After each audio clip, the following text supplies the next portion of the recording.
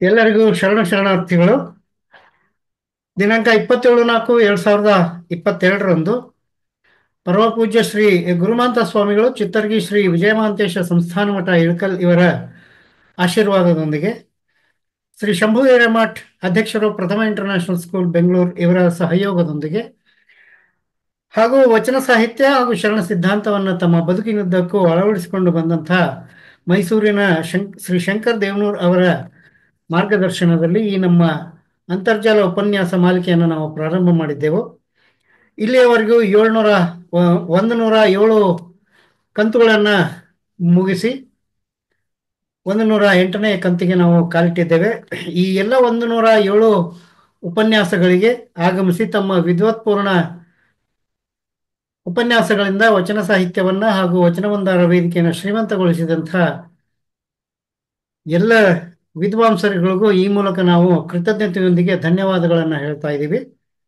ಹಾಗೆಯೇ ಈ ನಮ್ಮ ವಚನವಂದಾರ ವೇದಿಕೆಯಲ್ಲಿ ಉಪಸ್ಥಿತರಿದ್ದು ಎಲ್ಲ ವೇದಿಕೆ ಕಾರ್ಯಕ್ರಮಗಳನ್ನು ಕೇಳಿದಂಥ ಎಲ್ಲ ವೀಕ್ಷಕ ಪ್ರಭುಗಳಿಗೂ ಕೂಡ ಈ ಮೂಲಕ ಧನ್ಯವಾದಗಳನ್ನು ನಾವು ಅರ್ಪಿಸ್ತಾ ಇದ್ದೀವಿ. ಹಾಗೆಯೇ ಇಂದು ನಮ್ಮ ಕಾರ್ಯಕ್ರಮದ ಸಹ ಪ್ರಾಯೋಜಕರಾದಂಥ ಶ್ರೀ ಶಂಭು ಹಿರೇಮಠ್ ಅವರ ಮಗಳ ಮದುವೆ ಇವತ್ತು ಬೆಂಗಳೂರಿನಲ್ಲಿ ನೆರವೇರ್ತಾ ಇದೆ. ಅವರ ಮಗಳ ದಾಂಪತ್ಯದ ಬದುಕು ಉಜ್ವಲವಾಗಿರಲಿ ಅಂತ ಹೇಳ್ತಾ, ಅವರಿಗೂ ಶುಭಾಶಯಗಳನ್ನ ವಚನ ಮಂದಾರದ ವೇದಿಕೆಯ ಮೂಲಕ ಹೇಳ್ತಾ, ಈ ಕಾರ್ಯಕ್ರಮವನ್ನ ನಾವು ಪ್ರಾರಂಭ ಮಾಡೋಣ. ಈ ಕಾರ್ಯಕ್ರಮವನ್ನ ಶ್ರೀಮತಿ ಸಂತೋಷಿ ಮಠಪತಿ ಅವರ ಮಗಳಾದ ಅವರಿಂದ ನಾವು ಪ್ರಾರ್ಥನೆಯನ್ನ ಪ್ರಾರಂಭ ಮಾಡೋಣ. Mathapati madam you can start ಹಾ ಅಣ್ಣ. ನಿಮ್ಮ ನಿಮ್ಮ ಮಗಳದ ಒಂಚೂರು ಆ, ಏನೋ ಇಂಟ್ರೊಡಕ್ಷನ್ ಕೊಟ್ಟು ಶುರು ಮಾಡಿ. ಹಾ ಅಣ್ಣ. ಎಲ್ಲರಿಗೂ ಶರಣು ಶರಣಾರ್ಥಿಗಳು ದಯವಿಟ್ಟು ಕ್ಷಮಿಸ್ಬೇಕು. ನನ್ಗೆ ಇವತ್ತು ನಂದು ಒಂದು ಈ ಒಂದು ಶೀತದಿಂದ ಧ್ವನಿ ಕೆಟ್ಟು ಹೋಗಿರೋದ್ರಿಂದ ನನ್ನ ಮಗಳು ಸೃಷ್ಟಿ ಕುಮಾರಿ ಸೃಷ್ಟಿ ಅಂತ ಆಕೆ ಎಂಟನೇ ತರಗತಿಯಲ್ಲಿ ಓದುತ್ತಿದ್ದಾಳೆ. ಅವಳಿಂದ ಒಂದು ಬಸವಣ್ಣನವರ ವಚನ ಈಗ ನಿಮ್ಮ ಮುಂದೆ ದಯವಿಟ್ಟು ಎಲ್ಲರೂ ಸಹಕರಿಸ್ಬೇಕಂತ ಅವರಲ್ಲಿ ನಿಮ್ಮೆಲ್ಲರಲ್ಲಿ ಮನವಿ ಮಾಡ್ಕೊಳ್ತೇನೆ.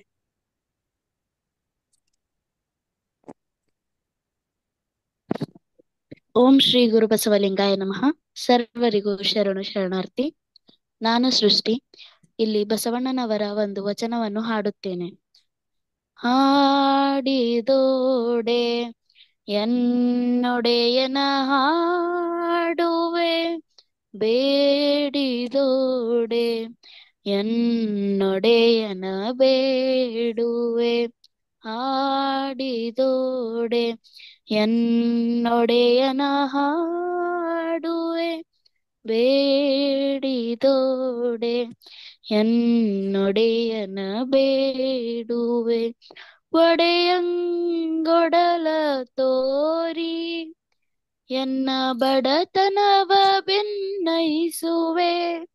ಆ, ಒಡೆಯಂಗೊಡಲ ತೋರಿ. ಎನ್ನ ಬಡತನವ ಬೆನ್ನೈಸುವೆ? ಒಡೆಯ ಮಹಾದಾನಿ ಕೂಡಲ ಸಂಗನ ದೇವರಿಗೆ ಸೆರೆಗೊಡ್ಡಿ ಬೇಡುವೆ. ದೇವರಿಗೆ ಸೆರೆಗೊಡ್ಡಿ ಬೇಡುವೆ, ಹಾಡಿ ತೋಡೆ, ಎನ್ನೊಡೆಯನ ಹಾಡುವೆ ಬೇಡಿದೋಡೆ ಎನ್ನೊಡೆಯನ ಬೇಡುವೆ ಎನ್ನೊಡೆಯನ ಬೇಡುವೆ. ಸರ್ವರಿಗೂ ಶರಣು ಶರಣಾರ್ಥಿ. ಶರಣಾರ್ಥಿಗಳು ಪುಟ ನನ್ ಧ್ವನಿ ಕೆಟ್ಟ ಆಕ್ಚುಲ್ ನನ್ ಧ್ವನಿ ಬಹಳ ಕೆಟ್ಟೋಗ್ಯದ. ಇರ್ಲಿ ಇರ್ಲಿ. ಹಾ. ಇಂತ ಇಂಥ ಸಂದರ್ಭಗಳಲ್ಲೇ ನಮ್ಮ ಮಕ್ಕಳನ್ನ ಇಂಟ್ರೊಡ್ಯೂಸ್ ಮಾಡೋದು ಅನುಕೂಲ ಆಗಿದೆ ಅನ್ಸುತ್ತೆ. ಬಹಳಷ್ಟು ಅನುಕೂಲ ಆಗಿದೆ ಅಣ್ಣ. ಯಾಕಂದ್ರೆ ಸ್ಕೂಲ್ ಸ್ಕೂಲ್ನಾಗೆಲ್ಲ ಹಾಡ್ತಾಳೆ ಹೆದರ್ ಬಿಟ್ಲಕ್ಕೆ ಒಂದೇ ಸಲಕ್ಕ ಹಾಡ ಇರ್ಲಿ ಇರ್ಲಿ. ನೆಕ್ಸ್ಟ್ ಟೈಮು ತಾಯಿಯ ಆಶಯಗಳನ್ನ ಈಡೇರಿಸುವ ಮಕ್ಕಳಿದ್ರೆ ಅವ್ರಿಗಿಂತ ಭಾಗ್ಯವಂತರು ಇನ್ಯಾರಿದ್ದಾರೆ ಅಪ್ಪಾಜಿ ಶರಣಾರ್ಥಿ. ಶರಣಾರ್ಥಿಗಳಲ್ವಾ ಹಾ? ಸ್ಕೂಲಲ್ಲಿ ಭಾರಿ ಎಲ್ಲಾರು ಆಯ್ತು. ನಿಮ್ ಆಶೀರ್ವಾದ ಇರ್ಲಿ ಆಕಿಗೆ. ಒಳ್ಳೇದಪ್ಪ ಆಗ್ಲಿ. ಧನ್ಯವಾದ ಎಲ್ಲರಿಗೂ ಸ್ವಾಗತವನ್ನ ಕೋರ್ತಾ ಈಗ ಇಂದಿನ ಉಪನ್ಯಾಸಕರ ಪರಿಚಯವನ್ನು ಮಾಡಿಕೊಳ್ಳೋಣ. ಶ್ರೀಮತಿ ಡಿ. ಶಬರೀನಾ ಮೊಹಮ್ಮದ್ ಅಲಿ ಇವರು ಶಿಕ್ಷಕಿ ಹಾಗೂ ಲೇಖಕಿ, ಚಳ್ಳಕೆರೆ, ಚಿತ್ರದುರ್ಗ ಜಿಲ್ಲೆಯ ಚಳ್ಳಕೆರೆಯಲ್ಲಿ ವಾಸವಾಗಿದ್ದಾರೆ. ಇವರ ಪತಿ ಮೊಹಮ್ಮದ್ ಅಲಿ ಶಿಕ್ಷಕರು ಚಳ್ಳಕೆರೆ, ಚಿತ್ರದುರ್ಗ ಜಿಲ್ಲೆ. ಮಕ್ಕಳು ಇನ್ಶಾ ಅಲಿ, ಶಿಫಾ ಅಲಿ ಹಾಗೂ ವಿಹಾನ್ ಅಲಿ ಅಂತ ಮೂವರು ಮಕ್ಕಳು. ಇನ್ನು ಸಾಹಿತ್ಯಿಕವಾಗಿ ನೋಡೋದಾದ್ರೆ ಇವರ ಪ್ರಕಟಿತ ಕೃತಿಗಳು ಬಿಳಿಯ ಹಾಳೆ ಮೇಲೆ ಕೆಂಪು ಶಾಯಿ ಹೂಮಾಲೆಗೆ ನೂಲು ಅಂತಕ್ಕಂಥ ಎರಡು ಕೃತಿಗಳು ಇಲ್ಲಿಯವರೆಗೆ ಪ್ರಕಟ ಆಗಿವೆ. ಇನ್ನು ಇವರ ಸಾಹಿತ್ಯ ಸೇವೆಗೆ ಹಾಗೂ ಸಾಮಾಜಿಕ ಸೇವೆಗೆ ಸಂದಂಥ ಪ್ರಶಸ್ತಿಗಳು ನಾಲ್ಕು ರಾಜ್ಯ ಪ್ರಶಸ್ತಿಗಳು, ಒಂದು ಪ್ರಥಮ ಮಹಿಳಾ ಸಾಧನಾ ಶಿಕ್ಷಕಿ, ಡಾಕ್ಟರ್ ಕವಿತಾ ಕೃಷ್ಣ ಸಾಹಿತ್ಯ ಪ್ರಶಸ್ತಿ, ಅಭಿನವ ಶಾರದೆ ರಾಜ್ಯ ಪ್ರಶಸ್ತಿ, ಕಿತ್ತೂರು ರಾಣಿ ಚೆನ್ನಮ್ಮ ರಾಜ್ಯ ಪ್ರಶಸ್ತಿ, ಹೀಗೆ ನಾಲ್ಕು ಪ್ರಶಸ್ತಿಗಳು ಇವರಿಗೆ ಸಂದಿವೆ. ಅದರಲ್ಲಿ ಡಾಕ್ಟರ್ ಕವಿತಾ ಕೃಷ್ಣ ಅವರು ನಮ್ಮ ತುಮಕೂರಿನ ಅದರಲ್ಲೂ ಖ್ಯಾತದಲ್ಲಿ ನಮಗೆ ಅತ್ಯಂತ ಆತ್ಮೀಯರಾಗಿದ್ದಂತಹ ಲಿಂಗೈಕ್ಯ ಡಾಕ್ಟರ್ ಕವಿತಾ ಕೃಷ್ಣ ಅವರು, ಅವರ ಸಾಹಿತ್ಯ ಪ್ರಶಸ್ತಿ ದೊರೆತಿತ್ತು. ವೈಯಕ್ತಿಕವಾಗಿ ತುಮಕೂರಿನವನಾಗಿ ನನಗೆ ಅತ್ಯಂತ ಹರ್ಷ ತರುವ ಸಂಗತಿ. ಇನ್ನೊಂದು ಅದ್ಭುತವಾದಂಥ ಒಂದು ಇವರ ಪ್ರತಿಭೆ ಅಂದರೆ ಶರಣ ತತ್ವ ಕುರಿತು ವಿಶೇಷ ಆಸಕ್ತಿಯನ್ನ ಇವರು ಹೊಂದಿದ್ದಾರೆ. ಬಸವ ಟಿವಿಯ ಅನುಭವಗೋಷ್ಠಿಗಳಲ್ಲಿ ಹಲವಾರು ಕಾರ್ಯಕ್ರಮಗಳಲ್ಲಿ ಭಾಗವಹಿಸಿದ್ದಾರೆ. ಆಮೇಲೆ ಅನೇಕ ಸಾಹಿತ್ಯ ಜಾಗೃತಿ ಕಾರ್ಯಕ್ರಮಗಳಲ್ಲಿ ನಿರಂತರವಾಗಿ ತಮ್ಮನ್ನ ತಾವು ತೊಡಗಿಸಿಕೊಂಡಿದ್ದಾರೆ. ಇನ್ನು ಬಸವ ಜಯಂತಿ ಕಾರ್ಯಕ್ರಮಗಳಲ್ಲಿ ಇವರ ಉಪನ್ಯಾಸಗಳಂತೂ ಇದ್ದೇ ಇರ್ತವೆ. ಅದರಲ್ಲಿ ಮೇಜರ್ ಆಗಿರ್ತಕ್ಕಂತಹ ನಾಲ್ಕೈದು ಉಪನ್ಯಾಸಗಳ ಕುರಿತು ಇಲ್ಲಿ ನಾನು ಮೆನ್ಷನ್ ಮಾಡ್ತೀನಿ. ಚಳ್ಳಕೆರೆಯ ರಾಷ್ಟ್ರೀಯ ಬಸವದಳ ಬಸವ ಜಯಂತಿಯಲ್ಲಿ ಮೈಲಿನಹಳ್ಳಿ, ಗಜ್ಜುಗಾನಹಳ್ಳಿ ರಾಷ್ಟ್ರೀಯ ಬಸವ ತತ್ವ ಪರಿಷತ್ ಬೆಂಗಳೂರು ವರ್ಣಪ್ರಭುಗಳ ಸುಜ್ಞಾನ ಮಂಟಪ ಬೆಂಗಳೂರು. ಶಿವಾನುಭವ ಗೋಷ್ಠಿಯಲ್ಲಿ ಗೋಷ್ಠಿಯ ಈ ಪಾಂಡೋಮಟ್ಟಿಯ ವಿರಕ್ತ ಮಠದಲ್ಲಿ ಇವರು ಉಪನ್ಯಾಸವನ್ನು ನೀಡಿದ್ದಾರೆ. ತಿಮ್ಮಪ್ಪಯ್ಯನಹಳ್ಳಿಯ ಶರಣ ಸಂಗಮದಲ್ಲಿ ಕೂಡ ಉಪನ್ಯಾಸವನ್ನು ನೀಡಿದ್ದಾರೆ. ಇಪ್ಪತ್ತ ಮೂರನೇ ಕಲ್ಯಾಣ ಪರ್ವ ಬಸವ ಕಲ್ಯಾಣದಲ್ಲಿ ಕೂಡ ಇವರು ಉಪನ್ಯಾಸವನ್ನ ನೀಡಿದ್ದಾರೆ. ಇನ್ನೊಂದು ನನಗೆ ಬಹಳ ಕುತೂಹಲಕರವಾದ ಸಂಗತಿಯನ್ನ ಇಲ್ಲಿ ನಾನು ನಿಮಗೆ ಹೇಳಬೇಕು. ಚಿತ್ರದುರ್ಗದ ಈ ಚಳ್ಳಕೆರೆಯಲ್ಲಿ ಡಾಕ್ಟರ್ ಬಿ ಆರ್ ಅಂಬೇಡ್ಕರ್ ಗ್ರಂಥಾಲಯ ಮಾಡಿದ್ದಾರೆ ಇವರು. ಇದರಲ್ಲಿ ಈ ಗ್ರಂಥಾಲಯದಲ್ಲಿ ಕನ್ನಡಕ್ಕಾಗಿ ಗ್ರಂಥಾಲಯವನ್ನು ಮುಡುಪಾಗಿಟ್ಟಿದ್ದಾರೆ. ವಿಶೇಷವಾಗಿ ಅಂದ್ರೆ ಈ ಬಡತನದಲ್ಲಿರ್ತಕ್ಕಂಥ ಮಕ್ಕಳಿಗೆ ಈ ಪುಸ್ತಕಗಳನ್ನ ಕೊಡುವಂತಹ ಒಂದು ವ್ಯವಸ್ಥೆಯನ್ನ ಮಾಡಿದ್ದಾರೆ. ಅದಕ್ಕೆ ಡಾಕ್ಟರ್ ಅಂಬೇಡ್ಕರ್ ಮತ್ತು ದಾರ್ಶನಿಕರ ಚಿಂತನೆಗಳನ್ನ, ಜೀವಂತಿಕೆಯನ್ನ ಇಡುವಲ್ಲಿ ಇವರು ಬಹಳ ಅರ್ಥಪೂರ್ಣವಾದಂತಹ ಒಂದು ಕೆಲಸವನ್ನ ಮಾಡಿದ್ದಾರೆ ಅಂತ ನನಗನ್ನಿಸ್ತದೆ ಅದರದ್ದು ಒಂದು ವರದಿ ಬಂದಿದ್ದನ್ನ ನಾನು ಇಲ್ಲಿ ತೋರಿಸ್ಬೇಕು ಈ ಪೇಪರ್ನಲ್ಲಿ ಬಂದದ್ದನ್ನ ಇಲ್ಲಿ ನಾನು ತೋರಿಸ್ತಾ ಇದ್ದೀನಿ. ಬಹಳ ಅದ್ಭುತವಾದಂತ ಒಂದು ವೈಚಾರಿಕ ದಂಪತಿಗಳು. ಇವರು, ಇವರ ಪತಿ ಮೊಹಮ್ಮದ್ ಅಲಿ ಅವರು ಕೂಡ ಇಂಥ ಒಂದು ಅವರ ವಿಶೇಷ ಆಸಕ್ತಿಗೆ ಅವರು ಕೈ ಜೋಡಿಸಿದ್ದಾರೆ ಅನ್ನೋದೇ ಬಹಳ ಕುತೂಹಲಕರವಾದಂಥ ಸಂಗತಿ. ಈ ಇಬ್ಬರು ದಂಪತಿಗಳಿಗೂ ಕೂಡ ನಮ್ಮ ವಚನ ಮಂದಾರ ವೇದಿಕೆ ಪರವಾಗಿ ಹೃತ್ಪೂರ್ವಕವಾದಂತಹ ಅಭಿನಂದನೆಗಳು ಮತ್ತು ಕೃತಜ್ಞತೆಗಳನ್ನು ಸಲ್ಲಿಸ್ತಾ ಇದ್ದೀವಿ. ಅವರು ಅವ್ರಿಗೂ ಕೂಡ ಈ ಕಾರ್ಯಕ್ರಮಕ್ಕೆ ಸ್ವಾಗತವನ್ನು ಹೇಳ್ತಾ, ಈ ಕಾರ್ಯಕ್ರಮದ ಕೇಂದ್ರಘಟ್ಟವಾದಂತಹ ಅವರ ಉಪನ್ಯಾಸವನ್ನು ಕೇಳೋಣ. ಇಂದು ಅವರು ಶಿವಾಚಾರವನ್ನು ಕುರಿತು ಮಾತನಾಡಲಿದ್ದಾರೆ. Madam the stage is yours. You can continue okay sir thank you Om Shri Guru ಬಸವಲಿಂಗಾಯ ನಮಃ ಕೇಳಿಸಿದ್ಯಾ sir ಕೇಳಿಸ್ತಿದೆಯಮ್ಮ it's loud and clear you can continue okay sir Om Shri Guru ಬಸವಲಿಂಗಾಯ ನಮಃ ಇವನಾರವ ಇವನಾರವ ಇವನಾರವನೆಂದೆನಿಸಿದರಯ್ಯ ಇವ ನಮ್ಮವ ಇವ ನಮ್ಮವ ಇವ ನಮ್ಮವನೆಂದೆನಿಸಯ್ಯ ಕೋಡಲ ಸಂಗಮ ದೇವ ನಿಮ್ಮ ಮನೆಯ ಮಗನೆಂದೆನಿಸಯ್ಯ ಎಂದು ಹೇಳುವ ಮೂಲಕ ಇಡೀ ವಿಶ್ವಕ್ಕೆ ಸಮಾನತೆಯ ತತ್ವವನ್ನು ಸಾರಿದಂತಹ ಮಹಾಮಾನವತವಾದಿ ವಿಶ್ವಗುರು ಜಗಜ್ಯೋತಿ ಬಸವಣ್ಣನವರ ಪಾದಾರವಿಂದಗಳಿಗೆ ಗೌರವಪೂರ್ವಕವಾದ ಧನ್ಯತಾಪೂರ್ವಕವಾದ ಶರಣು ಶರಣಾರ್ಥಿಗಳನ್ನ ಸಮರ್ಪಿಸಿ, ಕೆರೆ ಹಳ್ಳ ಬಾವಿಗಳ ಮೈದೆಗೆದರೆ ಗುಳ್ಳೆ ಗೊರಚೆ ಚಿಪ್ಪುಗಳ ಕಾಣಬಹುದು, ವಾರಿದಿಯ ಮೈದೆಗೆದರೆ ಮುತ್ತು ರತ್ನಗಳ ಕಾಣಬಹುದು ಕೂಡಲ ಸಂಗನ ಶರಣರು ಮನದೆರೆದು ಮಾತನಾಡಿದರೆ ಲಿಂಗವ ಕಾಣಬಹುದು ಎಂಬಂತೆ ಪ್ರತಿ ಶನಿವಾರದಂದು ಶರಣರ ತತ್ವಗಳನ್ನ ಕುರಿತು ಕಾರ್ಯಕ್ರಮವನ್ನ ವಚನ ಮಂದಾರದ ಮೂಲಕ ಆಯೋಜನೆ ಮಾಡುತ್ತಿರುವ ಶಂಭು ಹಿರೇಮಠ್ ಸರ್ ಅವರಿಗೂ ಹಾಗೂ ವಿಜಯ್ ಕಮ್ಮಾರ್ ಸರ್ ಅವರಿಗೂ ಕೂಡ ನಾನು ತುಂಬು ಹೃದಯದ ಶರಣು ಶರಣಾರ್ಥಿಗಳನ್ನ ಸಮರ್ಪಿಸ್ತಾ ಇದ್ದೀನಿ. ಜೊತೆಗೆ ಈ ಒಂದು ಸುಸಂದರ್ಭದಲ್ಲಿ ನಮ್ಮ ಗುರುಗಳಾದಂತಹ ಮಾನವ ಒಂದು ತಾಯಿಗೆ ಸಮನಾದಂತಹ ಒಂದು ವ್ಯಕ್ತಿತ್ವ ಉಳ್ಳಂತಹ ಶಂಕರ ದೇವನೂರು ಗುರುಗಳಿಗೂ ಕೂಡ ನಾನು ಶರಣು ಶರಣಾರ್ಥಿಗಳನ್ನ ಸಮರ್ಪಿಸ್ತಾ ಇದ್ದೀನಿ. ಹಾಗೂ ಈ ಕಾರ್ಯಕ್ರಮದಲ್ಲಿ ಉಪಸ್ಥಿತರಿರುವ ಎಲ್ಲ ಶರಣ ಶರಣರಿಗೂ ನನ್ನ ಶರಣು ಶರಣಾರ್ಥಿಗಳು. ಇವತ್ತಿನ ವಿಚಾರ ಶಿವಾಚಾರ. ಪಂಚಾಚಾರಗಳಲ್ಲಿ ಶಿವಾಚಾರವು ಕೂಡ ಒಂದಾಗಿದೆ. ಪಂಚಾಚಾರಗಳು ಯಾವುವು? ಯಾ, ಯಾವ್ದು ಪಂಚಾಚಾರಗಳಲ್ಲಿ ಹಂಗಂದ್ರೆ ಏನು ಅನ್ನೋದಕ್ಕೆ ಚನ್ನಬಸವಣ್ಣನವರ ಒಂದು ವಚನ ಇದೆ. ಅದನ್ನ ಹೇಳಿ ನಾನು ನನ್ನ ಮಾತನ್ನ ಪ್ರಾರಂಭಿಸ್ತೀನಿ. ಚನ್ನಬಸವಣ್ಣನವ್ರು ಹೇಳ್ತಾರೆ, ಲಿಂಗಾಚಾರ, ಸದಾಚಾರ, ಶಿವಾಚಾರ, ಗಣಾಚಾರ ಭೃತ್ಯಾಚಾರ ಇವೆಂಬ ಪಂಚಾಚಾರದ ಆಚರಣೆ ಎಂತೆಂದರೆ, ಅವ್ರು ಹೇಳ್ತಾರೆ, ಲಿಂಗಾಚಾರವೆಂದರೆ ಲಿಂಗವನಲ್ಲದೆ ಅನ್ಯ, ಲಿಂಗವನಲ್ಲದೆ ಅನ್ಯವನ ಅರಿಯದಿರುವುದೇ ಲಿಂಗಾಚಾರ ಅಂತ ಹೇಳ್ತಾರೆ. ಲಿಂಗವಲ್ಲದೆ ಅನ್ಯವನ ಅರಿಯದಿರುವುದೇ ಲಿಂಗಾಚಾರ. ಸದಾ, ಸದಾಚಾರ ಅಂದ್ರೆ ಸಜ್ಜನ ಕಾಯಕದಲ್ಲಿ ನಿಂದು ಗುರು ಲಿಂಗ ಜಂಗಮಕ್ಕೆ ನೀಡಿ ಸತ್ಯ ಶುದ್ಧವಾಗಿ ಹುದೇ ಸದಾಚಾರ ಅಂತ ಹೇಳ್ತಾರೆ. ಇನ್ನು ಶಿವಾಚಾರ ಅಂದ್ರೆ ಏನು ಅಂತ ಹೇಳ್ತಾರೆ ಅಂದ್ರೆ ಶಿವ ಭಕ್ತರಲ್ಲಿ ಕುಲ, ಗೋತ್ರ, ಜಾತಿ, ವರ್ಣಾಶ್ರಮ ನರಸದೆ ಅವರೊಕ್ಕದ ಕೊಂಬುದೇ ಶಿವಾಚಾರ ಅಂತ ಹೇಳ್ತಾರೆ. ಇನ್ನು ನಾಲ್ಕನೇದ್ರ ಬಗ್ಗೆ ಏನ್ ಹೇಳ್ತಾರೆ ಅಂದ್ರೆ ಅಂದ್ರೆ ಗಣಾಚಾರ.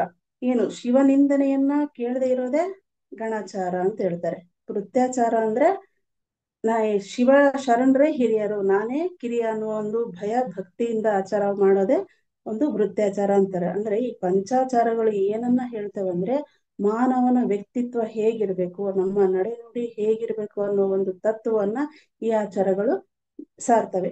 ಹಾಗಾದ್ರೆ ಶಿವಾಚಾರ ಅಂದ್ರೆ ಏನು? ಶಿವಾಚಾರವನ್ನ ನಾವು ಆಚರಣೆ ಮಾಡ್ಬೇಕಂದ್ರೆ ನಮ್ಮಲ್ಲಿ ಯಾವ ಗುಣಗಳನ್ನ ನಾವು ರೂಢಿಸ್ಕೊಳ್ಬೇಕು? ನಾವು ಹೇಗಿದ್ದಾಗ ನಮ್ಮಿಂದ ಶಿವಾಚಾರ ಸಾಧ್ಯ ಆಗುತ್ತೆ ಅನ್ನೋದ್ರ ಹತ್ರ ಗಮನ ಹರಿಸೋಣ ಶಿವಾಚಾರ ಅಂದ್ರೆ ಏನು ಅಂದ್ರೆ ಶಿವ ಭಕ್ತರಲ್ಲಿ ಕುಲ, ಗೋತ್ರ, ಜಾತಿ, ವರ್ಣಾಶ್ರಮ ನರಸದೆ ಅವರೊಕ್ಕದ ಕೊಂಬುದೇ ಶಿವಾಚಾರ. ಅಂದ್ರೆ ಅಲ್ಲಿ ಯಾವುದೇ ರೀತಿಯ ಒಮ್ಮೆ ಶಿವ ಸಂಸ್ಕಾರ ಅಂದ್ರೆ ಬಸವ ಸಂಸ್ಕಾರ ಪಡೆದ ತಕ್ಷಣ ಮುಗೀತು. ಅವರೆಲ್ಲರೂ ಕೂಡ ಒಂದೇ ಅನ್ನುವ ತತ್ವವನ್ನ ಶಿವಾಚಾರ ಸಾರುತ್ತೆ. ಇನ್ನೊಂದು ಪ್ರಮುಖವಾದದ್ದನ್ನ ಏನ್ ಹೇಳುತ್ತೆ ಶಿವಾಚಾರ ಅಂದ್ರೆ, ಈ ಜಗತ್ತಿದೆಯಲ್ಲ, ಈ ಜಗತ್ತಿನ ಜೀವಿಗಳೆಲ್ಲ ಒಂದೇ. ಯಾವುದೇ ರೀತಿಯ ಕುಲ, ಗೋತ್ರ, ಇವುಗಳ ಹೆಸರಲ್ಲಿ ಜನಾಂಗವನ್ನ ಬೇರೆ ಬೇರೆ ಮಾಡದೆ, ಶ್ರೇಷ್ಠ, ಕನಿಷ್ಠ ಎಂಬ ಬೇರೆ ಬೇರೆ ಮಾಡದೆ, ಎಲ್ಲರನ್ನ ಸಮಾನರು ಎಂಬ ಸಾಮಾಜಿಕ ಸಮಾನತೆ ಸಾರುವುದೇ ಶಿವಾಚಾರ ಅಂತ ಹೇಳುತ್ತೆ. ಅಂದ್ರೆ ನೋಡ್ರಿ, ದೇವನ ಪಿತೃತ್ವ, ಅಂದ್ರೆ ಶಿವನ, ಈ ಜಗತ್ತಿಗೆ ಒಬ್ಬನೇ ದೇವ, ಅದು ಶಿವ. ಶಿವನ ಪಿತೃತ್ವ, ಮಾನವರ ಭಾತೃತ್ವ, ಈ ವಿಚಾರವನ್ನ ಸಾರಲು ಬಿತ್ತಲ್ಪಟ್ಟ ಎಲ್ಲಾ ವಿಚಾರಗಳು ಕೂಡ ಶಿವಾಚಾರ. ಅಂದ್ರೆ ಶಿವ ಅಂದ್ರೆ ಮಂಗಳ, ಶುಭ ಅಂತ. ಏನು ಒಳಿತನ್ನದಿದೆಯೋ ಮಾನವ ಕುಲಕ್ಕೆ ಏನು ಒಳಿತನ್ನದಿದೆಯೋ ಅದೆಲ್ಲವೂ ಕೂಡ ಶಿವಾಚಾರವಾಗಿದೆ ಅಂತ ಸಾರಿ ಸಾರಿ ಶಿವಾಚಾರ ಹೇಳುತ್ತೆ. ಹಾಗಾದ್ರೆ ಈ ಶಿವಾಚಾರವನ್ನ ಕುರಿತು ಶರಣರು ಏನ್ ಹೇಳ್ತಾರೆ? ಶರಣರು ಏನ್ ಹೇಳ್ತಾರೆ ಅಂದ್ರೆ ಅಲ್ಲಮ್ಮ ಪ್ರಭುಗಳು ಹೇಳ್ತಾರೆ, ಶಿವಾಚಾರ ಎನ್ನುವುದು ಬೀದಿಯಲ್ಲಿ ಆಡಿದ ಮಾತಿನಂತಲ್ಲ, ಶಿವಾಚಾರ ಎನ್ನುವುದು ಬೀದಿಯಲ್ಲಿ ಆಡಿದ ಮಾತಿನಂತಲ್ಲ, ನಿನ್ನಲ್ಲಿರುವ ಕಾಮ ಕ್ರೋಧಗಳನ್ನ ಲಿಂಗ ಕರ್ಪಿತ ಮಾಡದೆ ನಿನ್ನಿಂದ ಶಿವಾಚಾರ ಸಾಧ್ಯವಾಗದು ಅಂತಾರೆ. ನೋಡ್ರಿ, ಎಷ್ಟ್ ಚೆನ್ನಾಗಿ ಹೇಳ್ತಾರೆ ಅಂದ್ರೆ ನಿನ್ನಲ್ಲಿ ಏನು ಕಾಮ ಕ್ರೋಧಗಳು ಜಾತಿ ಭೇದ ಲಿಂಗಭೇದ, ವರ್ಗಭೇದ, ವರ್ಣಭೇದ ಇದಾವಲ್ಲಪ್ಪ, ಎಲ್ಲವನ್ನ ನೀನು ಲಿಂಗಕ್ಕೆ ಅರ್ಪಿತ. ಅಂದ್ರೆ ಅವನ್ನ ಬಿಟ್ಟಾಗ ಮಾತ್ರ ನಿನ್ನಿಂದ ಶಿವಾಚಾರ ಆಗುತ್ತೆ. ಅದು ಬೀದಿಯಲ್ಲಿ ನಿಂತ್ಕೊಂಡು ಹೇಳದಷ್ಟು ಸುಲಭ ಅಲ್ಲ ಅದು. ಆಚರಣೆಗೆ ತರೋದು ಅಷ್ಟು ಸುಲಭ ಅಲ್ಲ.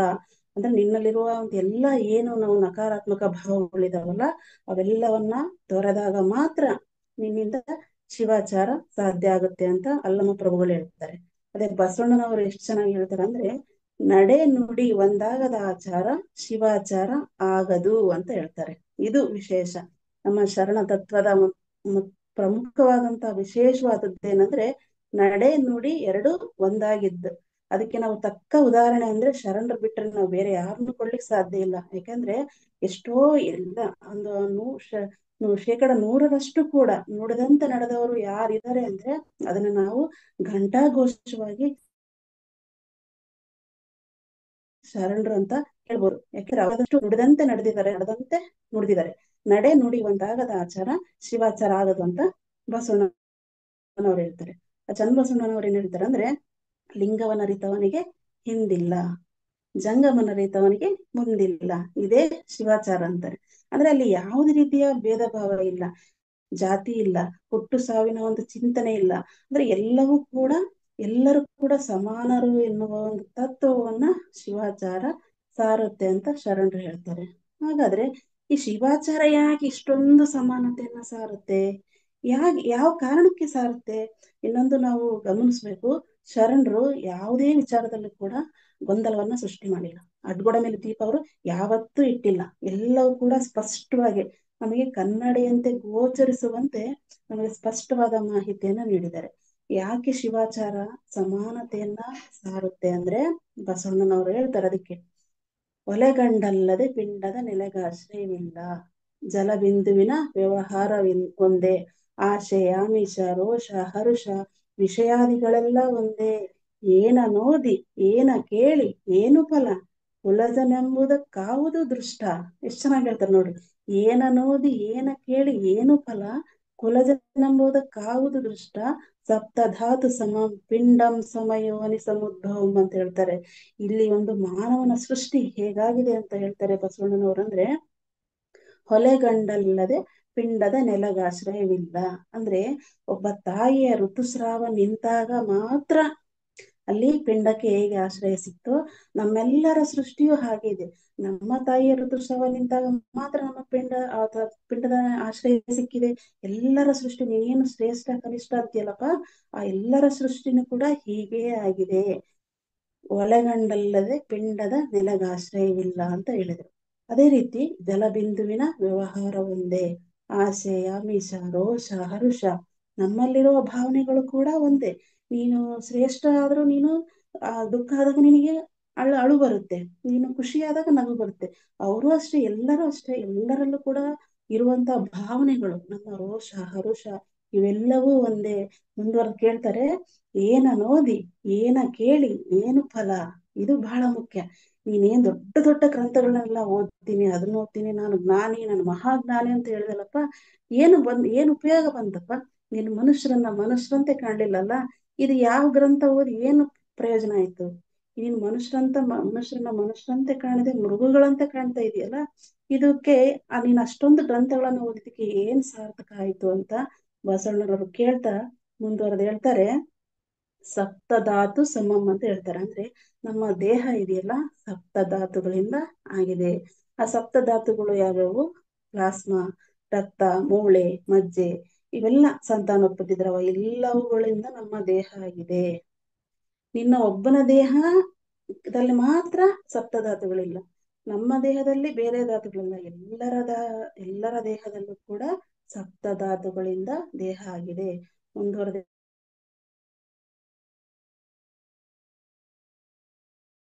ಪಿಂಡ ಯಾವ್ದು ಮೂಲಕ ಹೊರ ಬಂದಿದೆ ಯೋನಿಯ ಮೂಲಕನೇ ಬಂದಿದೆ ವಿನಃ ಕರ್ಣದಲ್ಲಿ ಜನಿಸಿದವರುಂಟೆ ಅಂತ ಕೇಳ್ತಾರೆ. ಅಂದ್ರೆ ನಿನ್ನ ತಾಯಿಯ, ಯೋನಿಯಿಂದಲೇ ಎಲ್ಲರ ತಾಯಿಯರ, ನನ್ನ ತಾಯಿ, ನಿನ್ನ ತಾಯಿ, ಮತ್ತೊಬ್ಬರ ತಾಯಿ, ಏನ್ ನೀನ್ ಕನಿಷ್ಠ ಅಂತ ಹೇಳ್ತಿದ್ಯಲ್ಲ, ಅವರೆಲ್ಲರ ಸೃಷ್ಟಿ ಹೀಗೇ ಆಗಿದೆ. ಹಾಗಾಗಿ ಮನುಷ್ಯನ ಸೃಷ್ಟಿಯಲ್ಲಿ ಸಮಾನತೆ ಇದೆ ಅಂತ ಬಸವಣ್ಣನವರು ಈ ವಚನದಲ್ಲಿ ಬಹಳ ಸ್ಪಷ್ಟವಾಗಿ ಎಷ್ಟು ಸೊಗಸಾಗಿ ಹೇಳ್ತಾರೆ. ಅಂದ್ರೆ ಎಂತ ಒಬ್ಬ ದಡ್ಡನಿಗೂ ಕೂಡ ಅರ್ಥ ಆಗ್ಬೇಕು. ಏನು ನಾನು ಕನಿಷ್ಠ ಅಂತ ಅನ್ಕೊಂಡನು ಕೂಡ ಹೌದು, ನಾನು ಕೂಡ ಅವರಂತೆ ಮನುಷ್ಯ, ನಾನು ಕೂಡ ಅವರಿಗೆ ಸಮ ಅನ್ನೋ ಒಂದು ಭಾವನೆಯನ್ನ ತರಿಸೋದಿದೆಯಲ್ಲ, ಅದು ಬಸವಣ್ಣನಿಗೆ ಮಾತ್ರ ಆ ಶಕ್ತಿ ಇದೆ ಅಂತ ನಾನು ಈ ಸಂದರ್ಭದಲ್ಲಿ ಹೇಳಲಿಕ್ಕೆ ಬಯಸ್ತೇನೆ.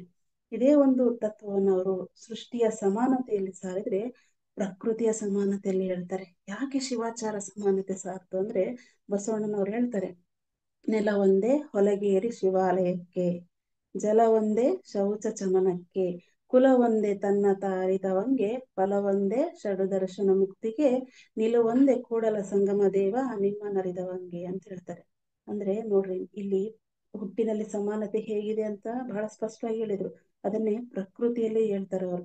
ನೋಡಪ್ಪ, ನೀನು ನೆಲ, ನೀನು ಆ ನೆಲದಲ್ಲಿ ನೀನು ಹೊಲಗೇರಿನಾದ್ರೂ ಮಾಡ್ಕೋ ಅಥವಾ ಶಿವಾಲಯವಾದ್ರೂ ಮಾಡ್ಕೋ. ನೀನು ಹೇಗೆ ಅದು ಏನಕ್ಕೆ ಬಳಸ್ತೀಯ ಅನ್ನೋದ್ರ ಮೇಲೆ ಆ ಜಾಗ ನಿರ್ಧಾರಿತವಾಗುತ್ತೆ ವಿನಃ ಎರಡಕ್ಕೂ ಬಳಸಿರುವಂತ ಜಾಗ ಕೂಡ ಒಂದೇ ಅನ್ನೋದನ್ನ ಸಾರುತ್ತಾರೆ. ಅಂದ್ರೆ ಪ್ರಕೃತಿ ಸಮಾನತೆಯನ್ನ ಸಾರುತ್ತೆ ಅಂತ ಹೇಳ್ತಾರೆ.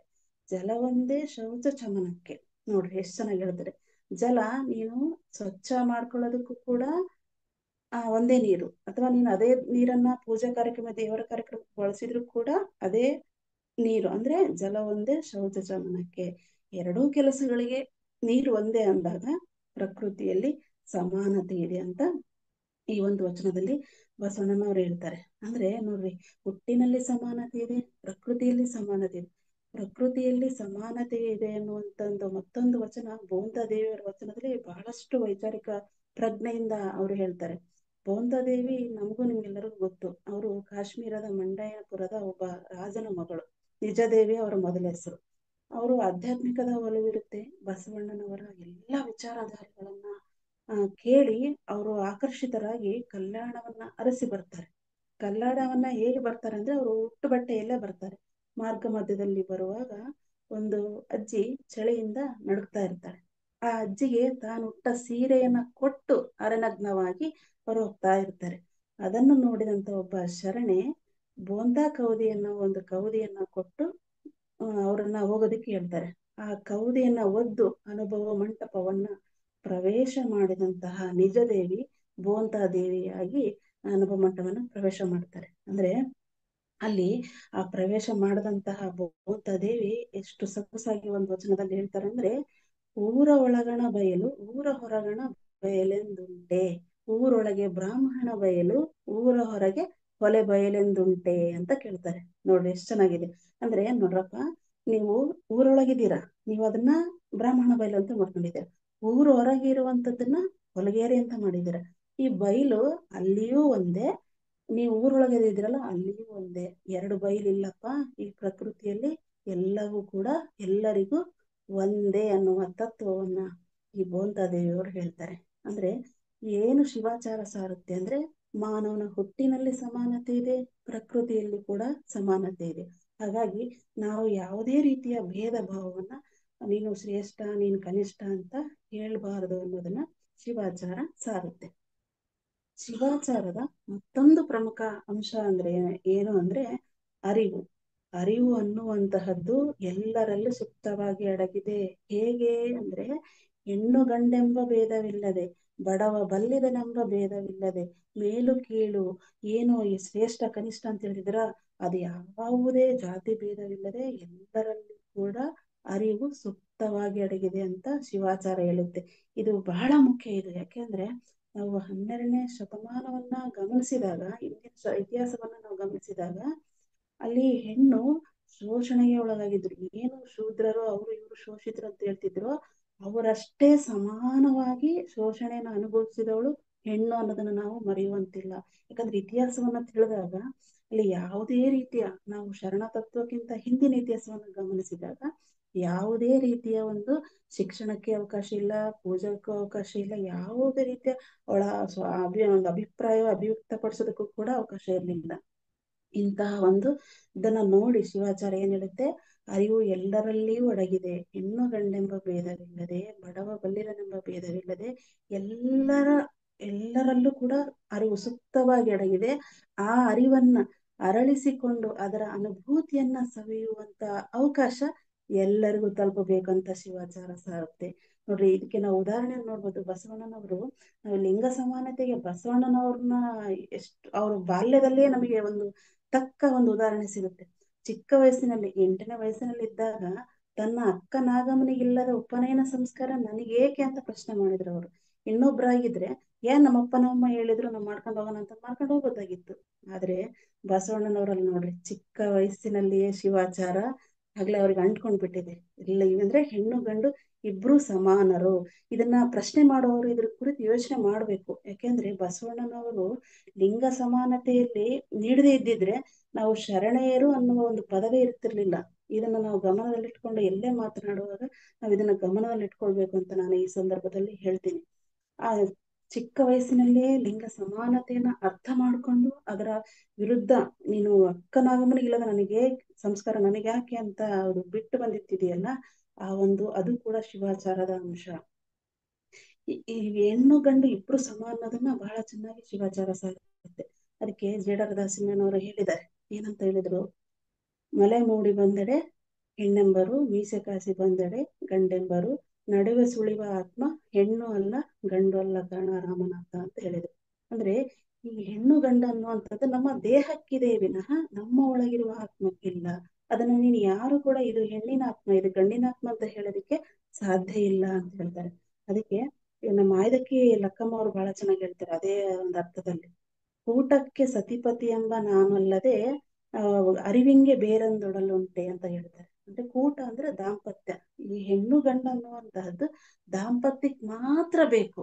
ಅದ್ರ ಬಿಟ್ರೆ ಅದು ಏನು ನಾವು ದಾಂಪತ್ಯಕ್ಕೆ ಏನು ಇದ್ ಮಾಡ್ತೀವಲ್ಲ, ಸಂತಾನೋತ್ಪತ್ತಿಗೆ ಅಥವಾ ಇನ್ನೇನಕ್ಕೋ ಅದಕ್ ಮಾತ್ರ ಬೇಕೇ ವಿನಃ ಅರಿವು, ಅರಿವಿಗೆ ಬೇರೊಂದೊಡಲುಂಟೆ ಅಂತ ಕೇಳ್ತಾರೆ. ಅಂದ್ರೆ ಅರಿವಿಗೆ ಹೆಣ್ಣು, ಗಂಡು, ಬಡವ, ಬಲ್ಲಿದ, ಮೇಲು, ಕೀಳು ಅಂತ ಇಲ್ಲ. ಎಲ್ಲರಲ್ಲಿ ಕೂಡ ಅರಿವು ಸುಪ್ತವಾಗಿ ಅಡಗಿದೆ. ಆ ಅಡಗಿದಂತ ಅರಿವನ್ನ ಅರಳಿಸಿಕೊಂಡು ಅದರ ಅನುಭೂತಿಯನ್ನ ಪಡೆಯುವಂತ ಅವಕಾಶ ಎಲ್ಲರಿಗೂ ಸಿಗ್ಬೇಕಂತ ಶಿವಾಚಾರ ಸಾರುತ್ತೆ ಅದಕ್ಕೆ ಜೇಡರ ಸಿಂಹ ಎಂತ ಮಾತು ಹೇಳಿದ್ದಾರೆ? ಸತಿಪತಿ ಒಂದಾದ ಭಕ್ತಿ ಹಿತವಪ್ಪದ ಶಿವಂಗೆ ಅಂತಾರೆ. ಅಂದ್ರೆ ನೋಡ್ರಿ, ಅದ್ ನಾವು ಶರಣ ತತ್ವದಲ್ಲಿ ಮಾತ್ರ ನಾವು ಜೋಡಿ ಜೋಡಿ ಜೋಡಿ, ಜೋಡಿಯಾಗಿ ನೋಡ್ಲಿಕ್ಕೆ ಸಾಧ್ಯ.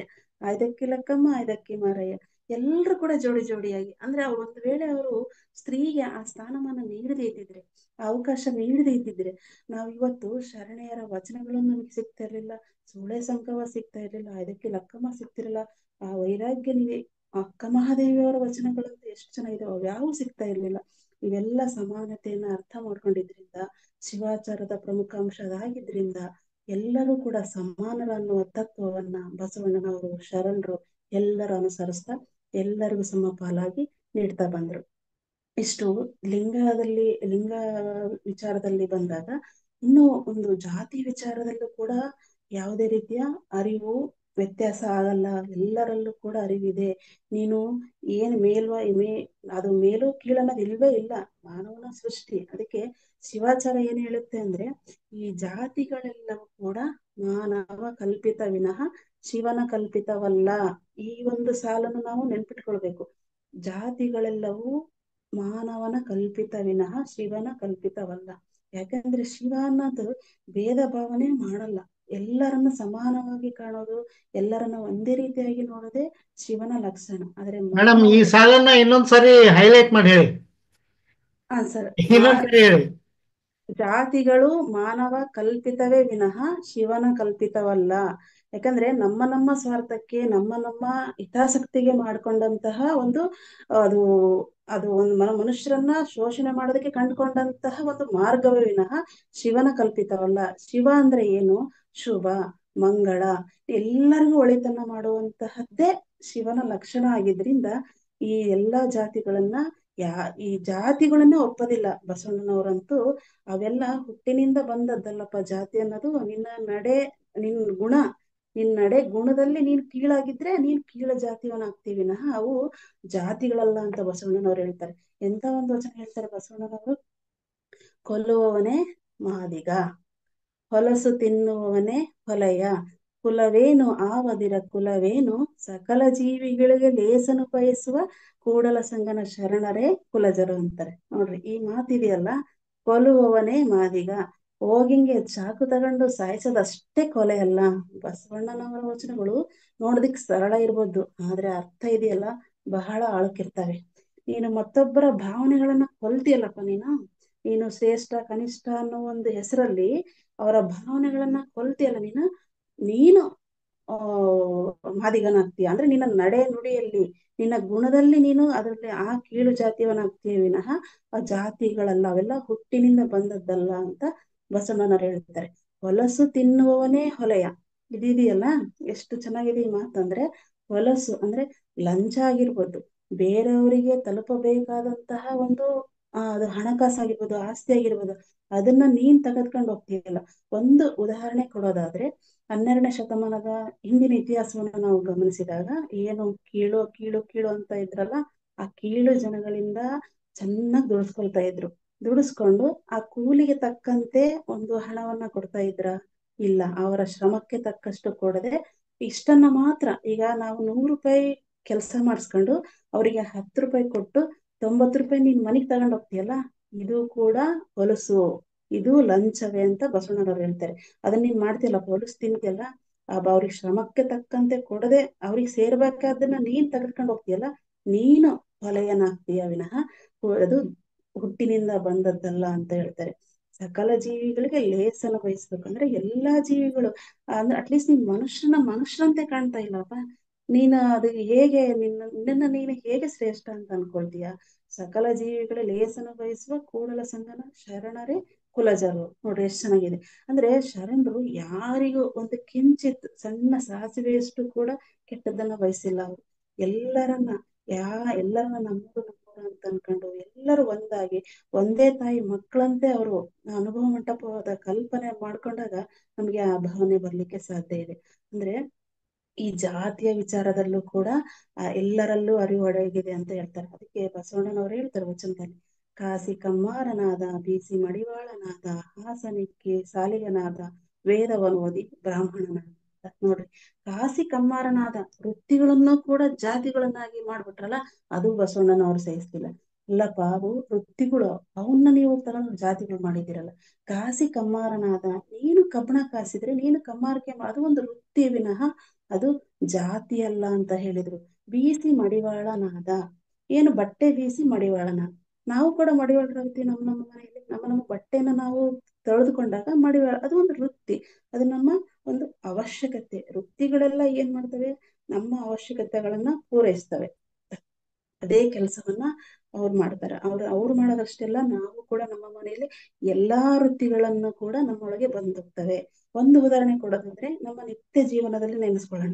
ಬೆಳಗ್ಗೆ ಎದ್ದ ತಕ್ಷಣ ನಾವು ಹಡಪದರಾಗ್ತೀವಿ.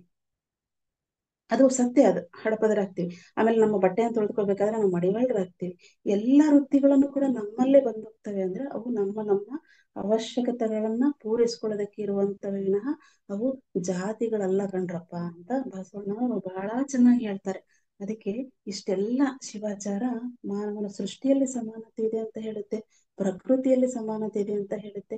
ಹೆಣ್ಣು, ಗಂಡೆ ಎಂಬ ಭೇದವಿಲ್ಲದೆ ಅದೆಲ್ಲವೂ ಕೂಡ ಅರಿವು ಸುಪ್ತವಾಗಿ ಇದೆ. ಅದನ್ನ ಅರಳಿಸ್ಕೊಂಡು ಅದರ ಅನುಭೂತಿಯನ್ನ ಸವಿಯೋದಕ್ಕೆ ಯಾವುದೇ ಲಿಂಗ ಭೇದವಿಲ್ಲದೆ, ಜಾತಿ ಭೇದವಿಲ್ಲದೆ ವರ್ಣ, ವರ್ಗ ಭೇದವಿಲ್ಲದೆ ಎಲ್ಲರಲ್ಲಿಯೂ ಸುಪ್ತವಾಗಿ ಅಡಗಿದೆ ಅನ್ನುವ ಒಂದು ಪ್ರಮುಖವಾದಂತಹ ಅಂಶವನ್ನ ಈ ಶಿವಾಚಾರ ಸಾರುತ್ತೆ. ಇಷ್ಟೆಲ್ಲಾ ಶಿವಾಚಾರವನ್ನ ಸಾರಿದಾಗ ನಮ್ಮ ಬಾಯಿಯಲ್ಲಿ ಬರ್ಬೇಕಾದಂತಹ ವಚನ ಯಾವುದು?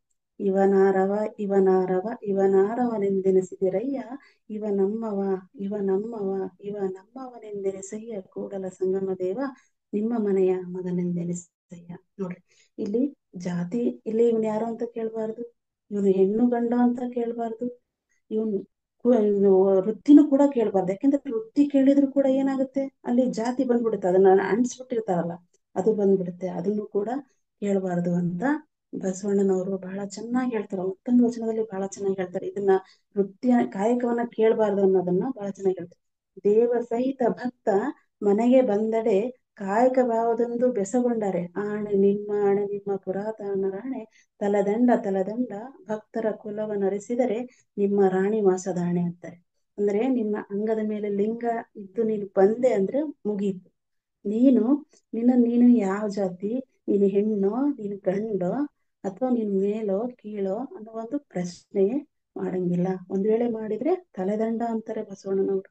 ಅಂದ್ರೆ ಅವ್ರಿಗೆ ಇರುವಷ್ಟು ಸಮಾನತೆ ತತ್ವ ಇದೆಯಲ್ಲ, ಎಲ್ಲರಿಗೂ ಸಮರತಿ, ಸಮಕಳೆ, ಸಮಸುಖ. ಸುಖ ಈ ಒಂದು ತತ್ವದ ಅಡಿಯಲ್ಲಿ ಬಸವಣ್ಣನವರ ಚಿಂತನೆಗೆ ಸರಿಸಾಟಿ ಆಗಬಲ್ಲಾರು ಅವನ್ನ ನಾವು ಹುಡುಕ್ಲಿಕ್ಕೆ ಸಾಧ್ಯವಿಲ್ಲ. ಅದು ಹೇಳೋದ್ ಬೇರೆ, ಮಾತಲ್ಲಿ ಹೇಳೋದ್ ಬೇರೆ. ಅದ್ರ ಅದರಂತೆ ನಡೆಯೋದಿದೆಯಲ್ಲ ಬಸವಣ್ಣನವರಿಗೆ, ಬಸವಣ್ಣನವರೇ ಸಾಟಿ ಅಂತ ಹೇಳ್ಬೋದು.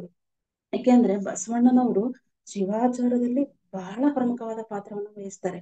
ನಮ್ಮ ಯಾವ ರೀತಿಯಲ್ಲಿ ಮನುಷ್ಯರನ್ನ ನಾವು ಸಮಾನವಾಗಿ ಕಾಣ್ಬೇಕು ಅನ್ನೋದನ್ನ ಬಹಳ ಚೆನ್ನಾಗಿ ಹೇಳ್ತಾರೆ.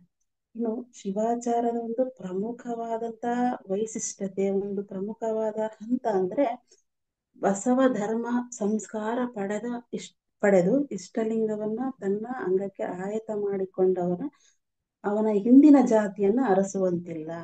ಒಮ್ಮೆ ನೀನು ಇಷ್ಟಲಿಂಗ ದೀಕ್ಷೆಯನ್ನ ಪಡ್ಕೊಂಡೆ ಅಂದ್ರೆ ನಿನ್ನ ಹಿಂದಿನ ಜಾತಿಯನ್ನ ಅರಸುವಂತಿಲ್ಲ. ಅವರೊಂದಿಗೆ ಉಣ್ಣುವುದು, ತಿನ್ನುವುದು ಅಷ್ಟೇ ಅಲ್ಲ, ಅವರೊಂದಿಗೆ ಕೊಟ್ಟುಕೊಳ್ಳುವ ವ್ಯವಹಾರ ಮಾಡಬೇಕು. ಅದೇ ಶಿವಾಚಾರದ ಪ್ರಮುಖವಾದಂತ ಅಂಶ. ಇದನ್ನ ನಾವು ಬಹಳ ಚೆನ್ನಾಗಿ ಅರ್ಥ ಮಾಡ್ಕೊಳ್ಬೇಕು. ಯಾಕಂದ್ರೆ ನಾವೇನ್ ಅನ್ಕೊಂಡ್ಬಿಟ್ಟಿದೀವಿ, ಅವ್ರ ಜೊತೆ ಉಂಡ್ರೆ ತಿಂದ್ರೆ ಅಷ್ಟೇ ನಮಗೆ ಮುಗೀತು ಅನ್ನೋದಲ್ಲ. ಅದಕ್ಕೆ ಬಸವಣ್ಣನವ್ರು ಹೇಳ್ತಾರೆ ಒಂದು ವಚನದಲ್ಲಿ.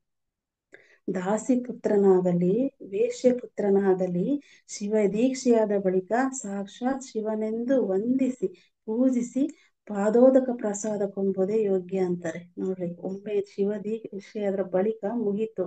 ಅವ್ರನ್ನ ನಾವು ಶಿವನ ಸ್ವರೂಪ ಅಂತ ತಿಳ್ಕೊಳ್ಬೇಕು. ಇದೇ ಶಿವಾಚಾರದ ಪ್ರಮುಖವಾದಂತಹ ಅಂಶ. ನಾನು ಶಿವನ ಸ್ವರೂಪವನ್ನ ನನ್ನ ಹೃದಯದಲ್ಲಿ ನಾನು ಮೂಡಿಸ್ಕೊಂಡಾಗ ನನ್ನನ್ನು ನೋಡುವಂತವ್ರನ್ನೆಲ್ಲ ನನಗೇನ್ ಕಾಣ್ತಾರೆ? ಶಿವನ ಸ್ವರೂಪಿಗಳಾಗಿ ಕಾಣ್ತಾರೆ. ಬಸವಣ್ಣನವರಿಗೆ ಅದೇ ಆಗಿತ್ತು. ಎಲ್ಲರೂ ಕೂಡ ಮಾದಾರ ಚೆನ್ನಯ್ಯನಲ್ಲಿ ಶಿವನ ಸ್ವರೂಪ ಕಂಡ್ರು ಡೋಹಾರ ಕಕ್ಕಯ್ಯನಲ್ಲೂ ಶಿವನ ಸ್ವರೂಪ ಕಂಡ್ರು, ಅಷ್ಟೇ ಆಗ್ರಿ. ಸೂಳೆ ಸಂಘವನಲ್ಲೂ ಕೂಡ ಶಿವನ ಸ್ವರೂಪವನ್ನು ಕಂಡ್ರು. ಅಂತ ಸೂಳೆ ಸಂಘವನನ್ನು ಶರಣೆಯಾಗಿ ಬದುಕೋದಕ್ಕೆ ಅವಕಾಶ ಮಾಡಿಕೊಟ್ರು. ಎಲ್ಲರನ್ನ ಯಾವುದೇ ರೀತಿಯ ಅವ್ರು ಎಷ್ಟೇ ಕೆಳ ಮಟ್ಟದಲ್ಲಿ ಇದ್ರು ಅವ್ರು ಕೆಳಮಟ್ಟ ಅಂತಾನು ಕೂಡ ಯೋಚನೆ ಮಾಡಿಲ್ಲ ಅವ್ರು. ಅವ್ರಿಗೊಂದು ಅವಕಾಶವನ್ನ ಕೊಟ್ಟು ಎಲ್ಲರೂ ಸಮಾನರು. ಬರ್ರಪ್ಪ ಅಂತ ಹೇಳಿ ಅವ್ರಿಗೆ ಒಂಥರ ಕಗ್ಗತ್ತಲೆ ಒಂದು ಶೋಷಣೆ ಕಗ್ಗತ್ತಲಿನಲ್ಲಿ ಮುಳುಗಿದ್ದವ್ರಿಗೆ ಬೆಳಕಿನಡೆಗೆ ತಂದಿದ್ದು ನಮ್ಮ ಶರಣರು, ನಮ್ಮ ಬಸವಣ್ಣನವರು ಅನ್ನೋದನ್ನ ನಾವು ಮರಿಬಾರ್ದು. ಅದಕ್ಕೆ ಬಸವಣ್ಣನವ್ರು ಹೇಳ್ತಾರೆ, ಎಂತ ಮಾತು ಹೇಳ್ತಾರೆ, ಅವ್ರ ಮಧ್ಯೆ ಎಂತ ಬಾಂಧವ್ಯ ಇರ್ಬೇಕು ಅನ್ನೋದಕ್ಕೆ ಎಷ್ಟು ಚೆನ್ನಾಗಿ ಹೇಳ್ತಾರೆ, ನನ್ನ ಸೃಷ್ಟಿ ಹೇಗಾಗಿದೆ ಅಂತ ಹೇಳ್ತಾರೆ ಅವ್ರು. ಚೆನ್ನಯ್ಯನ ಮನೆಯ ದಾಸಿಯ ಮಗನು, ಕಕ್ಕಯ್ಯನ ಮನೆಯ ದಾಸಿಯ ಮಗಳು, ಇವರಿಬ್ಬರು ಹೊಲದಲ್ಲಿ ಬೆರಣಿಗೆ ಹೋಗಿ ಸಂಗಮ ಮಾಡಿದರು. ಇವರಿಬ್ಬರಿಗೆ ಹುಟ್ಟಿದ ಮಗ ನಾನು ಕೂಡಲ ಸಂಗಮ ದೇವ ಸಾಕ್ಷಿಯಾಗಿ ಅಂತ ಹೇಳ್ತಾರೆ. ಅಂದ್ರೆ ಈ ಮಾ, ಈ ವಚನ ಇದೆಯಲ್ಲ, ಅಷ್ಟು ಸುಲಭವಾದ ವಚನ ಅಲ್ಲ ಇದು. ಇದನ್ನ ನಾವು ಮೇಲ್ನೋಟಕ್ಕೆ ಅರ್ಥ ಮಾಡ್ಕೊಳ್ಳಿಕ್ಕೆ ಸಾಧ್ಯ ಇಲ್ಲ. ಯಾಕಂದ್ರೆ ಈ ಒಂದು ಮಾ, ಪ್ರತಿ ಸಾಲು ಕೂಡ ಆ ಸ, ಅವರ ಒಂದು ಅಂತರಾಳದ ಸಮಾನತೆಯನ್ನ, ಅವರ ಹೃದಯದಲ್ಲಿ ಎಷ್ಟು ಸಮಾನತೆ ತತ್ವ ಇತ್ತು, ಅವರಿಬ್ರಿಗೆ ದಾಸಿ ಮಕ್ಳಿಗೆ ಹುಟ್ಟಿದ ಮಗ ನಾನು ಅಂತ ಹೇಳ್ಕೊಳ್ಳೋದಿದೆಯಲ್ಲ ಅದು, ಆ, ನಾವು ಸಾಮಾನ್ಯ ಮನುಷ್ಯನಿಂದ ಹೇಳಲಿಕ್ಕೆ ಸಾಧ್ಯ ಇಲ್ಲ. ಹಾಗಾಗಿ ಬಸವಣ್ಣನವರ ವ್ಯಕ್ತಿತ್ವ ಅಸಾಮಾನ್ಯವಾದದ್ದು, ಶಕ್ತಿಯುತವಾಗಿ ಕೂಡಿದ್ದು, ಒಂದು ಮಾನವೀಯತೆ ಮೌಲ್ಯಗಳನ್ನ ಒಂದು ಗೊಂಚಲಾಗಿ ಕೂಡಿದಂತ ವ್ಯಕ್ತಿತ್ವ ಬಸವಣ್ಣನವ್ರದ್ದು ಅಂತ ಹೇಳ್ಬೋದು. ಅಂದ್ರೆ ನೋಡ್ರಿ, ಬಸವಣ್ಣನವರು ಪ್ರತಿಯೊಂದು ಹಂತದಲ್ಲೂ ಕೂಡ ಎಲ್ಲಾರು ಕೂಡ ಸಮಾನರು. ಅವ್ರ ಜಾತಿ ಕೇಳಿಲ್ಲ, ಹೆಣ್ಣು ಗಂಡು ಕೇಳಿಲ್ಲ, ಎಲ್ಲ ಶಿವಾಚಾರದ ತತ್ವದ ಅಡಿಯಲ್ಲೇ ಅವರ ಎಲ್ಲಾ ಚಿಂತನೆಗಳು ಇದಾವೆ. ಅದಕ್ಕೆ ಹೇಳ್ತಾರೆ ಅವರು. ಇನ್ನೊಂದು ನಾವು ಶಿವಾಚಾರದ ಪ್ರಮುಖ ಅಂಶ ಹೇಳಿದ್ವಲ್ಲ ಉಂಬಲ್ಲಿ ಉಡುವಲ್ಲಿ ಮಾತ್ರ ಹೊಂದ್ಕೊಂಡ್ಬಿಟ್ರು, ಕೊಟ್ಟು ಕೊಡುವಲ್ಲಿ ಯೋಚನೆ ಮಾಡ್ತಾರೆ ಅಂತ. ಅದಕ್ಕೆ ಬಸವಣ್ಣನವ್ರಿಗೆ ಅದು ಒಂದು ಅಸಮಾಧಾನ ಇತ್ತು. ಕೆಲವು ಶರಣರು ಉಣ್ಣೋದು ತಿನ್ನೋದ್ರಲ್ಲಿ ಚೆನ್ನಾಗಿ ಹೊಂದ್ಕೊಂಡ್ಬಿಡೋರು ಹೆಣ್ಣು ಗಂಡು ಕೊಡ್ಬೇಕಾದ್ರೆ ಸ್ವಲ್ಪ ಯೋಚನೆ ಮಾಡೋದು. ಅದಕ್ಕೆ ಬಸವಣ್ಣನವರು ಒಂದು ವಚನ ಹೇಳ್ತಾರೆ. ಬಹಳ ಸೊಗಸಾಗಿದೆ ಆ ವಚನ. ಕೊಂಬಲ್ಲಿ ಉಡುವಲ್ಲಿ ಕ್ರಿಯಳಿತೆಂಬರು ಕೊಂಬಲ್ಲಿ ಕೊಡುವಲ್ಲಿ ಕುಲವನರಿಸುವರು. ಎಂತಯ್ಯ ಅವರ ಭಕ್ತರ ನೆಂಬೆ ಎಂತಯ್ಯ ಅವರ ಇತ್ತರನೆಂಬೆ ಕೂಡಲ ಸಂಗಮ ದೈವ ಕೇಳಯ್ಯ, ಹೊಲತಿ ಶುದ್ಧ ನೀರು ಮಿಂದೆಂತಾಯಿತಯ್ಯ ಅಂತ ಹೇಳ್ತಾರೆ. ಅಂದ್ರೆ ಉಣ್ಣೋದ್ರಾಗೆ ತಿನ್ನೋದ್ರಾಗೆ ಯೋಚನೆ ಮಾಡಲಿಲ್ಲ, ಎಲ್ಲ ಚೆನ್ನಾಗಿದಾರಪ್ಪ ನೋಡಿ ಸಂತೋಷ ಆಯ್ತು ನನಗೆ. ಆದ್ರೆ ಕೊಟ್ಟು ಕೊಡ್ಬೇಕಾದ್ರೆ ಸ್ವಲ್ಪ ಎಲ್ಲ ಹಿಂದಿನ ಕುಲವನ್ನ ಅರಸ್ತಾರಲ್ಲ, ಕೆಲವ್ರು ಅಷ್ಟೇ, ಎಲ್ಲರೂ ಅಲ್ಲ. ಇದನ್ನ ನಾನು ಅವ್ರನ್ನ ನಾನು ಹೇಗೆ ಅವ್ರನ್ನ ಭಕ್ತರನ್ಲಿ ಅವ್ರನ್ನ ಹೇಗೆ ನಾನು ಜಾಣರನ್ಲಿ ಅಂತ, ಜ್ಞಾನಿಗಳನ್ರಿ ಅಂತ ಬಸವಣ್ಣನವರು ಯೋಚನೆ ಮಾಡ್ತಾರೆ. ಅದಕ್ಕೆ ಒಂದು ಉದಾಹರಣೆ ಹೆಂಗ್ ಕೊಡ್ತಾರಂದ್ರೆ, ಹೊಲತಿ ಶುದ್ಧ ನೀರು ಮೆನ್ ಮಿಂದೆಂತ ಐತಯ್ಯ ಅಂದ್ರೆ ಒಂದು ಏನು ನಾವು ತಿಂಗಳ ತಿಂಗಳ ಋತುಸ್ರಾವ ಆಗುತ್ತಲ್ಲ ಆ ಒಂದು ಅಂದ್ರೆ ಹೊರಗಾದವಳು ನೀರಿನಲ್ಲಿ ಮುಳುಗೆದ್ದಂಗೆಲ್ಲ ಮತ್ತೆ ಮತ್ತೆ ಹೇಗೆ ಹೊಲಸು ಆಗ್ತಾನೆ ಇರುತ್ತೋ, ಅಂದ್ರೆ ಅದು ನಮಗೆ ಮತ್ತೆ ಅದು ಮಲಿನ ಆಗ್ತಾ ಇರ್ತೀವೋ, ಅದೇ ರೀತಿ ಇವರು ಕೂಡ ಶುದ್ಧ ಆಗಲ್ಲಪ್ಪ ಅಂತ ಬಸವಣ್ಣನವ್ರು ಹೇಳ್ತಾರೆ.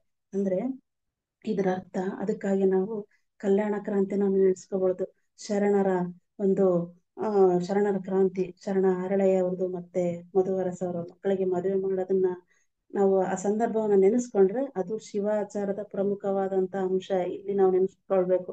ಈ ಒಂದು ಶಿವಾಚಾರ ಹೇಳಿದ್ದ ಕಾರಣ ಅವರು ಅಂದ್ರೆ ಒಬ್ಬ ಶಿವ ದೀಕ್ಷೆ ಆದ್ರೆ ಮುಗೀತಪ್ಪ. ಅವರು ನಾವು ಎಲ್ರು ಒಂದೇ ಅನ್ನುವಂತಹ ಒಂದು ಅಂದ್ರೆ ಉಣ್ಣೋದು ತಿನ್ನೋದಷ್ಟೆಲ್ಲ, ಅವ್ರಿಗೂ ನಮಗೂ ಸಂಬಂಧನೂ ಬೆಳಿಬೇಕು, ಬಾಂಧವ್ಯನೂ ಬೆಳಿಬೇಕು ಅಂತ ಬಸವಣ್ಣನವರು ಹೇಳಿ ನಿರ್ಧಾರ ಮಾಡಿ ಅನುಭವ ಮಂಟಪದ ಎಲ್ಲ ಶರಣರ ಒಪ್ಪಿಗೆಯನ್ನ ಪಡೆದು ಅವರ ಮದುವೆಯನ್ನ ಮಾಡ್ತಾರೆ. ಇದನ್ನ ಸಹಿಸದ ಒಂದ ಅದನ್ನ, ನನಗೆ ಅದನ್ನ ನೆನೆಸ್ಕೊಂಡ್ರೆ ಬಹಳಷ್ಟು ಬೇಜಾರಾಗುತ್ತೆ. ಒಂದ್ ವೇಳೆ ಅದನ್ನ ನಡಿದೇ ಇದ್ದಿದ್ರೆ, ಅವ್ರ ಪಾಡಿಗೆ ಅವ್ರು ಮದುವೆ ಮಾಡ್ಕೊಂಡು ಶರಣ ತತ್ವ ಹಾಗೆ ಮುಂದುವರ್ಕೊಂಡು ಹೋಗ್ಬಿಟ್ಟಿದ್ರೆ, ನೋಡ್ಬೇಕಾಗಿತ್ತು ಇವತ್ತು ನಮ್ಮ ಕರ್ನಾಟಕ ಸ್ವರ್ಗ ಆಗಿರೋದು. ಆ ತತ್ವಕ್ಕೆ ಅಡಿ ಏನು ತಡೆ ಆದ್ರಲ್ಲ, ಅವರೆಲ್ಲ ಪಾಪಿಗಳೇ ವಿನಃ ಅವರು. ಯಾವುದೇ ರೀತಿಯ ಪುಣ್ಯವಾದ ಕೆಲಸವನ್ನು ಅವರು ಮಾಡಿಲ್ಲ ಅಂತ ನಾನು ಈ ಸಂದರ್ಭದಲ್ಲಿ ಹೇಳಲಿಕ್ಕೆ ಬಯಸ್ತೇನೆ. ಇಷ್ಟು ಶಿವಾಚಾರ ಅನ್ನುವಂತಹದ್ದು ಎಲ್ಲಾ ರೀತಿಯಲ್ಲಿ ಸಮಾನತೆಯನ್ನ ಸಾರುತ್ತೆ. ಅದಕ್ಕೆ ಇವ್ರು ಹೇಳ್ತಾರೆ, ಗುಲ್ ಕಲಬುರ್ಗಿಯ ಶರಣರು ಜೇವರ್ಗಿಯ ಶರಣ, ಷಣ್ಮುಖ ಸ್ವಾಮಿ ಅಂತ ಅವ್ರು ಎಷ್ಟು ಚೆನ್ನಾಗಿ ಹೇಳ್ತಾರೆ ಅಂದ್ರೆ ಅಂದ್ರೆ ಶಿವಾಚಾರದ ಪ್ರಮುಖವಾದ ಅಂಶವನ್ನ ಕುರಿತು ಹೇಳ್ತಾರೆ ಅವರು. ಮಾದಾರ ಚೆನ್ನಯ್ಯನ ಬಾಯ ತಾಂಬೂಲವ ಮೆಲ್ಲುವೆ, ಡೋಹಾರ ಕಕ್ಕಯ್ಯನ ಒಕ್ಕು ಮಿಕ್ಕುದ ನುಂಬುವೆ, ಚೋಳಿ ಅಕ್ಕನ ಊಳಿಗದನಾಗುವೆ ಶೊಪಚಯ್ಯನ ಆಳಾಗಿರುವೆ ಅಂತ ಹೇಳ್ತಾರೆ. ಅಂದ್ರೆ, ಮಾದಾರ ಚೆನ್ನಯ್ಯ ಬಾಯ ತಾಂಬೂಲವ ಮೆಲ್ಲುವೆ, ಅಂದ್ರೆ ನಮ್ಮ ಅವರ ಮಧ್ಯೆ ಎಂತ ಆತ್ಮೀಯತೆ ಇರ್ಬೇಕು? ನಾವು ಯಾರು ನಮ್ಗೆ ಅಪರಿಚಿತರು ಬಂದಾಗ ನಾವು ಅವ್ರ ಬಾಯ ತಾಂಬೂಲವನ್ನು ಮೆಲ್ಲೋದಿಕ್ಕೆ ಸಾಧ್ಯ ಇದೆಯಾ? ನಾವು ಯಾರ ತಾಂಬೂಲವನ್ನು ನಾವು ಮೆಲ್ಲಿಕ್ ಸಾಧ್ಯ ಇದೆ? ನನ್ನ ತಂದೆ, ತಾಯಿ, ಅಕ್ಕ, ಅಣ್ಣ, ಗಂಡ ಅಥವಾ ಮಕ್ಕಳು, ಇವರ ನಮ್ಗೆ ಏನು ಆತ್ಮೀಯತೆ ಇರುತ್ತೋ ಅವರ ತಾಂಬೂಲವನ್ನು ಮೆಲ್ಲಿಕ್ ಮಾತ್ರ ಸಾಧ್ಯ ಇದೆ. ಅಂದ್ರೆ ಅವ್ರು ಏನ್ ಹೇಳ್ತಾರೆ, ಅಂದ್ರೆ ಎಂತ ಬಾಂಧವ್ಯ, ಒಟ್ಟು ಶಿವ ದೀಕ್ಷೆಯಾದ ಬಳಿಕ ಶರಣರಲ್ಲಿ ಎಂತ ಬಾಂಧವ್ಯ ಇತ್ತು ಅಂದ್ರೆ ಅವರ ಬಾಯ ತಾಂಬೂಲ ಮೆಲ್ಲುವಷ್ಟು ಆತ್ಮೀಯತೆ. ಆ, ಅಷ್ಟು ನಮಗೆ ಒಂದು ಬಾಂಧವ್ಯದ, ಸನಿಹದ ಬಾಂಧವ್ಯ, ಹೃದಯದ ಬಾಂಧವ್ಯ ಇತ್ತು ಅನ್ನೋದನ್ನ ಎಷ್ಟು ಚೆನ್ನಾಗಿ ಹೇಳ್ತಾರೆ. ಆಮೇಲೆ ಹೇಳ್ತಾರೆ ಮುಂದುವರೆದು ಡೋಹಾರ ಕಕ್ಕಯ್ಯನಕ್ಕೂ ಮಿಕ್ಕುದ ನುಂಬುವೆ. ನೋಡ್ರಿ, ಡೋಹಾರ ಕಕ್ಕಯ್ಯ ಅವ್ರ ಮನೆಗೆ ಏನಾದ್ರು ಉಣ್ತಾ ಇದ್ರೆ ಆ ತಟ್ಟೆ ಉಳಿದಿರುತ್ತಲ್ಲ, ಅದನ್ನ ತಗೊಂಡು ನಾನು ಊಟ ಮಾಡ್ತೀನಿ. ಅಂದ್ರೆ ಅಷ್ಟು ನಮ್ಮ ಮಧ್ಯ ಬಾಂಧವ್ಯ ಇದೆ, ಶರಣರ ಮಧ್ಯೆ ಅಷ್ಟು ಬಾಂಧವ್ಯ ಇರ್ಬೇಕು. ಅಂದ್ರೆ ಲಿಂಗ ದೀಕ್ಷೆಯಾದ ಬಳಿಕ ಮುಗೀತು ಅವರು, ನಾವು ಎಲ್ಲರೂ ಒಂದೇ ಅನ್ನೋ ಒಂದು ಭಾವನೆ ಇದೆಯಲ್ಲ, ಆ ಭಾವನೆ ತರದೇ ಈ ಶಿವಾಚಾರ ಅಂತ ಹೇಳ್ಬೋದು. ಇಷ್ಟು ಶಿವಾಚಾರದ ಕುರಿತು ಅಂದ್ರೆ ಮನುಷ್ಯನ ಹುಟ್ಟಿನಲ್ಲಿ ಸಮಾನತೆ ಇದೆ, ಆ, ಮತ್ತು ಪ್ರಕೃತಿಯಲ್ಲಿ ಸಮಾನತೆ ಇದೆ ಲಿಂಗ ಸಮಾನತೆ ಇದೆ ಅರಿವುಗಳಲ್ಲೂ ಸಮಾನತೆ ಜಾತಿ ಜಾತಿ ಅನ್ನೋದು ಇಲ್ವೇ ಇಲ್ಲ ಬಿಡ್ರಿ. ಅದು ಸಮಾನತೆ ಅಂತ ಹೇಳ್ಬಾರ್ದು. ಜಾತಿ ಅನ್ನೋದೇ ಇಲ್ಲ. ನಾ ಹೇಳಿದಂತೆ ಮಾನವ ಅವನ ಸ್ವಾರ್ಥಕ್ಕಾಗಿ ಮಾಡ್ಕೊಂಡಿರೋ ಒಡೆದು ಆಳುವ ನೀತಿ ಅಂತ ಏನ್ ಹೇಳ್ತೀವಲ್ಲ? ಅದು ಬ್ರಿಟಿಷರು ಮಾಡಿದ್ದಲ್ಲ. ಇಲ್ಲಿ ಅದು ಒಂದು ಅಂಟ್ಕೊಂಡ್ಬಿಟ್ಟಿದೆ. ಅದು ಇದನ್ನು ಕೂಡ ಒಡೆದು ಆಳುವ ನೀತಿಯನ್ನೇ ಮಾಡ್ತಾ ಇದ್ರೆ ಮನುಷ್ಯರನ್ನ ಮನುಷ್ಯರಂತೆ ಕಾಣೋದ, ಕಾಣ್ತಾರೆ ಎಲ್ರು. ಕಾಣೋದನ್ನ ತಪ್ಸೋದಕ್ಕೆ ಇಂಥ ಒಂದು ಮಾರ್ಗಗಳನ್ನ ಕಂಡ್ಕೊಂಡು ಅವರ ಒಂದು ಸ್ವಾರ್ಥವನ್ನ ಮೇರೆ, ಒಂದು ಮೆರೆಯೋದಕ್ಕೆ ಪ್ರಯತ್ನ ಪಡ್ತಾ ಇದ್ದಾರೆ ಅಂತ ಹೇಳ್ತಾ ಈ ಒಂದು ಸುಸಂದರ್ಭದಲ್ಲಿ ಶಿವಾಚಾರ ಅನ್ನುವಂಥದ್ದಿಷ್ಟೇ ಯಾವುದೇ ರೀತಿಯ ಕುಲ ಗೋತ್ರ ಜಾತಿ ವರ್ಣಾಶ್ರಮ ನಡೆಸದೆ ಅವರೊಕ್ಕದ ಕೊಂಬುದೇ ಶಿವಾಚಾರ. ಒಂದೇ ಒಂದು ಸನ್ನಿವೇಶವನ್ನ ಹೇಳಿ ನಾನು ನನ್ನ ಮಾತನ್ನ ಮುಗಿಸ್ತೀನಿ. ಸರ್ ಟೈಮ್ ಇದೆ sir? Madam continue please okay sir no time no time estimate okay continue okay sir ಅಂದ್ರೆ ಒಂದು ಸಂದರ್ಭವನ್ನ ಹೇಳಲಿಕ್ಕೆ ಬಯಸ್ತೇನೆ ನಾನು. ನಮ್ಮ ನಮ್ಮನ್ನ ನಾವು ಅವಲೋಕನ ಮಾಡ್ಕೊಳ್ಳೋದಿಕ್ಕೆ. ಅಂದ್ರೆ ಒಬ್ಬ ಭಿಕ್ಷುಕ ಒಂದು ಊರಲ್ಲಿ ಹೋಗ್- ಹೋಗ್ತಾ ಇರ್ತಾನೆ. ಆ ಭಿಕ್ಷುಕನನ್ನ ಒಬ್ಬ ಮಹಿಳೆ ಕರ್ಕೊಂಡ್ ಬರ್ತಾಳೆ. ಕರೆದು ಉಪಚಾರ ಮಾಡ್ತಾಳೆ, ತಗೊಳಪ್ಪ, ನೀರ್ ಕೊಡಿ, ಊಟ ಮಾಡೋದು, ಕೂರಿಸಿ ಎಲ್ಲ ಮಾತುಕತೆ ಮಾಡ್ತಾಳೆ. ಆ ಮಾತುಕತೆ ಮಾಡಿದ್ ನೋಡಿ ಅವನಿಗೆ ಭಿಕ್ಷುಕನಿಗೆ ಆಶ್ಚರ್ಯ ಆಗ್ಬಿಡುತ್ತೆ. ನಾನು ಇಷ್ಟೊಂದು ಊರಲ್ಲಿ ನಾನು ಭಿಕ್ಷೆ ಬಿಡಕ್ ಹೋದೆ, ಆದ್ರೆ ಈ ತಾಯಿ ನನಗೆ ಏನ್ ಇಷ್ಟೊಂದು ನನ್ನ ಉಪಚಾರವನ್ನ ಮಾಡಿದ್ಲು ಅಂತ ಕೇಳ್ತೇನೆ. ಅಲ್ಲಮ್ಮ, ನೀನ್ ಇಷ್ಟು ಉಪಚಾರ ಮಾಡಿದೆಲ್ಲ. ನಿನಗೆ ವಯಸ್ಸು ಎಷ್ಟಮ್ಮ ಅಂತ ಕೇಳ್ತಾರೆ.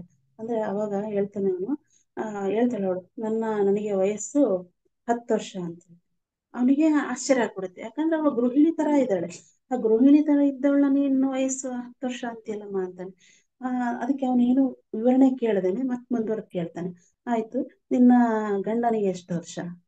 ನನ್ನ ಗಂಡನಿಗೆ ಐದು ವರ್ಷ. ಅಯ್ಯೇ ಹೋಗ್ತಾ ಹೋಗ್ತಾ ವಯಸ್ಸು ಜಾಸ್ತಿ ಆಗ್ಬೇಕು. ಇದೇ ನೀ ಹಿಂದಕ್ಕೆ ಹೋಗ್ತಾಳಲ್ಲ ಅಂತ ಹೇಳ್ತಾಳೆ. ಅದಕ್ಕೆ ಹೌದಾಯ್ತು ನಿಮ್ಮನೇಲಿ ಇನ್ನೇ ಯಾರು ಇದ್ದೀರಾ ಅಂತ. ನಮ್ಮ ಅತ್ತೆ, ನಮ್ಮ ಮಾವ ಇಲ್ಲ. ಆಯ್ತು, ಅವ್ರಿಗೆ ಎಷ್ಟು ವರ್ಷ? ನಮ್ಮ ಅತ್ತೆಗೆ ಮೂರು ವರ್ಷ, ನಮ್ಮ ಮಾವನಿಗೆ ಒಂದು ವರ್ಷ ಅಂತ ಹೇಳಿದ್ರು ಆ ಭಿಕ್ಷುಕನಿಗೆ ಆಶ್ಚರ್ಯ ಆಗ್ಬಿಡುತ್ತೆ. ಇದೇನಮ್ಮ ನೀನು ಹಿಂಗೆ ಹೇಳ್ತಿಯಲ್ಲ, ಯಾಕೆ ಆ ರೀತಿಯಲ್ಲಿ ನೀನು ಹೇಳಿದೆ ಅಂತ? ಅದಕ್ಕೆ ಅವನು ಹೇಳ್ತಾನೆ ಹೇಳ್ತಾಳೆ ಆ ಗೃಹಿಣಿ, ನೋಡಪ್ಪ, ನಾನು ಇಷ್ಟು ವರ್ಷ ನಾನು ಒಂಥರ ಉಣ್ಣೋದು, ತಿನ್ನೋದು, ಮಲಗೋದು ಇಷ್ಟೇ ಜೀವನ ಅಂತ ಸಾಗಿಸ್ಬಿಟ್ಟೆ. ಆದ್ರೆ ನಾನು ಒಂದು ಜ್ಞಾನ ಮಾರ್ಗದಲ್ಲಿ, ಒಂದು ಆಧ್ಯಾತ್ಮಿಕ ಮಾರ್ಗದಲ್ಲಿ, ಜ್ಞಾನವನ್ನ ತಿಳ್ಕೊಂಡು ಜ್ಞಾನ ಮಾರ್ಗದಲ್ಲಿ ನಡೆಯೋದಕ್ಕೆ ಪ್ರಾರಂಭ ಮಾಡಿ ನನಗೆ ಹತ್ತು ವರ್ಷ ಆಗಿದೆ. ಅದಕ್ಕಾಗಿ ನಾನು ಏನ್ ಹಿಂದೆ ಕಳೆದ್ನಲ್ಲ, ಅದು ಎಲ್ಲ ವ್ಯರ್ಥ ಸಮಯ. ಹಾಗಾಗಿ ನಾನು ಅದನ್ನ ವಯಸ್ಸು, ನನ್ನ ಆಯಸ್ಸು ಅಂತಾನೆ ನಾನು ಪರಿಗಣನೆಗೆ ತೆಗೆದುಕೊಳ್ಳೋದಿಲ್ಲ. ನಾನು ಹತ್ತು ವರ್ಷದಿಂದ ಏನ್ ಪ್ರಾರಂಭ ಮಾಡಿದ್ನಲ್ಲ ಅದಕ್ಕಾಗಿ ನಾನು, ಆ, ನನಗೆ ಹತ್ತು ವರ್ಷ ಅಂತ ಹೇಳ್ತಾಳೆ ಅದೇ ರೀತಿ ನನ್ನ ಗಂಡನಿಗೂ ಕೂಡ ನಾನು ಕರೆದೆ, ಬರ್ಲಿಲ್ಲ ಬರ್ಲಿಲ್ಲ, ಐದು ವರ್ಷ ಸತಾಯಿಸಿದ, ಐದು ವರ್ಷದಿಂದ ಬರ್ತಾ ಇದ್ದಾನೆ. ಅದಕ್ಕಾಗಿ ನನ್ನ ಗಂಡನಿಗೆ ಐದು ವರ್ಷ ಅಂತ ಹೇಳ್ತಾರೆ. ಅದೇ ರೀತಿ ನನ್ನ ಅತ್ತೆ, ಆ, ನಮ್ಮ ಅತ್ತೆನೂ ಸ್ವಲ್ಪ ಕರೆದೆ, ಬರ್ಲಿಲ್ಲ ಈ ಮೂರು ವರ್ಷದಿಂದ ಬರ್ತಾ ಇದ್ದಾಳೆ. ಅದಕ್ಕೆ ನಮ್ಮ ಅತ್ತೆಗೆ ವಯಸ್ಸು ಮೂರು ವರ್ಷ. ನನ್ನ ಮಾವ ಅಂತೂ ತೀರಾ ಬಂಡ, ಬರ್ಲಿಲ್ಲ. ಈಗ ಮೊನ್ನೆ ಮೊನ್ನೆ, ಒಂದು ವರ್ಷ ಆಗಿದೆ ಸದ್ಯ. ಹಾಗಾಗಿ ನನ್ನ ಮಾವನಿಗೆ ಒಂದು ವರ್ಷ ಅಂತ ಹೇಳ್ತಾಳೆ ಅಂದ್ರೆ ಇದರ ಅರ್ಥ ನಾವು ಏನ್ ತಿಳ್ಕೊಳ್ಬೇಕು? ನಾವು ಎಷ್ಟು ಅನಗತ್ಯವಾಗಿ ಒಂದು ಬೇಡ, ಬೇಡದ ದಾರಿಯಲ್ಲಿ ಏನು ಮನುಷ್ಯ ಸಾಕ್ತಾ ಇದನ್ನಲ್ಲ ಈ ಸಾಗುವಂತ ಒಂದು ದಿನಗಳು ಸಮಯ ವ್ಯರ್ಥ ಆಗ್ತಾ ಇದೆ. ದಿನಗಳು ನಮ್ಮ ಆಯಸ್ಸಲ್ಲೂ ಕೂಡ ವ್ಯರ್ಥವಾಗಿ ನಾವು ಕಳೀತಾ ಇದ್ದೀವಿ. ಇದನ್ನ ಕಳೆ, ಇದನ್ನೆಲ್ಲ ನಾವು ಆಯಸ್ ಅನ್ಕೊಂಡ್ರೆ ತಪ್ಪಾಗುತ್ತೆ. ನಾವು ಎಲ್ಲಿ ಇಂದ ಜ್ಞಾನ ಮಾರ್ಗದಲ್ಲಿ ನಡಿತೀವೋ ಅಲ್ಲಿಂದ ನಮ್ಮ ಆಯಸ್ಸು. ಯಾವುದು ಒಳಿತು, ಮಾನವನ ಒಳಿತಿಗಾಗಿ ಏನಿದೆಯೋ ಆ ಮಾರ್ಗದಲ್ಲಿ ನಾವು ಸಾಕಿರ್ತಿದೀವಲ್ಲ ಆ ದಿನದಿಂದಲೇ ನಮ್ಮ ಆಯಸ್ಸು ಅನ್ನೋದನ್ನ ನಾವು ನೆನ್ಪಿಟ್ಕೊಳ್ಬೇಕು. ಹಾಗಾಗಿ ನಾವು ನಮ್ಮನ್ನ ನಾವು ಅವಲೋಕನ ಮಾಡ್ಕೊಳ್ಬೇಕು. ನಮ್ಮ ಜೀವನ ಹೇಗಿದೆ? ನನಗೆ ಒಂದು ಈ ಲಿಂಗಾಚಾರದಲ್ಲಿ ನನಗೆ ಎಷ್ಟು ವರ್ಷ? ಅಂದ್ರೆ ಲಿಂಗಾಚಾರ ಏನು? ಲಿಂಗವನ್ನಲ್ಲದೆ ಅನ್ನ, ಲಿಂಗವಲ್ಲದೆ ಅನ್ಯವನ್ನು ಅರಿಯದಿರುವುದೇ ಲಿಂಗಾಚಾರ. ಈ ಲಿಂಗಾಚಾರ ಮಾಡುವಲ್ಲಿ ನನಗೆ ಎಷ್ಟು ವರ್ಷ ಆಗಿದೆ? ಸದಾಚಾರದಲ್ಲಿ ನನಗೆ ಎಷ್ಟು ವರ್ಷ ಆಗಿದೆ? ಶಿವಾಚಾರ ಅಂತ ಹೇಳಿದ್ವಲ್ಲ, ಶಿವಾಚಾರದಲ್ಲಿ ನನಗೆ ಎಷ್ಟು ವರ್ಷ ಇದೆ? ವೃತ್ಯಾಚಾರ ಗಣಾಚಾರದಲ್ಲಿ ನನಗೆ ಎಷ್ಟು ವರ್ಷ ಇದೆ ಅನ್ನೋದನ್ನ ನಮ್ಮನ್ನು ನಾವು ಅವಲೋಕನ ಮಾಡ್ಕೊಳ್ಬೇಕಂದ್ರೆ ನಮ್ಮ ವರ್ತನೆಯಲ್ಲಿ ಬರದೇ ಇದ್ದಾಗ, ಬರೀ ನಮ್ಮ ಬಾಯಿಯಲ್ಲಿ ಬಂದ ಮಾತುಗಳಿಂದ ನಾವು ಆ ಆಚಾರಗಳನ್ನ ನಾವು ತರ್ಲಿಕ್ಕೆ ಸಾಧ್ಯ ಇಲ್ಲ. ಅದಕ್ಕೆ ಬಸವಣ್ಣನವ್ರು ಹೇಳಿದ್ದು ನಡೆ ನುಡಿ ಒಂದಾಗದ ಆಚಾರ ಶಿವಾಚಾರವಾಗದು ಅಂತ ಹೇಳ್ತಾ ನಮ್ಮ ಶರಣ ತತ್ವ ಅನ್ನುವಂತಹದ್ದು ಎಷ್ಟು ಸೊಗಸಾಗಿದೆ ಅಂದ್ರೆ ನಾವು ನೂರು ವರ್ಷ ಅಲ್ಲ, ಎಂಬತ್ತರಿಂದ ನೂರು ವರ್ಷ ಬದುಕಿದ್ರೆ ಆ ಎಂಬತ್ತು ವರ್ಷದ ನಮ್ಮ ಕೊನೆಯ ದಿನದವರೆಗೂ ನಾವು ಪ್ರಯತ್ನ ಪಟ್ಟರು ಕೂಡ ಶರಣ ತತ್ವನ ಸಂಪೂರ್ಣವಾಗಿ ನಾವು ಓದಿ ಮುಗಿಸೋದಕ್ಕೆ ಸಾಧ್ಯ ಇಲ್ಲ. ಅಷ್ಟೊಂದು ಆಳವಾದ ಒಂದು ಜ್ಞಾನವನ್ನ ನಮ್ಮ ಶರಣ ತತ್ವದಲ್ಲಿ ಇದೆ. ಶರಣ ತತ್ವ ಅಂದ್ರೆ ಏನು? ಅದು ಮನುಷ್ಯರನ್ನ ಮನುಷ್ಯರಂತೆ ಕಾಣೋದೇ ಶರಣ ತತ್ವ ಅಂದ್ರೆ ಯಾವುದೇ ರೀತಿಯ ಲಿಂಗ ಭೇದವಿಲ್ಲದೆ, ಜಾತಿ ಭೇದವಿಲ್ಲದೆ, ವರ್ಣ ಭೇದವಿಲ್ಲದೆ, ವರ್ಗ ಭೇದವಿಲ್ಲದೆ ಎಲ್ಲರನ್ನ ಸಮಾನವಾಗಿ ಕಾಣೋದೇ ಶರಣ ತತ್ವ ಆಗಿರೋದ್ರಿಂದ ಆ ಈ ತತ್ವವನ್ನ ನಾವು ಇನ್ನೊಂದು ಹೇಳ್ಬೇಕು ನಾನು. ಇದು ನಮ್ಮ ಕನ್ನಡ ನೆಲದ ಅಸ್ಮಿತೆ ಇದು. ನಮ್ಮ ಕನ್ನಡ ನೆಲದಲ್ಲಿ ಆಗಿ ಹೋಗಿದೆ ಅನ್ನೋದೇ ನಾವು ನೀವೆಲ್ಲರೂ ಹೆಮ್ಮೆ ಪಡಬೇಕಾದಂತ ವಿಚಾರ. ಇವತ್ತು ಬಸವಣ್ಣನವರ ಮೂರ್ತಿ ಬೇರೆ ದೇಶದಲ್ಲಿ ಇದೆ ಅಂದ್ರೆ ಅದಕ್ಕೆ ನಾವೆಷ್ಟು ಹೆಮ್ಮೆ ಪಡ್ಬೇಕು. ನಮ್ಮ ಕನ್ನಡಿಗರಾಗಿ, ನಮ್ಮ ಕನ್ನಡದ ನೆಲದ ಅಸ್ಮಿತೆಯಾಗಿ. ಅದಕ್ಕೆ ಮಹಾತ್ಮ ಗಾಂಧೀಜಿಯವರು ಹೇಳ್ತಾರೆ ಒಂದ್ ಕಡೆ ಏನು ಎಂಟ್ನೂರು ವರ್ಷಗಳ ಹಿಂದೆ ಬಸವಣ್ಣನವರು ವಿಚಾರಧಾರೆಗಳನ್ನ ತಂದ್ರ, ತಂದ್ರಲ್ಲ, ಅವುಗಳಲ್ಲಿ ನಾನು ಕೆಲವೇ ಕೆಲವನ್ನ ನಾನು ಅನುಸರಿಸಕ್ ಸಾಧ್ಯ ಆಗಿದೆ. ಒಂದು ವೇಳೆ ನಾನಾಗ್ಲಿ ಅಥವಾ ಅವರ ಅನ್ವಯಿಗಳಾಗ್ಲಿ ಎಲ್ಲ ಅವರ ವಿಚಾರಧಾರೆಗಳನ್ನ ಕ್ರಿಯೆಯಲ್ಲಿ ತಂದಿದ್ದೇ ಆದ್ರೆ ಕೇವಲ ಭಾರತವಲ್ಲ ಇಡೀ ವಿಶ್ವವನ್ನೇ ನಾವು ಉನ್ನತ ಮಟ್ಟಕ್ಕೆ ಕೊಂಡೊಯ್ಬೋದು ಅಂತ ಹೇಳ್ತಾರೆ ಅಂದ್ರೆ ಮಹಾತ್ಮ ಗಾಂಧೀಜಿಯವರ ಬಾಯಿಲಿಂದ ಮಾತುಗಳು ಬರ್ತಾವಂದ್ರೆ ನಮ್ಮ ಶರಣ ತತ್ವಕ್ಕೆ, ಬಸವ ತತ್ವಕ್ಕೆ ಎಷ್ಟು ಶಕ್ತಿ ಇದೆ, ಎಷ್ಟು ಒಂದು ಮಾನವೀಯತೆಯ ತುಂಬಿದ ಆಗರ ಸಾಗರವಾಗಿದೆ ಅನ್ನೋದನ್ನ ನಾವು ಅರ್ಥ ಮಾಡ್ಕೊಳ್ಬೇಕು. ನಾನು ಈ ಮೂಲಕ ತಮ್ಮಲ್ಲಿ ಕೇಳ್ಕೊಳ್ಳೋದೇನಂದ್ರೆ ಇಂತಹ ಒಂದು ಮಾನವೀಯ ತತ್ವಗಳನ್ನ, ಮಾನವೀಯ ಮೌಲ್ಯಗಳನ್ನ ತುಂಬಿರುವಂತಹ ಈ ಸಾಹಿತ್ಯವನ್ನ ಮುಂದಿನ ಪೀಳಿಗೆಗೆ ನಾವು ತಲುಪಿಸೋದು ನಮ್ಮ ನಿಮ್ಮೆಲ್ಲರ ಆದ್ಯ ಕರ್ತವ್ಯ ಅಂತ ಹೇಳ್ತಾ ಮಕ್ಕಳಿಗೆ ವಚನಗಳನ್ನ ಕಲಿಸೋದು, ಮಕ್ಕಳಿಂದ ಅದಕ್ಕೆ ಅರ್ಥ ಮಾಡಿಸೋದು, ಒಂದು ವಚನ ಸಾಕು ಅವ್ರದ್ದು ಏನು ನಾವು ಸಪ್ತ ಸೂತ್ರಗಳಂತ ಹೇಳ್ತೀವಲ್ಲ, ಆ ಒಂದು ವಚನ ಸಾಕು. ಮಕ್ಕಳಲ್ಲಿ ಒಳ್ಳೆಯ ಅಂಶಗಳನ್ನ ಒಳ್ಳೆಯ ನಡೆ ನುಡಿಯನ್ನ ಕಲಿಸುವಂತ ವಚನ, ಕಲ್ಲಬೇಡ ಕೊಲಬೇಡ ಹುಸಿ ನುಡಿಯಲು ಬೇಡ ಅಂತ ಇದೆಯಲ್ಲ, ಆ ಒಂದು ವಚನವನ್ನ ಮಕ್ಕಳಿಗೆ ಅರ್ಥ ಮಾಡಿಸಿದ್ರೆ ಮಗು ಮುಂದಿನ ದಿನಗಳಲ್ಲಿ ಯಾವುದೇ ರೀತಿಯ ಕೊಲೆ ಮಾಡಲ್ಲ, ಅತ್ಯಾಚಾರ ಮಾಡಲ್ಲ, ಆತ್ಮಹತ್ಯೆ ಕೂಡ ಮಾಡ್ಕೊಳ್ಳಲ್ಲ. ಅಂದ್ರೆ ತನ್ನನ್ನ ತಾನು ಬದುಕಿಗೆ ಬಂದಿದ್ದನ್ನೆಲ್ಲ ಹೇಗೆ ಸ್ವೀಕಾರ ಮಾಡ್ಬೇಕು ಅನ್ನೋದನ್ನ ಶರಣ ತತ್ವವನ್ನ ಹೊರತುಪಡಿಸಿ ನನಗೆ ಮತ್ಯಾವುದು ಹೇಳಲಿಕ್ಕೆ ಸಾಧ್ಯ ಇಲ್ಲ. ಅಷ್ಟು ಒಳ್ಳೆ ಒಂದ ಮಾನವೀಯ ತತ್ವಗಳನ್ನ, ಬದುಕುವ, ಬದುಕಿನ ಸತ್ಯವನ್ನ ಶರಣ ತತ್ವ ಅರಿಹಿದೆ ಅಂತ ಹೇಳ್ತಾ ಇಷ್ಟು ಹೇಳಲು ನನಗೆ ಅವಕಾಶ ಮಾಡಿಕೊಟ್ಟಂತಹ ತಮ್ಮೆಲ್ಲರಿಗೊಂದಿಸಿ ನನ್ನ ಮಾತುಗಳನ್ನ ಮುಗಿಸ್ತಾ ಇದ್ದೀನಿ. ಅವಕಾಶಕ್ಕಾಗಿ ಅನಂತ ಶರಣು, ಶರಣಾರ್ಥಿಗಳು.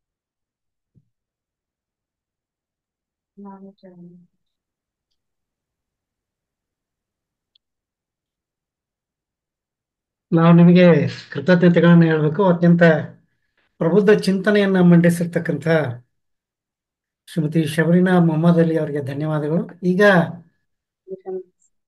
ಸಂವಾದದ ಸಮಯ. ಮೊದಲನೇದಾಗಿ ಡಾಕ್ಟರ್ ಸಂಗಮೇಶ್ ಗಣಿ ಅವರು ಪ್ರಪ್ರಥಮವಾಗಿ ನಮ್ಮಲ್ಲಿ ಬಂದಿದ್ದಾರೆ. ಅವರು ತಮ್ಮ ಅನಿಸಿಕೆಗಳನ್ನ ವ್ಯಕ್ತಪಡಿಸಬಹುದು. ಡಾಕ್ಟರ್ ಸಂಗಮೇಶ್ ಗಣಿ ಅವರು.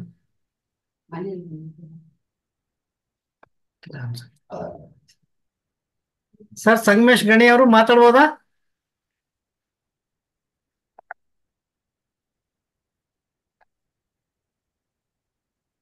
ಓಕೆ ಅವ್ರಿಲ್ಲ ಹಾ ಸರ್ ಹೇಳಿ. ಸರ್ ನಮ್ಮ ಕೇಳಿಸ್ತಾ ಇದೆಯಾ? ಕೇಳಿಸ್ತಾ ಇದೆ ಹೇಳಿ ಸರ್. ಸರ್ ನಮಸ್ತೆ. ನಮಸ್ತೆ ಸರ್. ತುಂಬಾ ಮೌಲಿಕವಾದಂತಹ ವಿಚಾರಗಳನ್ನ ಮತ್ತು ಈ ನಾಡಿನ ಮೇಡಮ್ ಅವರು ಹೇಳಿದ ಹಾಗೆ ಒಂದು ವಿವೇಕವನ್ನ ವಿಸ್ತರಿಸುವ ಶರಣ ಧರ್ಮ ಮತ್ತು ಬಸವ ತತ್ವ ಶಿವಾಚಾರ, ದಾಸೋಹ ಈ ತರಹದ ಮೌಲಿಕ ಚಿಂತನೆಗಳನ್ನ ನಮ್ಮ ನಾಡಿನ ವಿವೇಕದ ಭಾಗವಾಗಿ ಪರಿಗಣಿಸುವಂತಹ ಅವಶ್ಯಕತೆ ಇದೆ. ಅದನ್ನ ಈ ವೇದಿಕೆ ತುಂಬಾ ಅರ್ಥಪೂರ್ಣವಾಗಿ ಸಾಧ್ಯ ಮಾಡ್ತಾ ಇದೆ ಅನ್ನೋದೇ ನನಗೆ ತುಂಬಾ ಸಂತೋಷದ ಮತ್ತು ಅಭಿಮಾನ ಪಡ್ತಕ್ಕಂತಹ ಸಂಗತಿ. ಅದಕ್ಕೆ ಮೊಟ್ಟ ಮೊದಲನೇದಾಗಿ ವೇದಿಕೆಯ ಮುಖ್ಯಸ್ಥರುಗಳಿಗೆ ಮತ್ತು ಎಲ್ಲ ಪದಾಧಿಕಾರಿಗಳಿಗೆ ಹಾಗೂ ಬಹಳ ಮೌಲಿಕವಾದಂತಹ ಈವರೆಗೂ ಮೌಲಿಕವಾದಂತಹ ಮಾತುಗಳನ್ನ ತಮ್ಮ ಉಪನ್ಯಾಸದ ಮೂಲಕವಾಗಿ ಹೇಳಿದಂತಹ, ಆ ಮೇಡಮ್ ಅವರಿಗೆ, ಶಬ್ರೀನ್ ಮೊಹಮ್ಮದ್ ಅವರೇ ಮೇಡಮ್ ಅವರಿಗೆ ವೈಯಕ್ತಿಕವಾಗಿ ಮತ್ತು ಕೇಳುವುದರ ಪರವಾಗಿ ಮೊದಲನೆಯದಾಗಿ ಧನ್ಯವಾದಗಳನ್ನ ಮತ್ತು ಅಭಿನಂದನೆಗಳನ್ನ ಹೇಳೋದಕ್ಕೆ ಬಯಸ್ತೇನೆ. ಶರಣ ಶರಣಾರ್ಥಿ ಸರ್. ಬಹಳ ಮುಖ್ಯವಾಗಿ ನಾನು ಹೇಳೋದಕ್ಕೆ ಏನು ಇಷ್ಟಪಡ್ತೀನಿ ಅಂತ ಹೇಳಿದ್ರೆ ಶರಣದ ಚಿಂತನೆಗಳನ್ನ ನೀವು ಹೇಳಿದ್ರಿ ಮ- ಮಕ್ಕಳಿಗೆ ದಾಟಿಸಬೇಕಾದಂತಹ ಅವಶ್ಯಕತೆ ಇದೆ ಅಂತ. ಅದು ಬಹಳ ಅರ್ಥಪೂರ್ಣವಾದ ಮಾತು. ಯಾಕೆಂತಂದ್ರೆ ನಮ್ಮ ಈ ಮಧ್ಯಮ ಅನ್ನುವಂಥ ವರ್ಗ ಇದೆ. ಅಥವಾ ವರ್ಗದ ಅಂತ ನಾನು ಆರ್ಥಿಕ ಅಥವಾ ಜಾತಿ ವರ್ಗದ ನೆಲೆಯಿಂದ ಮಾತಾಡ್ತಾ ಇಲ್ಲ. ವಯಸ್ಸಿನ ನೆಲೆಯೊಳಗೆ ಮಾತಾಡ್ತಾ ಇದ್ದೀನಿ. ಈ ವಯೋ ಹಂತ ಮತ್ತು ಒಂದು ಬುದ್ಧಿಜೀವಿಗಳು ಅನ್ನುವವರೆಲ್ಲ ಸೇರಿಕೊಂಡು ನಾವು ಇವತ್ತು ನಮ್ಮ ನಮ್ಮದೇ ನೆಲೆಯೊಳಗೆ ನಮ್ಮ ನಮ್ಮದೇ ಮಟ್ಟದೊಳಗೆ ಈ ವಿಚಾರಗಳನ್ನ ಪ್ರಸ್ತಾಪ ಮಾಡ್ತಾ ಇದ್ದೀವಿ. ಅದನ್ನ ಹಂಚ್ಕೊಳ್ತಾ ಇದ್ದೀವಿ. ಇದು ಒಂದು ಭಾಗ. ಆದ್ರೆ ಇಡೀ ಮುಂದಿನ ಪೀಳಿಗೆಯನ್ನ ಅತ್ಯಂತ ಮಾನವೀಯಗೊಳಿಸಬೇಕಾದಂತಹ ಜವಾಬ್ದಾರಿ ಇರುವ ಈ ಹೊತ್ತಿನೊಳಗೆ ಮತ್ತು ಸಮಾಜವನ್ನ ನೋಡತಕ್ಕಂಥ ಒಂದು ದೃಷ್ಟಿಕೋನವನ್ನ ನೋಟಕ್ರಮವನ್ನ ಕಟ್ಟಿಕೊಡಬೇಕಾದಂತಹ ಅವಶ್ಯಕತೆ ಇರುವ ಈ ಸಂದರ್ಭದಲ್ಲಿ ಸಮಾಜದೊಳಗೆ ಒಂದು ವಿಭತ್ಸವಾದಂತಹ ಮತ್ತು ಅಮಾನವೀಯವಾದಂತಹ ಆ, ವಿಲಕ್ಷಣಗಳೆಲ್ಲ ಮನುಷ್ಯನ ಮನಸ್ಸಿನ ಮೂಲಕವಾಗಿ ಸಮಾಜದೊಳಗೆ ಅವು ಮತ್ತೆ ಮತ್ತೆ ಭೂತಾಕಾರದಲ್ಲಿ ಕಾಡ್ತಾ ಇರುವ ಈ ಹೊತ್ತಿನೊಳಗೆ ಸಮಾಜ ಅತ್ಯಂತ ಒಂದು ಒಂದು ದಯನೀಯ ಸ್ಥಿತಿಗೆ ತಲುಪ್ತಾ ಇರುವ ಈ ಹೊತ್ತಿನೊಳಗೆ ಮುಂದಿನ ಪೀಳಿಗೆಯನ್ನ ವಿವೇಕಗೊಳಿಸೋದಿದೆಯಲ್ಲ ಇದು ಎಲ್ಲ ವಯದ ವಯಸ್ಸಿನ ಮತ್ತು ವಿವೇಕವಂತರ ಪ್ರಜ್ಞಾವಂತರ ಶರಣಚಿಂತಕರ ಮತ್ತು ಈ ಸಮಾಜವನ್ನ ಸತ್ಪಥದೊಳಗೆ ಮುನ್ನಡೆಸಬಹುದಾದಂತ ಆ ಮನಸ್ಸುಳ್ಳವರು ಎಲ್ಲರೂ ಸೇರ್ಕೊಂಡು ಮಾಡಬೇಕಾದಂತ ಕೆಲಸ ಇದು. ಹಾಗಾಗಿ ಹ ಹಾಗಾಗಿ ಈ ವೇದಿಕೆ ಮೂಲಕವಾಗಿ ತಾವಾಡಿದ ಮಾತುಗಳು ಬಹಳ ಅರ್ಥಪೂರ್ಣವಾಗಿದ್ವು ಮತ್ತು ನನಗೆ ಇನ್ನೊಂದು ಏನಂದ್ರೆ ಈ ವೇದಿಕೆಯ ಮೂಲಕ ಇನ್ನೊಂದಿಷ್ಟು ಜನ ಕೇಳಬಹುದಾದಂತಹ ಒಂದು ಅವಕಾಶ ಅಂದ್ರೆ ಸೃಷ್ಟಿಸ್ಬೇಕು ಇದನ್ನ ನಾವು ಹೇಳೋದು. ಇದು ನೋಡಿ, ನಾಡಿನ ಇದು ಜಾಗತಿಕ ಮಟ್ಟದ ಮಾಧ್ಯಮವನ್ನ ನಾವು ಬಳಸ್ಕೊಳ್ತಾ ಇದೀವಿ ಆಧುನಿಕ ಮಾಧ್ಯಮಗಳ ಮೂಲಕವಾಗಿ ಎಲ್ಲೋ ಇದ್ದವರನ್ನ ಹೇಗೋ ತಲುಪ್ತಾ ಇದೀವಿ ಅನ್ನುವಾಗ ಇದರ ಪಾಲ್ಗೊಳ್ಳುವಿಕೆಯ ಸಂಖ್ಯೆ ಜಾಸ್ತಿ ಆಗಬೇಕು ಅನ್ನೋದು ನನ್ನ ಒತ್ತಾಸೆ. ಇದು ಈ- ವೇದಿಕೆಯಲ್ಲಿ ಪಾಲ್ಗೊಳ್ಳುವವರ ಸಂಖ್ಯೆ ಹೆಚ್ಚಾಗಬೇಕು ವಿಘ್ನ ಆಗ್ಬೇಕು ಅಂತ. ಯಾಕಂದ್ರೆ ಯಾವ್ದ್ಯಾವ್ದೋ ಸಿನಿಮಾ, ಸೀರಿಯಲ್ಗಳು ಈ ತರದ ಆಲೋಚನೆಗಳಿಗೆ ಜನ ಸೇರ್ತಾರೆ. ಆದ್ರೆ ಈ ತರದ ಸಾತ್ವಿಕವಾದ ಮತ್ತು ಶರಣ ತತ್ವಗಳನ್ನ ಬೋಧಿಸ್ತಾ ಇರುವ ಮತ್ತು ಹೇಳುವ, ದಾಟಿಸುವ ಈ ಬಗೆಯ ಕಾರ್ಯಕ್ರಮಗಳಿಗೆ ಸೇರಿಕೊಳ್ಳುವ ಮನಸ್ಸುಗಳ ಪ್ರಮಾಣ ತುಂಬಾ ಕಡಿಮೆ ಆಗಿರುವ, ಆಗಿದೆಯಲ್ಲ? ಇದು ತುಂಬಾ ಖೇದಕರ ಸಂಗತಿ ಇದು. ಹೌದು ಇಡೀ ಒಂದು, ಹಾ, ಇಡೀ ಒಂದು ತಾಸು ಮತ್ತು ಅದಕ್ಕಿಂತ ಹೆಚ್ಚು ನಡೆಯುತ್ತಾ ಇರುವಂತ ಈ ಕಾರ್ಯಕ್ರಮದಲ್ಲಿ ನೋಡಿ, ಕೇವಲ ನನಗನ್ಸೋದು ಹದಿನೇಳು ಜನ ಮಾತ್ರ ಭಾಗವಹಿಸಿದೀವಿ ಅಂತ ಅನ್ನೋದಿದೆಯಲ್ಲ? ಇದು ಎಲ್ಲೋ ಒಂದು ಕಡೆಗೆ ಒಳ್ಳೆ ವಿಚಾರಗಳನ್ನ ಸ್ವೀಕರಿಸುವ ಮನಸ್ಸುಗಳ ಸಂಖ್ಯೆ ಕಡಿಮೆ ಆಗಿದೆ ಏನೋ ಅನ್ನೋದರ ಸಂಕೇತವಾಗಿ ಇದು ನನಗನ್ನಿಸ್ತದೆ. ಇದು ಎಲ್ಲೋ ಒಂದ್ ಕಡೆ ಹೆಚ್ಚಾಗಬೇಕು ಅನ್ನೋದು ಬಹಳ ಮುಖ್ಯವಾದ ಒಂದು ವಿಚಾರ. ತುಂಬಾ ಸಂತೋಷ. ವೇದಿಕೆಯ ಈ ಆಶಯ ಇದೆಯಲ್ಲ? ಈ ಆಶಯಕ್ಕೆ ಪೂರಕವಾಗಿ ಮೇಡಮ್ ಅವರು ತುಂಬಾ ಚೆನ್ನಾಗಿ ಬಹಳ ಅರ್ಥಪೂರ್ಣವಾಗಿ ಮಾತಾಡಿದ್ದಾರೆ. ಈ ಇಂಥ ಮಾತುಗಳಿಗೆ ಕಿವಿಯಾಗುವವರ ಸಂಖ್ಯೆ ಹೆಚ್ಚಾಗಬೇಕು, ಕಿವಿಗಳು ಹೆಚ್ಚಾಗಬೇಕು, ಮನಸ್ಸುಗಳು ಹೆಚ್ಚಾಗಬೇಕು ಅನ್ನೋದು ನನ್ನ ಒಂದು ಆಸೆ. ಹಾಗಾಗಿ ಈ ಶಿವಾಚಾರ ಅನ್ನೋದಿದೆಯಲ್ಲ ಈ ಶಿವಾಚಾರ ಅನ್ನೋದು ಜಾತಿ, ಮತ, ಪಂಥ, ವರ್ಗ, ಧರ್ಮ ಇವುಗಳನ್ನ ಮೀರಿದ ಒಂದು ಸದಾಚಾರ ಅಷ್ಟೇ ಅದು. ಅದು ಶಿವಾಚಾರ ಅನ್ನೋದಕ್ಕಿಂತ ಅದು ಸದಾಚಾರ. ಸದಾಚಾರವಂటే ಶಿವಾಚಾರದ ಮೂಲಕವಾಗಿ ಆ ಹೇಳಿದಂತಹ ಶರಣರ ಈ ಆಚಾರ ವಿಚಾರಗಳಿದಾವಲ್ಲ ಈ ಆಶಯಗಳಿದಾವಲ್ಲ ಇದು ಬಹಳ ಮೌಲಿಕವಾದಂತದ್ದು ಆ, ಬಹಳ ಅರ್ಥಪೂರ್ಣವಾಗಿ ಮಾತಾಡಿದಂತಹ ಮೇಡಮ್ ಅವರಿಗೆ ಮತ್ತೆ ಈ ಕಾರ್ಯಕ್ರಮವನ್ನು ಆಯೋಜನೆ ಮಾಡಿರ್ತಕ್ಕಂಥ ಸಂಘಟಕರಿಗೆ ಮತ್ತು ಮುಖ್ಯಸ್ಥರಿಗೆ ಮತ್ತೊಮ್ಮೆ ವೈಯಕ್ತಿಕವಾಗಿ ಧನ್ಯವಾದಗಳನ್ನು ತಿಳಿಸ್ತಾ ಮಾತಿಗೆ ಅವಕಾಶ ಮಾಡಿಕೊಟ್ಟಂತಹ ತಮಗೆ ವಂದಿಸ್ತೇನೆ. ನಮಸ್ಕಾರಗಳು ಸರ್. ಸರ್ ತಮ್ಮ ಸಂಕ್ಷಿಪ್ತ ಪರಿಚಯವನ್ನ ಮಾಡಿಕೊಡ್ಬೋದಾ? ಸರ್ ನಾನು ಡಾಕ್ಟರ್ ಸಂಗಮೇಶ್ ಗಿನಿ ಅಂತ. ನಾನು ಬೆಂಗಳೂರಿನ H K B K engineering ಕಾಲೇಜಿನ ಕನ್ನಡ ಪ್ರಾಧ್ಯಾಪಕನ ಕೆಲಸ ಮಾಡ್ತಾ ಇದ್ದೀನಿ. ಒಂದು ಮೂರ್ನಾಲ್ಕು ಪುಸ್ತಕಗಳು ಬರೆದಿದ್ದೀನಿ. ಅಖಿಲ ಭಾರತ ಕನ್ನಡ ಸಾಹಿತ್ಯ ಸಮ್ಮೇಳನದಲ್ಲಿ ನಿರೂಪಣೆ ನಿರೂಪಣೆ ಮಾಡಿದ್ದೀನಿ. ಒಂದಿಷ್ಟು ಪತ್ರಿಕೆಗಳಲ್ಲಿ ಲೇಖನಗಳನ್ನ ಬರಿತಾ ಇರ್ತೀನಿ. ಓದೋ ಬರಹ ನನ್ನ ಬಹಳ ದೊಡ್ಡ ಅದೀಪ್ಸೆ ಅದು. ಎಸ್ ಸರ್ ಗುಡ್ ನನಗೆ ತಮ್ಮ ಪರಿಚಯ ಇದೆ ಆದ್ರೆ ನಮ್ಮ ಗ್ರೂಪ್ನ ಜನಕ್ಕೆ ಪರಿಚಯ ಆಗಲಿ ಅಂತ. ಇಲ್ಲ ಸಂತೋಷ ಸರ್. ನನಗೆ ಇವತ್ತು. ಅವಕಾಶ ಆಯ್ತು. ಆ ಕಾರಣಕ್ಕೋಸ್ಕರ ನನಗೂ ಒಂದು ಈ ತರದ ಆಸಕ್ತಿ ಈ ತರದ ಆಲೋಚನೆಗಳನ್ನ ಹಂಚಿಕೊಳ್ಳೋದಕ್ಕೆ ಮತ್ತು ಕೇಳೋದಕ್ಕೆ. ಎಸ್ ತಮ್ಮ ನಂಬರ್ ಅನ್ನ ನಮ್ಮ ಬ್ರಾಡ್ಕಾಸ್ಟ್ ಲಿಸ್ಟ್ನಲ್ಲಿ ಸೇರಿಸ್ತೀನಿ. Every week you can get the flyer sir okay you can attend every I week will definitely I will join sir okay sir thank you thanks ಅಲ್ಲ thank you sir thank you sir Nandishwar ಅವರು ಮಾತನಾಡ್ಬೋದಾ? Sir Nandishwar sir mute ತೆಗಿರಿ.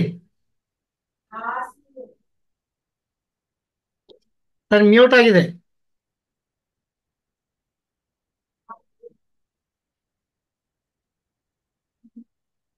Mute mute ತೆಗಿಬೇಕು Nandishwar sir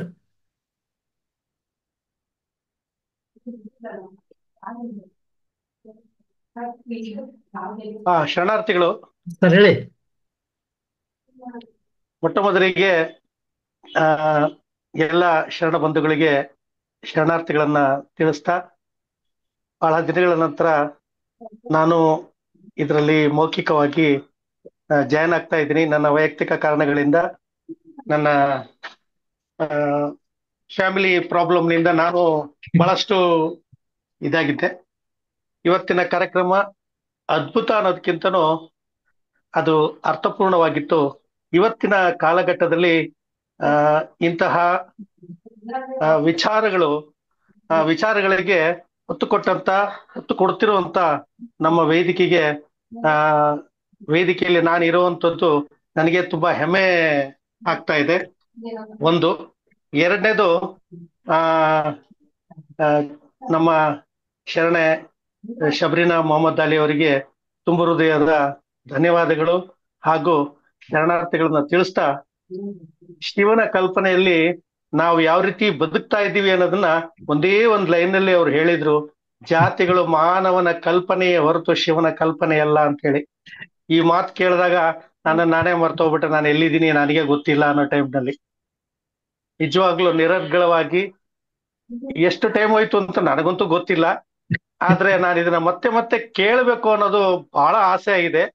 ಇದು ನಾನು ಇದು recorded ಇದನ್ನ ನಮಗೆ ಆದಷ್ಟು ಜಲ್ದಿ ಸಿಗ್ಲಿ ಅಂತೇಳಿ ಒಂದು ಕೇಳ್ಕೊಳ್ತಾ, ವೃತ್ತಿಗಳ ಅವಶ್ಯಗಳನ್ನ, ಅವಶ್ಯಕತೆಗಳನ್ನ ಪೂರೈಸುವಂತ ಒಂದು ಕೆಲಸವೇ ವೃತ್ತಿ.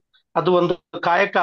ಅದನ್ನ ಜಾತಿಯಾಗಿ ಇದನ್ನ ಮಾಡಬಾರ್ದು ಅನ್ನೋ ಒಂದು ಮಾತನ್ನ ಒತ್ತಿ ಹೇಳಿದ್ರಿ. ಕೆಲವೊಂದು ಹೊಸ ಹೊಸ ವಿಚಾರಗಳು ನನಗೆ ಇವತ್ತಿನ ದಿನ, ಆ, ನಮ್ಮ ವಚನದಲ್ಲಿನ ವಿಶ್ಲೇಷಣೆ ಈ ಒಂದು ಮಟ್ಟಕ್ಕೂ ಹೋಗುತ್ತೆ ಅನ್ನೋದು, ಆ, ವಿಚಾರವಂತ ಮಾಡಬೇಕು ಅನ್ನೋದು, ಆ, ನಮ್ದು ಮೈಕ್ರೋ ಬಯಾಲಜಿ ಅಥವಾ ನಮ್ದು ಏನು ಕನ್ಸ್ಟ್ರಕ್ಷನ್ ಲೈನ್ನಲ್ಲಿ ನಮ್ದು, ನಾನು basically I a construction man ನಾನು ಇದು, ಆ, ನನ್ನ ನನ್ನ ಪರಿಮಿತಿಯ ಹೊರಗಡೆ ಇರೋದ್ರಿಂದ ನಾನು ಜಾಸ್ತಿ ಟೈಮ್ ತಗೊಳಲ್ಲ. ಆ ಅವಕಾಶಕ್ಕಾಗಿ ತುಂಬಾ ತುಂಬಾ ಧನ್ಯವಾದಗಳು. ಹೆಚ್ಚಿನ ಮಾಹಿತಿಯನ್ನ ನಮ್ಮ ಶಂಕರ್ ಶಂಕರ್ ದೇವನೂರ್ ಸರ್ ಇದ್ದಾರಾ? ಸರ್ ಅವರಿಲ್ಲ ಅವ್ರದ್ದು ಫಂಕ್ಷನ್ ಇದೆ ಅಂತ ಹೋಗಿದ್ದಾರೆ. ಓಕೆ ಓಕೆ ಓಕೆ ನಿಜವಾಗ್ಲು ತುಂಬಾ ಸಂತೋಷ ಮೇಡಮ್ ಆ ನಿಮ್ಮಿಂದ ಹೆಚ್ಚು ಇದನ್ನ ನಾವು ಕೇಳ್ಲಿಕ್ಕೆ ಇಷ್ಟಪಡ್ತೇವೆ. ಹಾಗೆ ವಿಜಯ್ ಕುಮಾರ್ ಮಂದಾರ್ ಸರ್ ವಿಜಯ್ ಕುಮಾರ್ ಸರ್ ತುಂಬಾ ಸಂತೋಷ. ವಿಜಯ್ ಕುಮಾರ್ ಸರ್ ನಮ್ಮ ವೇದಿಕೆಯಿಂದ ಒಂದು ಅಂತಾರಾಷ್ಟ್ರೀಯ ಮಟ್ಟದಲ್ಲಿ ಮಕ್ಕಳಿಗೆ ವಚನಗಳನ್ನ ತಿಳಿಸುವಂತದ್ದು ಹೇಳುವಂತ ಒಂದು ರಿಸಿಟೇಷನ್ ಪ್ರೋಗ್ರಾಮ್ನ ಇಟ್ಕೊಂಡಿದ್ದಾರೆ. ಅದರಲ್ಲೂ ನಾವು ಮಸ್ಕಟ್ನಿಂದ ನಮ್ಮ ಬಳಗ ಭಾಗವಹಿಸ್ಲಿಕ್ಕೆ ಆತುರರಾಗಿದ್ದಾರೆ ಅನ್ನೋ ಒಂದು ಮಾತನ್ನ ತಿಳಿಸ್ಲಿಕ್ಕೆ ಈ ಸಮಯದಲ್ಲಿ ಇಷ್ಟಪಡ್ತೇನೆ. ಶರಣಾರ್ಥಿಗಳು. ಶರಣ ಶರಣಾರ್ಥಿ ಸರ್. ಹತ್ರ ಇದೆ ಬನ್ನಿ ಸರ್ ಮನೆಗೆ. ಖಂಡಿತವಾಗ್ಲು ನಾನ್ ಮೂಲತಃ ನಂದೀಶ್ವರ ದಾವಣಗೆರೆ ಅಂತೇಳಿ ನಮ್ಮ ಮೂಲ ಮೂಲತಃ ಶಿವಮೊಗ್ಗ ದಾವಣಗೆರೆ. ನಾನು ಮೈಸೂರಿನಲ್ಲಿ ವಾಸವಾಗಿದ್ದೇನೆ. ಬಂದಾಗ ಖಂಡಿತವಾಗ್ಲು ಚಳ್ಕೆರೆ ನನ್ಗೇನು ದೂ- ದೂರ ಅಲ್ಲ. ಯಾಕೆ ಅಂತ ಹೇಳಿದ್ರೆ ನಾನು ಅವಾಗ ಅವಾಗ ಇದಕ್ ಬರ್ತಾ ಇರ್ತೇನೆ. ನಮ್ಮ ಸಿರಿಗೆರೆ ಮಠಕ್ಕೆ ಬರ್ತಾ ಇರ್ತೇನೆ. ಅವಾಗ ಬಂದಾಗ ತಮ್ಮ ಭೇಟಿ ಆಗ್ಲಿಕ್ಕೆ ಪ್ರಯತ್ನ ಪಡ್ತೇನೆ. ಶರಣ ಥ್ಯಾಂಕ್ ಯು ಸರ್ ಧನ್ಯವಾದಗಳು. ಡಾಕ್ಟರ್ ನೀಲಾಂಬಿಕಾ ಪೊಲೀಸ್ ಪಾಟೀಲ್ ಅವರು ತಮ್ಮ ಅನುಭವದ ಮಾತುಗಳನ್ನ ಆಡ್ಬೇಕು. ಪೊಲೀಸ್ ಪಾಟೀಲ್ ಅಕ್ಕ ಅವ್ರೆ? Sir. Hello sir. Hello sir. ಕೇಳಿಸ್ತಾ ಇದೆ ಮಾತಾಡಿ ಅಮ್ಮ. ಸರ್ ಮೊಟ್ಟ ಮೊದಲಿಗೆ ಮೇಡಮ್ ಅವರಿಗೆ ಅನಂತ ಧನ್ಯವಾದಗಳು. ಅವರು ವಿಷಯದ ಪ್ರತಿಪಾದನೆ ಹೇಗೆ ಮಾಡಿದ್ರು ಅನ್ನುವುದಕ್ಕಿಂತ ಅವರ ವಿಶಾಲವಾದ ಹೃದಯಕ್ಕೆ ಮೊದಲನೆಯ ಶರಣಾರ್ಥಿಗಳನ್ನ ನಾನು ಈ ಸಂದರ್ಭದಲ್ಲಿ ಸಲ್ಲಿಸುತ್ತೇನೆ. ಇವತ್ತು ನಿಮ್ಮ ಇಡೀ ಉಪನ್ಯಾಸದಿಂದ ನಾನು ಕಲಿತದ್ದು ನಾವು ಪ್ರತಿಯೊಬ್ಬರು ಯಾವುದೇ ಧರ್ಮವಿರಲಿ ಆ ಧರ್ಮದ ತತ್ವಗಳನ್ನ ಸರಳವಾಗಿ, ಸ್ವಚ್ಛವಾಗಿ ತಿಳಿದುಕೊಂಡು ಅದರಂತೆ ನಾವು ನಡೆದಿದ್ದೇ ಆದರೆ ಈ ಇವತ್ತ ಏನು ಕಾಣ್ತಾ ಇದ್ದೀವಿ ವಿಶ್ವದಲ್ಲಿ ಅದ ಆ ಯಾವ ಕೋಲಾಹಲವು ಇರುವುದಿಲ್ಲ ಎನ್ನುವುದಕ್ಕೆ ಶ್ರೀಮತಿ ಶಬರಿನಾ ಅವರೇ ಇವತ್ತ ನಿದರ್ಶನ ಅನ್ನುವಂತಹ ವಿಚಾರ. ತುಂಬಾ ಫಸ್ಟ್ ಇವನಾರವ ಇವನಾರವ ಎನ್ನುವ ವಚನದೊಂದಿಗೆ ನಿಮ್ಮ ಮಾತುಗಳು ಪ್ರಾರಂಭವಾದುವಲ್ಲ. ಆ ಬಸವ ತತ್ವವನ್ನ ಒಪ್ಪಿಕೊಂಡ್ರಲ್ಲ ಮೇಡಮ್ ಅವ್ರೆ? ಆ ಬಸವ ತತ್ವ ಬಸವಣ್ಣ ಲಿಂಗಾಯತರ ಸ್ವತ್ತಲ್ಲ ಬಸವಣ್ಣ ಮತ್ತೊಬ್ಬರ ಸ್ವತ್ತಲ್ಲ ಮಠಾಧೀಶರ ಸ್ವತ್ತಲ್ಲ. ಬಸವಣ್ಣನವ್ರು ಏನದಾರೆ ಅಂದ್ರೆ ಅವರು ಯಾರು ತತ್ವಭರಿತವಾಗಿ ನಡೀತಾರ ಅವರ ಒಂದು ಸ್ವತ್ತು ಅನ್ನೋದನ್ನ ನೀವು ನಿಮ್ಮ ಇಡೀ ಉಪನ್ಯಾಸದ ಉದ್ದಕ್ಕೂ ಮಾತನಾಡಿದ್ದು. ನನ್ಗ ಮೊದಲು ಈಗ ವಚನ ಮಂದಾರದ ವಿಜಯ ಕುಮಾರ್ ಅಣ್ಣವರಿಗೆ ಅನಂತ ಧನ್ಯವಾದಗಳನ್ನ ನಾವು ಈ ಸಂದರ್ಭದಲ್ಲಿ ಸಲ್ಲಿಸಬೇಕಾಗುತ್ತೆ ಅನ್ನುವಂತಹ ಮಾತಿನೊಂದಿಗೆ ಈ ಶಿವಾಚಾರ ಲಿಂಗಾಚಾರ ಸದಾ ಪಂಚಾಚಾರಗಳು ಅಂತ ಏನ್ ಕರ್ಸ್ಕೊಂಡಿವೆ? ಹ್ಮ್. ಈ ತತ್ವ ಏನಿದೆ? ಪಂಚಾಚಾರದ ತತ್ವ ಈ ಬಸವ ಧರ್ಮ ಶರಣ ಧರ್ಮದಲ್ಲಿ ಅದು ಪ್ರಾಣ ಅಂತ ಕರ್ಸ್ಕೊಂಡಿರ್ತದೆ ಅಷ್ಟಾವರಣಗಳು ಅಂಗ ಪಂಚಾಚಾರಗಳು ಪ್ರಾಣ ಷಟಸ್ಥಲ ಆತ್ಮ ಅಂತೇಳಿ ಅದನ್ನ ಕರಿತಾ ಇದ್ದಾರೆ ಶರಣರು. ಇಲ್ಲಿ ಪ್ರಾಣ ರೂಪದಲ್ಲಿರುವ ಪಂಚಾಚಾರಗಳು. ಮನುಷ್ಯನಿಗೆ ಪ್ರಾಣವೇ ಬಹಳ ಮುಖ್ಯ. ಪ್ರಾಣವಿಲ್ಲದಿದ್ದರೆ ಮನುಷ್ಯ ಏನಾಗ್ತಾನೆ ಅಂತಂದ್ರೆ ಆತ ಶವ ಆಗ್ತಾನೆ. ಒಂದು ವೇಳೆ ಮನುಷ್ಯ ಶವ ಆದನು ಅಂದ್ರೆ ಏನು ಮಾಡ್ಲಕ್ನು ಸಾಧ್ಯ ಇಲ್ಲ. ಅವ ಏನಿದ್ರು ಯಾಕಂದ್ರೆ ಬಸವಣ್ಣನವರು ನೆಲನಾಳುವನ ಹೆಣ ಎಂದರೆ ಒಂದು ಅಡಕೆಗೆ ಕೊಂಬುವರಿಲ್ಲ ಅನ್ನುವಂತಹ ಸತ್ತ ಮೊಲಕ್ಕೆ ಬೆಲೆ ಕಟ್ಟುವರಯ್ಯ ನೆಲನಾಳುವನ ಹೆಣ ಎಂದರೆ ಒಂದು ಅಡಕೆಗೆ ಕೊಂಬುವರಿಲ್ಲ ಎನ್ನುವಂತಹ ಒಂದು ವಾಸ್ತವಿಕ ಮಾತನ್ನ ಅವತ್ತೇ ಆಡಿದ್ದಾರೆ. ಅದಕ್ಕಾಗಿ ಈ ಮನುಷ್ಯ ಯಾವಾಗ್ಲೂ ಆಕ್ಟಿವ್ ಆಗಿರ್ಬೇಕಾಗಿತ್ತು ಅಂದ್ರೆ ಈ ಮನುಷ್ಯ ನನ್ಗ ಒಂದು ವಿಷಯ ನಿಮ್ಗ ಹೇಳ್ತೀನಿ. ಇಲ್ಲಿಗೆ ತಾವು ಷಣ್ಮುಖ ಶಿವಯೋಗಿಗಳ ಹೆಸರನ್ನ ತೆಗೆದುಕೊಂಡ್ರಿ. ಈ ನಮ್ಮ ಗುಲ್ಬರ್ಗದ ಸಮೀಪದಲ್ಲಿರುವ ಜೇವರಿಗೆ ಅದು. ಅಂದ್ರೆ ಈ ಒಂದು ಐದಾರು ವರ್ಷದ ಕೆಳಗೆ ಇದೇ ಷಣ್ಮುಖ ಶಿವಯೋಗಿಗಳ ಮಠದಲ್ಲಿ ಅಲ್ಲಿರುವಂತಹ ಸ್ವಾಮಿಗಳು ಲಿಂಗೈಕ್ಯರಾದರು. ಲಿಂಗೈಕ್ಯರಾದಾಗ ಅವರನ್ನ ಶವ ಸಂಸ್ಕಾರ ಮಾಡ್ಬೇಕು ಅಂತ ಹೇಳಿ ಮೊದಲಿರುವ ಗುರುಗಳ ಒಂದು ಇದನ್ನೇ ಸಮಾಧಿಯನ್ನೇ ಅವರು ಕೊರೆದಾಗ ಮೊದಲಿನ ಗುರುಗಳ ಶವ ಸಂಸ್ಕಾರ ಮಾಡುವಾಗ ಹೇಗ ಅವರ ಶರೀರವನ್ನ ಕೈಯೊಳಗೆ ಲಿಂಗ ಕೊಟ್ಟು ಇಟ್ಟಿದ್ರೋ ಅದೇ ರೂಪದಲ್ಲಿ ಆ ಶರೀರ ಕೂಡ ಇತ್ತು. ಇತ್ತು. ಈ ಇದನ್ನ ಅಗದಿ ಅಗ ಇದನ್ನ ಮಾಡಿದಾಗ ಇವರ ಶವ ಸಂಸ್ಕಾರ ಮಾಡ್ಬೇಕು ಅಂತೇಳಿ ಆ ಸಂಸ್ಕಾರಕ್ಕೆ ಒಂದು ಅಗಿಯುವಾಗ ಮೊದಲಿನ ಸ್ವಾಮಿಗಳ ಒಂದು ಶರೀರ ಅದೇ ರೂಪದಲ್ಲಿತ್ತು. ಕೈಯೊಳಗೆ ಇಷ್ಟಲಿಂಗ ಹಿಡಿದ ಭಂಗಿನೇ ಇತ್ತು ಅನ್ನುವಂತಹದನ್ನು ಈ ಆ ಸಂದರ್ಭದಲ್ಲಿ ನಾವೆಲ್ಲರೂ ಇಲ್ಲಿ ಕೇಳಿದ್ದೇವೆ ನೋಡಿಲ್ಲ ಕೇಳಿದ್ದೇವೆ. ಬಹಳ ಜನ ಈ ಮಾತನ್ನ ಆಡಿದ್ದಾರೆ. ಇಲ್ಲಿ ನಾನು ಹೇಳುವ ತಾತ್ಪರ್ಯ ಏನಂತಂದ್ರೆ ಯಾವ ವ್ಯಕ್ತಿ ಪಂಚಾಚಾರ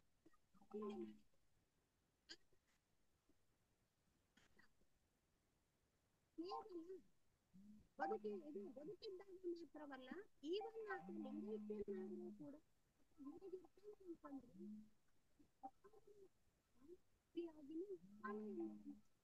ಅನೇಕ ವಿಷಯಗಳ ಕೇಳಿಸ್ತಾ ಇಲ್ಲ. ಕೇಳಿಸ್ತಾ ಇಲ್ಲ ಸರ್ ಹೇಳಿದ್ ಹೇಳಿದ್ದ. ಈಗ ಸರ್ ನಾನ್ ನನಗ ತಿಳಿದ ಮಟ್ಟಿಗೆ ವಿಜಯ್ ಕುಮಾರ್ ಸರ್ ಇಡೀ ಮೇಡಮ್ ಅವರು ಪಂಚಾಚಾರಗಳನ್ನ ಸಾಮಾಜಿಕ ಸಾಮರಸ್ಯದ ರೂಪದಲ್ಲಿ ಅದನ್ನ ನಿರೂಪಣೆ ಮಾಡಿದ್ದು ತುಂಬಾ ಮಹತ್ವ. ಈ ಪಂಚಾಚಾರಗಳಿಗೆ ಒಂದು ಲಿಂಗಾಂಗ ಸಾಮರಸ್ಯ ಒಂದು ಆಧ್ಯಾತ್ಮಿಕ ಸಾಮರಸ್ಯ ಇದೆ ಇನ್ನೊಂದು ಸಾಮಾಜಿಕ ಸಾಮರಸ್ಯ ಇದೆ ಅನ್ನುವಂತಹದನ್ನ ಬಹಳ ಅರ್ಥಪೂರ್ಣವಾಗಿ ಮೇಡಮ್ ಅವರೇ ತಾವು ನಿರೂಪಣೆ ಮಾಡಿದ್ರಿ. ಅಂದ್ರೆ ಪಂಚಾಚಾರಗಳ ಮುಖ್ಯ ಗುರಿ ಏನದಂದ್ರ ವ್ಯಷ್ಟಿಯೊಂದಿಗೆ ಸಮಷ್ಟಿ ಉದ್ಧಾರ ಕೈಗೊಳ್ಬೇಕು ಅನ್ನುವಂತಹದೇ. ವ್ಯಷ್ಟಿಯಿಂದ ಮನುಷ್ಯ ಸಮಷ್ಟಿ ಅರ್ಥ ಹೋಗಬೇಕೆನ್ನುವುದೇ ಏನದ ಮುಖ್ಯವಾಗಿ ಅದು ಪಂಚಾಚಾರದ ಮೂಲ ಉದ್ದೇಶವಾಗಿದೆ. ಒಬ್ರು ಶರಣರು ಹೇಳ್ತಾರೆ, ಆ ಪಂಚಾಂಗ ಪಂಚಾಂಗವೆಂದು ಜೋಯಿಸರ ಕರೆಯಿಸಿ. ಬಹಳ ಅರ್ಥಪೂರ್ಣವಾಗಿ ಹೇಳಿದ್ದಾರೆ.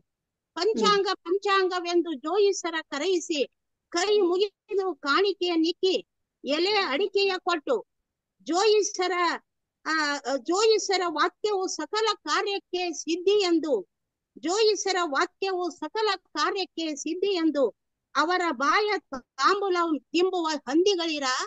ಅವರ ಬಾಯ ತಾಂಬೂಲ ತಿಂಬ ಹಂದಿಗಳರ ಹಂದಿಗಳಿರ? ಎತ್ತಬಲ್ಲಿರಯ್ಯ ನೀವು ಶಿವಾಚಾರದ ಹಾದಿಯನ್ನು. ಅಂತ. ಅರ್ಥಪೂರ್ಣ ವಚನ. ಇದು ಈ ಶಿವಾಚಾರದ ಹಾದಿ ಏನದಲ್ಲ ಮೇಡಮ್ ಅವರೇ? ಲಿಂಗಾಚಾರದಲ್ಲಿ ಮನುಷ್ಯ ಇಷ್ಟ ಲಿಂಗವನ್ನ ಹಿಡಿದುಕೊಂಡು ಆ ಲಿಂಗಕ್ಕೆ ಶ್ರದ್ಧೆಯನ್ನ ತೋರಿಸುತ್ತಾ ಸದಾಚಾರಕ್ಕೆ ಬಂದಾಗ ನಾನು ಖಂಡಿತವಾಗಿ ಈ ಲಿಂಗದ ಮೇಲೆ ಭಕ್ತಿ ಇಟ್ಟು ನಡೆಯುತ್ತೇನೆ ಎನ್ನುವಂತ ಸತ್ ಸತ್ ಆಚರಣೆಯನ್ನು ತೋರಿಸಬಹುದು ಆದರೆ ಶಿವಾಚಾರಕ್ಕೆ ಬಂದಾಗ ನಡೆಯುವುದು ಏನಾಗ್ತದ ಅಂದ್ರ ಬಹಳ ಕಠಿಣ ಆಗ್ತದ ಅನ್ನುವಂತಹದನ್ನ ಇಲ್ಲಿ ಒಬ್ಬ ಶರಣರು ನಮ್ಮ ಮುಂದೆ ನಿರೂಪಣೆ ಮಾಡ್ತಾ ಇದ್ದಾರೆ. ಯಾಕೆ ಅಂದ್ರೆ ಕೈಯೊಳಗೆ ಇಷ್ಟ ಲಿಂಗವನ್ನ ಹಿಡಿದುಕೊಂಡು ಸದಾಚಾರದಿಂದ ನಡೆಯುವಾಗ ಮತ್ತೆ ಹಂದಿಗಳಂತೆ ಪಂಚಾಂಗ ತೆಗೆದು ಜೋಯಿಸರ ಮುಂದೆ ಹೋಗಿ ಅವರು ಹೇಳಿದ ಮಾತುಗಳೇ ನಮ್ಮ ಕಾರ್ಯಕ್ಕೆ ಸಿದ್ಧಿ ಎಂದು ಹೇಳುವಂತ ನಾಯಿಗಳಿರ ಹಂದಿಗಳಿರ ನೀವೆತ್ತಬಲ್ಲಿರೋ ಶಿವಾಚಾರದ ಹಾದಿಯೇನು ಅನ್ನುವಂತ ಈ ಒಬ್ಬ ಶರಣರ ಮಾತು ಏನಿದೆ ನೋಡ್ರಿ ಅದು ಬಹಳ ಏನದ ಕರ್ಣ ಕಠೋರ ಮಾನಸಿಕ ಕಠೋರವಾಗಿರುವಂತ ಒಂದು ವಚನ. ಆದರೆ ಸತ್ಯವಾದ ಹಾದಿ ಇದೆ ಅದು. ಸತ್ಯವಾದ ಹಾದಿ ಇದೆ. ಬಸವಣ್ಣನವರೇ ಒಂದು ಕಡೆ ಬಹಳ ಅರ್ಥಪೂರ್ಣವಾಗಿ ಹೇಳಿದ್ದಾರೆ. ಶಿವಾಚಾರವೆಂಬುದೊಂದು ಬಾಳಬಾಯಧಾರೆ ಶಿವಾಚಾರವೆಂಬುದೊಂದು ಬಾಳಬಾಯಧಾರೆ ಲಿಂಗ ಮೆಚ್ಚಬೇಕು, ಜಂಗಮ ಮೆಚ್ಚಬೇಕು, ಪ್ರಸಾದ ಮೆಚ್ಚಿ ತನ್ನಲ್ಲಿ ಸ್ವಾಯತ್ತವಾಗಿರಬೇಕು. ಬಿಚ್ಚಿ ಬೇರಾದಡೆ ಮೆಚ್ಚ ನೋಡು ನಮ್ಮ ಕೂಡಲ ಸಂಗಮ ದೇವ. ಅಂದ್ರೆ ಶಿವಾಚಾರ ಎನ್ನುವುದು ಏನದ ಅಂತಾರ ಅಂದ್ರ ಅದು ಖಡ್ಗದ ಬಾಯಿ ಇದ್ದಂಗದ, ಖಡ್ಗದ ಹರಿತವಾದ ಖಡ್ಗ ಇದ್ದಂಗದ, ಆ ಅದನ್ನ ಸಾಧಿಸುವುದು ಅಷ್ಟು ಸಾಧ್ಯ ಇಲ್ಲ ಅನ್ನುವಂತಹ ಮಾತು. ಅದಕ್ಕಾಗಿ ತಾವೇ ಒಂದು ಕಡೆ ಹೇಳಿದ್ರಿ ಬೀದಿಯಲ್ಲಿ ಆಡಿದ ಮಾತಿನಂತೆ ಅಲ್ಲ ಅನ್ನುವಂತಹ ಮಾತೇನದ ನೋಡಿ madam so. That is most important word ವಾಕ್ಯ ಸೆಂಟೆನ್ಸ್ ಬಿಕಾಸ್ ಇದು ಇದು ಅಲ್ಲಿ ಇಲ್ಲಿ ಕುಂತು ಮಾತಾಡುವಂತಹ ವಿಷಯವಲ್ಲ.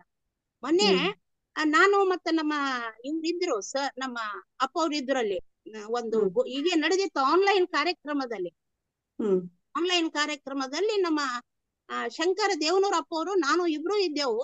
ಇಬ್ರು. ಇದ್ದಾಗ ನಂದು ವಾದ ಎದ್ದು ತಲೆ ಏನಂತಾರ ಅಂದ್ರ ಒಬ್ಬ ಗುರು ಗುರುವಿಗೆ ಒಬ್ಬ ಶಿಷ್ಯ ಋಣ ತೀರಿಸ್ಲಿಕ್ಕೆ ಸಾಧ್ಯ ಇಲ್ಲ. ಹಾಗಾದ್ರೆ ವಚನ ಸತ್ ಸಾಹಿತ್ಯದ ಆ ಮುಖ್ಯ ಗುರಿಯನ್ನೇ ನಾವು ಏನ್ ಮಾಡಿದಂಗ ಆಗ್ತದ ಇಲ್ಲಿ ಬಿಟ್ಟು ಹೋದಂಗ ಆಗ್ತದ ಗುರುವಿಗೆ ಗುರುವಾಗುವುದೇ ವಚನ ಸಾಹಿತ್ಯದ ಮುಖ್ಯವಾದ ಕರ್ತವ್ಯ. ಗುರುವಿಗೆ ಗುರುವಾಗುವುದು.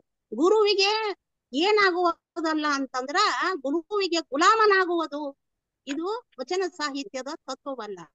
ಅದಕ್ಕೆ ಗುರುವಿಗೆ ಗುರುವಾಗಿ ನಡೆದು ಆ ಗುರುವಿಗೆ ಏನಾಗಬೇಕು ಅಂತಂದ್ರ ನಾವು ಹಾದಿ ತೋರಿಸುವಂತರಾಗಬೇಕು ಅನ್ನುವಂತಹ ಮಾತು ಏನಿದೆ ನೋಡಿ ಅದು ತಮ್ಮಲ್ಲಿ ಬಹಳ ಬಂತು.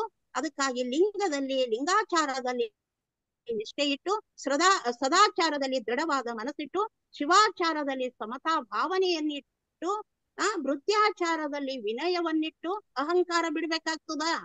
ಯಾರು. ಇಷ್ಟಲಿಂಗವನ್ನ ಹಿಡಿದುಕೊಂಡು ಹೊರಟೀರಿ ಅವರು ಏನ್ ಬಿಡ್ಬೇಕಾಗ್ತದ? ಎಲ್ಲಾ ನಾನೇ ತಿಳ್ಕೊಂಡಕ್ಕಿ ಎಲ್ಲಾ ನನಗೆ ಬರ್ತದ ಎಲ್ಲಾ ನಾನೇ ಮಾಡಕ್ಕಿ ಎಲ್ಲಾ ನಾನೇ ಓದಕ್ಕಿ ಅಂದಿ ಅಂದ್ರ ನೆಲ ಕಚ್ಚಿ ಮಣ್ಣಾಗ್ಬೇಕಾಗ್ತದ? ನೆಲ. ಕಚ್ಕೊಂಡು ಹೋಗ್ಬೇಕಾಯ್ತದ? ಅದಕ್ಕಾಗಿ ನನ್ನೊಳಗಿರುವಂತಹ ಜ್ಞಾನ ಆ ಜ್ಞಾನ ಏನಿದೆ ಅದು ಏನಾಗಿರ್ಬೇಕು? ನಾಲ್ಕು ಜನರಿಗೆ ಉಣಿಸುವಂತನಾಗಿರ್ಬೇಕು. ಅದು ಗಣಾಚಾರದಲ್ಲಿ ಬರಬೇಕು, ಗಣಾಚಾರದಲ್ಲಿ ವೀರತ್ವ ಇರಬೇಕು ಇಂತಹ ತತ್ವವನ್ನ ಕುರಿತು ಸಹೋದರಿ ಬಹಳ ಅರ್ಥಪೂರ್ಣವಾಗಿ ವ್ಯಕ್ತ ಮಾಡಿದ್ದೀರಿ. ಅದಕ್ಕಾಗಿ ಸಾಮಾಜಿಕ ಸಾಮರಸ್ಯದೊಂದಿಗೆ ಲಿಂಗಾಂಗ ಸಾಮರಸ್ಯವು ಕೂಡ ಈ ಪಂಚಾಚಾರದ ಹೆಗ್ಗುರುತು ಅಂತ ತಿಳ್ಕೊಂಡು ಹೇಳ್ತಾ ಬಹಳ ದಿನ ಆಗಿತ್ತು ನನ್ನ ವಚನ ಮಂದಾರ ಬಿಟ್ಟು. ಅದಕ್ಕಾಗಿ ಇವತ್ತು ಮತ್ತೆ ಬಂದು ನಿಮ್ಮಂತಹ ಉಪನ್ಯಾಸಕಿಯ ಮುಖ ನೋಡುವಂತಾಯ್ತಲ್ಲ. ಅದಕ್ಕಾಗಿ ತಮಗೂ ನಂದೀಶ್ವರ್ ಸರ್ ಅವರಿಗೂ ಈ ಗಣಿಯವರು ಬಹುಶಃ ಸಂಗಮೇಶ್ ಗಣಿಯವರಿಗೂ ಅಕ್ಕ ಸಂಗ ಸರ್ವಮಂಗಳ ಶಂಕರ ದೇವನೂರಪ್ಪ ಅವರಿಗೂ ಎಲ್ಲರಿಗೂ ನಮಿಸಿ ನನ್ನೆರಡು ಮಾತನ್ನು ಮುಗಿಸ್ತೀನಿ. ಎಲ್ಲರಿಗೂ ಶರಣು ಶರಣಾರ್ಥಿ. ಶರಣ ಶರಣಾರ್ಥಿ ಅಮ್ಮ. ನೀವು ನೀವು ಬಾ ಭಾಳ ದಿನದಿಂದ ಬಂದಿಲ್ಲ ಅನ್ನೋದಕ್ಕೆ ನೀವು ಮೊದ್ಲು ಆಕ್ಷೇಪಣೆ ಎತ್ತಿ ನಿಮ್ಮ ಕೊಡ್ಬೇಕಂತ ಅನ್ಕೊಂಡಿದ್ವಿ. ನಾವೇ ಹೇಳ್ಬಿಟ್ರಿ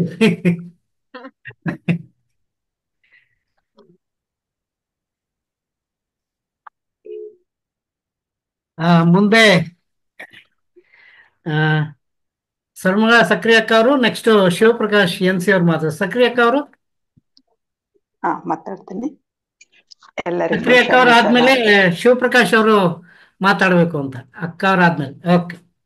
ಕಂಟಿನ್ಯೂ ಅಕ್ಕ ಎಲ್ಲರಿಗೂ ಶರಣ ಶರಣಾರ್ಥಿಗಳು. ಶಬ್ರಿನಾ ಮೊಹಮ್ಮದ್ ಅಲಿ ಮೇಡಮ್ ಅವರ ಉಪನ್ಯಾಸ ಬಹಳ ಮೌಲಿಕವಾಗಿತ್ತು ಮನಮುಟ್ಟುವಂತಿತ್ತು ಅಂತ. ಶಿವಾಚಾರದ ಬಗ್ಗೆ ಹೇಳ್ಬೇಕಾದ್ರೆ ಅವರು ತಮ್ಮೊಳಗೆ ತಾವು ಶಿವನನ್ನ ಕಂಡ್ಕೊಂಡ್ರೇನೋ ಅನ್ನತಕ್ಕಂತ ಮನಸ್ಥಿತಿಯಲ್ಲೇ ಅವ್ರು ಹೇಳ್ತಾ ಇದ್ರು ಅಂತ. ಅಷ್ಟು ಒಂದು, ಆ ಲೀನವಾಗಿ ಬಿಟ್ಟಿದ್ರು ಅವರು. ತಮ್ಮೊಳಗೆ ತಾವ್ರು ಲೀನವಾಗಿ ಬಿಟ್ಟಿದ್ರು ಅವರ ವಿವರ್ಸ್ ಹೇಳೋದೇ ಒಂದು ಬಹಳ ಸುಂದರ ಮತ್ತು ಅಷ್ಟೇ ನಾನು ಒಂದು ಸಣ್ಣ ಮಗು ಕೂತ್ ಕೇಳಿದಂಗ ಕೇಳಿ ಕೇಳಿದ್ದೀನಿ. ನನ್ನೆಲ್ಲ ಕೆಲಸ ಬಿಟ್ಟು ಅಂತ.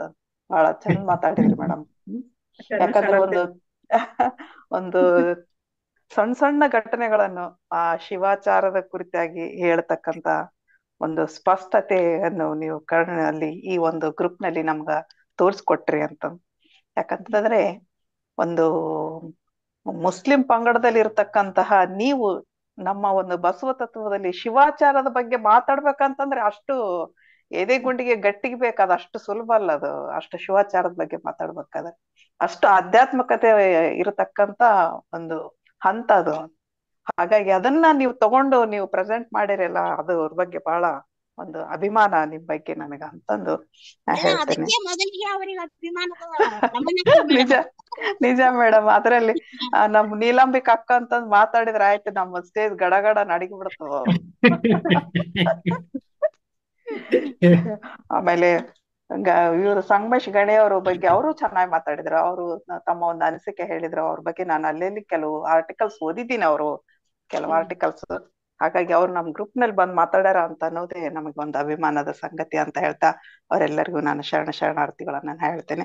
ಯಾಕಂತಂದ್ರೆ ಶಿವಾಚಾರ ಅನ್ನೋತಕ್ಕಂಥದ್ದು ಏನಿದೆಯಲ್ಲ ಇದು ನಮ್ಮ ಸನಾತನ ಭಾವದ ಆ ಅರಿವನ್ನು ಕೊಟ್ಟಂತವ್ರೆ ಸನಾತನ ಧರ್ಮದ ಮತ್ತು ಭಾವದ ಮೂಲಕ ಅರಿವನ್ನು ಕೊಟ್ಟಂತವ್ರೆ ನಮ್ಮ ಶರಣರು ಅಂತಂದು ಇಡೀ ಜಗದ ಜನರೆಲ್ಲ ಶಿವಾಚಾರವನ್ನು ಕಂಡುಕೊಳ್ಬೇಕು ಅನ್ನೋತಕ್ಕಂಥ ಮನಸ್ಥಿತಿಯಲ್ಲಿ ಇದ್ದಂತವ್ರೆ ನಮ್ಮ ವಚನಕಾರರು. ಹಾಗಾಗಿ ಇಲ್ಲಿ ಪ್ರತಿಯೊಬ್ಬನ ಒಂದು ಸಮತಾ ಭಾವ ಆಗಿರ್ಬೋದು ಸಮಾನತೆ ಆಗಿರ್ಬೋದು ಸಮಾಜದ ಆಗು ಹೋಗುಗಳನ್ನೆಲ್ಲವನ್ನು ಅಲ್ಲಿ ಕಂಡುಕೊಳ್ಳತಕ್ಕಂತಹ ಒಂದು ವಿಶಿಷ್ಟತೆ ಏನಿದೆಯಲ್ಲ ಶಿವಾಚಾರದಲ್ಲಿ ಇದೆ ಎಲ್ಲಾ ನಾನೇ ಅಂತ ಅನ್ನತಕ್ಕಂಥ ಅಂದ್ರೆ ಏನು ಅಂತಂದಾಗ ಅಲ್ಲಿ ನಮ್ಮ ದೇಹದಲ್ಲಿ ಕಂಡು ಕಾಯದಲ್ಲಿ ಇರತಕ್ಕಂತ ಒಂದು ಶಿವನ ಅಂಶ ಏನಿದೆಯಲ್ಲ, ಅದೇ ಒಂದು ಶಿವಾಚಾರ ಅನ್ನತಕ್ಕಂತ ಮಾತುಗಳನ್ನ ಹೇಳ್ತೇವೆ. ಯಾಕಂತಂದ್ರೆ, ಇಲ್ಲಿ ಶಿವನೇ ಪ್ರಾಣಲಿಂಗವಾಗಿ ಬರತಕ್ಕಂತಹ ಒಂದು ಶ್ರೇಷ್ಠವಾದ ಅನುಭಾವಿಕ ಸ್ಥಿತಿ ಅಂತಂದ್ರೆ ಶಿವಾಚಾರ.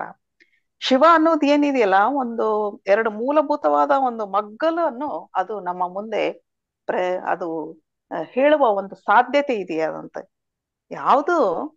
ಶಿವ ಅನ್ನತಕ್ಕಂಥ ಪದ ಯಾವ್ದು ಇಲ್ಲವೋ ಅದು, ಆ, ಸೃಷ್ಟಿಯ ಒಂದು ಶೂನ್ಯದಿಂದಲೇ ಸೃಷ್ಟಿಯಾಗತಕ್ಕಂತಹ ಒಂದು, ಮತ್ತೆ ಶೂನ್ಯದಲ್ಲಿ ಲೀನವಾಗತಕ್ಕಂತ ಅಂಶ ಏನಿದೆಯಲ್ಲ, ಅದು ಒಂದು ಶಿವಾಚಾರ ಅನ್ನತಕ್ಕಂತ ಮಾತನಲ್ಲಿ ಸ್ಪಷ್ಟಪಡಿಸ್ಬೋದು. ಸಮಾಜದಲ್ಲಿ ಬರತಕ್ಕಂತ ಒಂದು ಲಿಂಗಾಚಾರ ಆಗಿರ್ಬೋದು ಪ್ರ, ಲಿಂಗಾಚಾರದಲ್ಲಿ ಪ್ರಾಣವಾಗತಕ್ಕಂತಹ ಶಿವಾಚಾರಕ್ಕೆ ಜೀವ ಚೈತನ್ಯ ತುಂಬತಕ್ಕಂತಹ ಹಂತವೇ ಇದು ಶಿವಾಚಾರ್ಯ. ಯಾಕಂತಂದ್ರೆ ಶಿವಾಚಾರ್ಯಗಳು ಹೆಂಗಿರ್ತಾರೆ ಅಂತಂದಾಗ ಸಾಕ್ಷಾತ್ ಶಿವನ ಸ್ವರೂಪದವರು ಅಂತ. ಎಲ್ಲೆಲ್ಲಿ ಶಿವನ ಒಂದು ಆ, ಶ್ರೇಷ್ಠತೆಯನ್ನು ದರಸ ಅವರು ತಮ್ಮ ಒಂದು ದರ್ಶನವನ್ನು ಕಾಣಬಲ್ಲತಕ್ಕಂಥ ಮನಸ್ಥಿತಿ ಏನಿದೆಯಲ್ಲ ಈ ಶಿವಾಚಾರದಲ್ಲಿ ಕಾಣ್ತದ. ಆದ್ದರಿಂದ ಇಲ್ಲಿ ಪ್ರಕೃತಿಯಲ್ಲಿ ಇರ್ತಕ್ಕಂಥ ಸೃಷ್ಟಿ ಸ್ಥಿತಿ ಲಯ ನಿಗ್ರಹ ಅನುಗ್ರಹ ಇವೆಲ್ಲವೂ ಪಂಚಕೃತ್ಯಗಳು ಏನಿದೆಯಲ್ಲ ಇವೆಲ್ಲ ಶಿವನ ಸ್ವರೂಪವೇ ಇದೇ ಶಿವಾಚಾರ ಅನ್ನತಕ್ಕಂತ ಮಾತನ್ನು ನಾನಿಲ್ಲಿ ನೆನಪಿಸಿಕೊಳ್ಳುತ್ತಾ ನನ್ನ ಕೆಲವು ಅನಿಸಿಕೆಗಳನ್ನ ನಾನು ನಿಮ್ಮ ಜೊತೆ ಹಂಚಿಕೊಂಡಿದ್ದೀನಿ ನಿಮ್ಮ ಒಂದು ಆ, ಉಪನ್ಯಾಸ ಬಹಳ ವಿಶಿಷ್ಟವಾಗಿ ಬಹಳ ಸುಂದರವಾಗಿತ್ತು ಮೇಡಮ್ ಧನ್ಯವಾದಗಳು ಮತ್ತು. ಎಲ್ಲ ಕಮ್ಮಾರ್ ಅವರಿಗೆ ಮತ್ತು ದೇವನೂರ್ ಸರ್ ಅವರಿಗೆ ನೀಲಾಂಬಿಕಾ ಅಕ್ಕ ಅವರಿಗೆ ಎಲ್ಲರಿಗೂ ನನ್ನ ಆ ಶರಣ ಶರಣಾರ್ಥಿಗಳು ಶರಣಾರ್ಥಿಗಳು. ಶಿವಪ್ರಕಾಶ್ ಅವರು ಮಸ್ಕಟ್ನಿಂದ ಜಾಯ್ನ್ ಆಗಿದ್ದಾರೆ. ತಮ್ಮ ಅನಿಸಿಕೆಗಳನ್ನ ಹೇಳಿ ಸರ್ ಶರಣ ಶರಣ ಶರಣಾರ್ಥಿಗಳು ವಿಜಯಕುಮಾರ್ ಸರ್ ಚಳ್ಳಕೆರೆ ಚಳ್ಳಕೆರೆ ಜೊತೆಗೆ ನನಗೆ ಒಂದು ಭಾವನಾತ್ಮಕ ಸಂಬಂಧ ಕೂಡ ಇದೆ. ನನ್ನ ಹೆಂಡತಿ ಚಳ್ಳಕೆರೆಯವರು ನಾನು ಬನ್ನಿ ಸರ್. ಅವರು ದೊಡ್ಡ ದೊಡ್ಡಂಗಡಿ ಭದ್ರಣ್ಣ ಅಂತೇಳಿ ಅವ್ರ ಮೊಮ್ಮಗಳು ನನ್ನ ಹೆಂಡತಿ. ನೋಡಿ ಚಳ್ಳಕೆರೆಯಲ್ಲಿ ಲಿಂಗಾಯತರು ಬಹುಸಂಖ್ಯಾತರಾಗಿದ್ದಾರೆ. ಆದರೆ ನಾನು ಬಹಳ ಖೇದ ಪಡುವಂತ ಸಂಗತಿ ಅಂತ ಹೇಳಿದ್ರೆ, ಅವರು ಅಂಗದ ಮೇಲಿರುವಂತಹ ಲಿಂಗದ ಅರಿವು ಅವರ ದೇಹವನ್ನು ಒಕ್ಕಿಲ್ಲ. ಲಿಂಗಾಂಗ ಸಾಮರಸ್ಯ ಅಂತ ನಾವೇನ್ ಮಾತಾಡ್ತೇವೆ, ಅದಿನ್ನೂ ಬಹಳಷ್ಟು ಲಿಂಗಾಯತ ಮನಗಳನ್ನು ಹೊಕ್ಕಿಲ್ಲ. ನೀವು ಅನ್ಯಮತೀಯರು ಈಗ ಹೇಳಿದ್ದಕ್ಕೆ ಕ್ಷಮೆ ಇರಲಿ. ಇವನಾರವ ಏನೋ ಅರವ ಅನ್ನುವಂಥ ವಚನವನ್ನು ನೀವೇ ಆಡಿದ್ದೀರಾ? ಹಾಗಾಗಿ ನೀವು ಶರಣ ಸಂಕುಲಕ್ಕೆ ಸೇರಿದವರು. ನೀವು ಧಾರ್ಮಿಕ ದೃಷ್ಟಿಯಿಂದ ಮುಸ್ಲಿಂ ಆಗಿದ್ರೂ ಕೂಡ ನಿಮ್ಮ ಮನಸ್ಸಿನಲ್ಲಿರುವಂಥದ್ದು ಶರಣರ ವಿಚಾರಗಳು. ಹಾಗಾಗಿ ಶರಣರನ್ನ ನಿಜವಾದ ಶರಣರಲ್ಲ ನಿಮ್ಮಲ್ಲಿ ನಾನು ಕಾಣ್ತಾ ಇದ್ದೇನೆ. ನೀವು ಇವತ್ತಿಗೆ. ಪ್ರಸ್ತುತಪಟ್ಟಂತಹ ವಿಷಯಗಳು ಬಹಳಷ್ಟು ಮೌಲಿಕವಾದಂತಹ ವಿಷಯಗಳು. ಮಾನವ ಜನಾಂಗಕ್ಕೆ ಅಗತ್ಯವಾಗಿ ಬೇಕಾದಂತಹ ವಿಷಯಗಳ ಬಗ್ಗೆ ತಾವು ವಿಸ್ತಾರವಾಗಿ ಹೇಳಿದ್ದೀರಿ. ನೋಡಿ ನನಗನ್ಸುತ್ತೆ, ಅಷ್ಟಾವರಣ ಮತ್ತೆ ಪಂಚಾಚಾರಗಳು ಬಹಿರ್ಮುಖ ಸಾಧನೆಗೆ ಸಾಧನೆಯ ಪರಿಕರಗಳಾದ್ರೆ ಶಟಸ್ಥಳ ಅನ್ನುವಂಥದ್ದು ಅಂತರ್ಮುಖಿ ಆದದ್ದು ಆದ್ರೆ ಬಹಿರ್, ಬಹಿರ್ಗತಿಗೆ ಹೋಗುವಂತಹ ಈ ಅಷ್ಟಾವರಣ ಮತ್ತು ಪಂಚಾಚಾರಗಳ ಆಚರಣೆಯಿಂದ ಶಟಸ್ಥಳ ಬಹಳಷ್ಟು ಹತ್ತಿರವಾಗುತ್ತದೆ ಅನ್ನುವಂಥ ಕಲ್ಪನೆ ನನಗಿದೆ. ಈಗ ನೀವು ಹೇಳಿದಂತಹ ಶಿವಾಚಾರದ ಕಲ್ಪನೆ ಕೂಡ ಅಷ್ಟ ಸ್ಥಳದಲ್ಲಿ ಬರುತ್ತೆ. ಇವು ಒಂದನ್ನು ಬಿಟ್ಟು ಬೇರೊಂದು ಕಡೆ ಇಲ್ಲ. ನಾವು ಪ್ರಾಣಲಿಂಗಿ ಅಂತೇವೆ ಅಷ್ಟ ಸ್ಥಳದಲ್ಲಿ. ನಾವು ಪ್ರಸಾದಿ ಅಂತೇವೆ, ಮಹೇಶ ಅಂತೇವೆ, ಭಕ್ತ ಅಂತೇವೆ. ಎಲ್ಲವೂ ಕೂಡ ಅಷ್ಟಾವರಣ ಮತ್ತು ಶಿವ ಸದಾ ಪಂಚಾಚಾರಗಳ ಪ್ರಜ್ಞೆಯನ್ನು ಉಳ್ಳಂತವೇ ಆಗಿದೆ. ಹಾಗಾಗಿ ಇರುವಂತಹ ಒಂದು ಸಾಮರಸ್ಯವನ್ನು ನಾವು ಶರಣರು ಅರ್ಥ ಮಾಡ್ಕೊಳ್ಬೇಕು. ಇವು ಸೈದ್ಧಾಂತಿಕವಾಗಿ ಬೇರೆ ಬೇರೆ ಆದಂತೆ ತೋರಿದರೂ ಕೂಡ ಇವುಗಳಲ್ಲಿ ಅಂತರ್ಮುಖಿಯಾಗಿ ಹರಿತಿರುವಂತಹ ಪ್ರವಾಹ ಒಂದೇ ಇರುವುದನ್ನು ನಾವು ಅರ್ಥ ಮಾಡ್ಕೊಳ್ಬೇಕು. ನಮ್ಮ ಪೊಲೀಸ್ ಪಾಟೀಲ್ ಅಕ್ಕ ಹೇಳಿದ ಹಾಗೆ ನಾವು ಅಷ್ಟಾವರಣವನ್ನ ಅಂಗ ಅಂದ್ಕೊಂಡ್ರೆ, ಸದಾಚಾರವನ್ನ ಪ್ರಾಣ ಅಂತ ಭಾವಿಸಿದ್ರೆ ಷಟಸ್ಥಳಗಳನ್ನ ನಾವು ಆತ್ಮ ಅಂತ ಕರಿಬಹುದು ಹಾಗಾಗಿ ಅಂಗ, ಪ್ರಾಣದ ಸಾಧನೆಗಳು ನಮ್ಮ ಆತ್ಮದ ಸಾಧನೆಯತ್ತ ಕರೆದೊಯ್ತವೆ ಅಂತೇಳಿ. ಹಾಗಾಗಿ ಯಾರೊಬ್ಬರೂ ಕೂಡ ಶಟಸ್ಥಳಗಳ ಸಾಧನೆಯನ್ನ ಅಷ್ಟಾವರಣ ಮತ್ತು ಸದಾ ಪಂಚಾಚಾರಗಳ ಸಾಧನೆಯನ್ನ ಕೈಗೂಡಿಸದೆ ಮಾಡ್ಲಿಕ್ಕೆ ಸಾಧ್ಯವಿಲ್ಲ ಅನ್ನುವಂಥದ್ದು ನನ್ನ ಅಭಿಮತ. ಇವು ವ್ಯಕ್ತಿ ಸೈ, ಆಧ್ಯಾತ್ಮಿಕವಾಗಿ ಎತ್ತಬೇಕಾದಂತ ಮಜಲುಗಳು, ಹಂತಗಳು.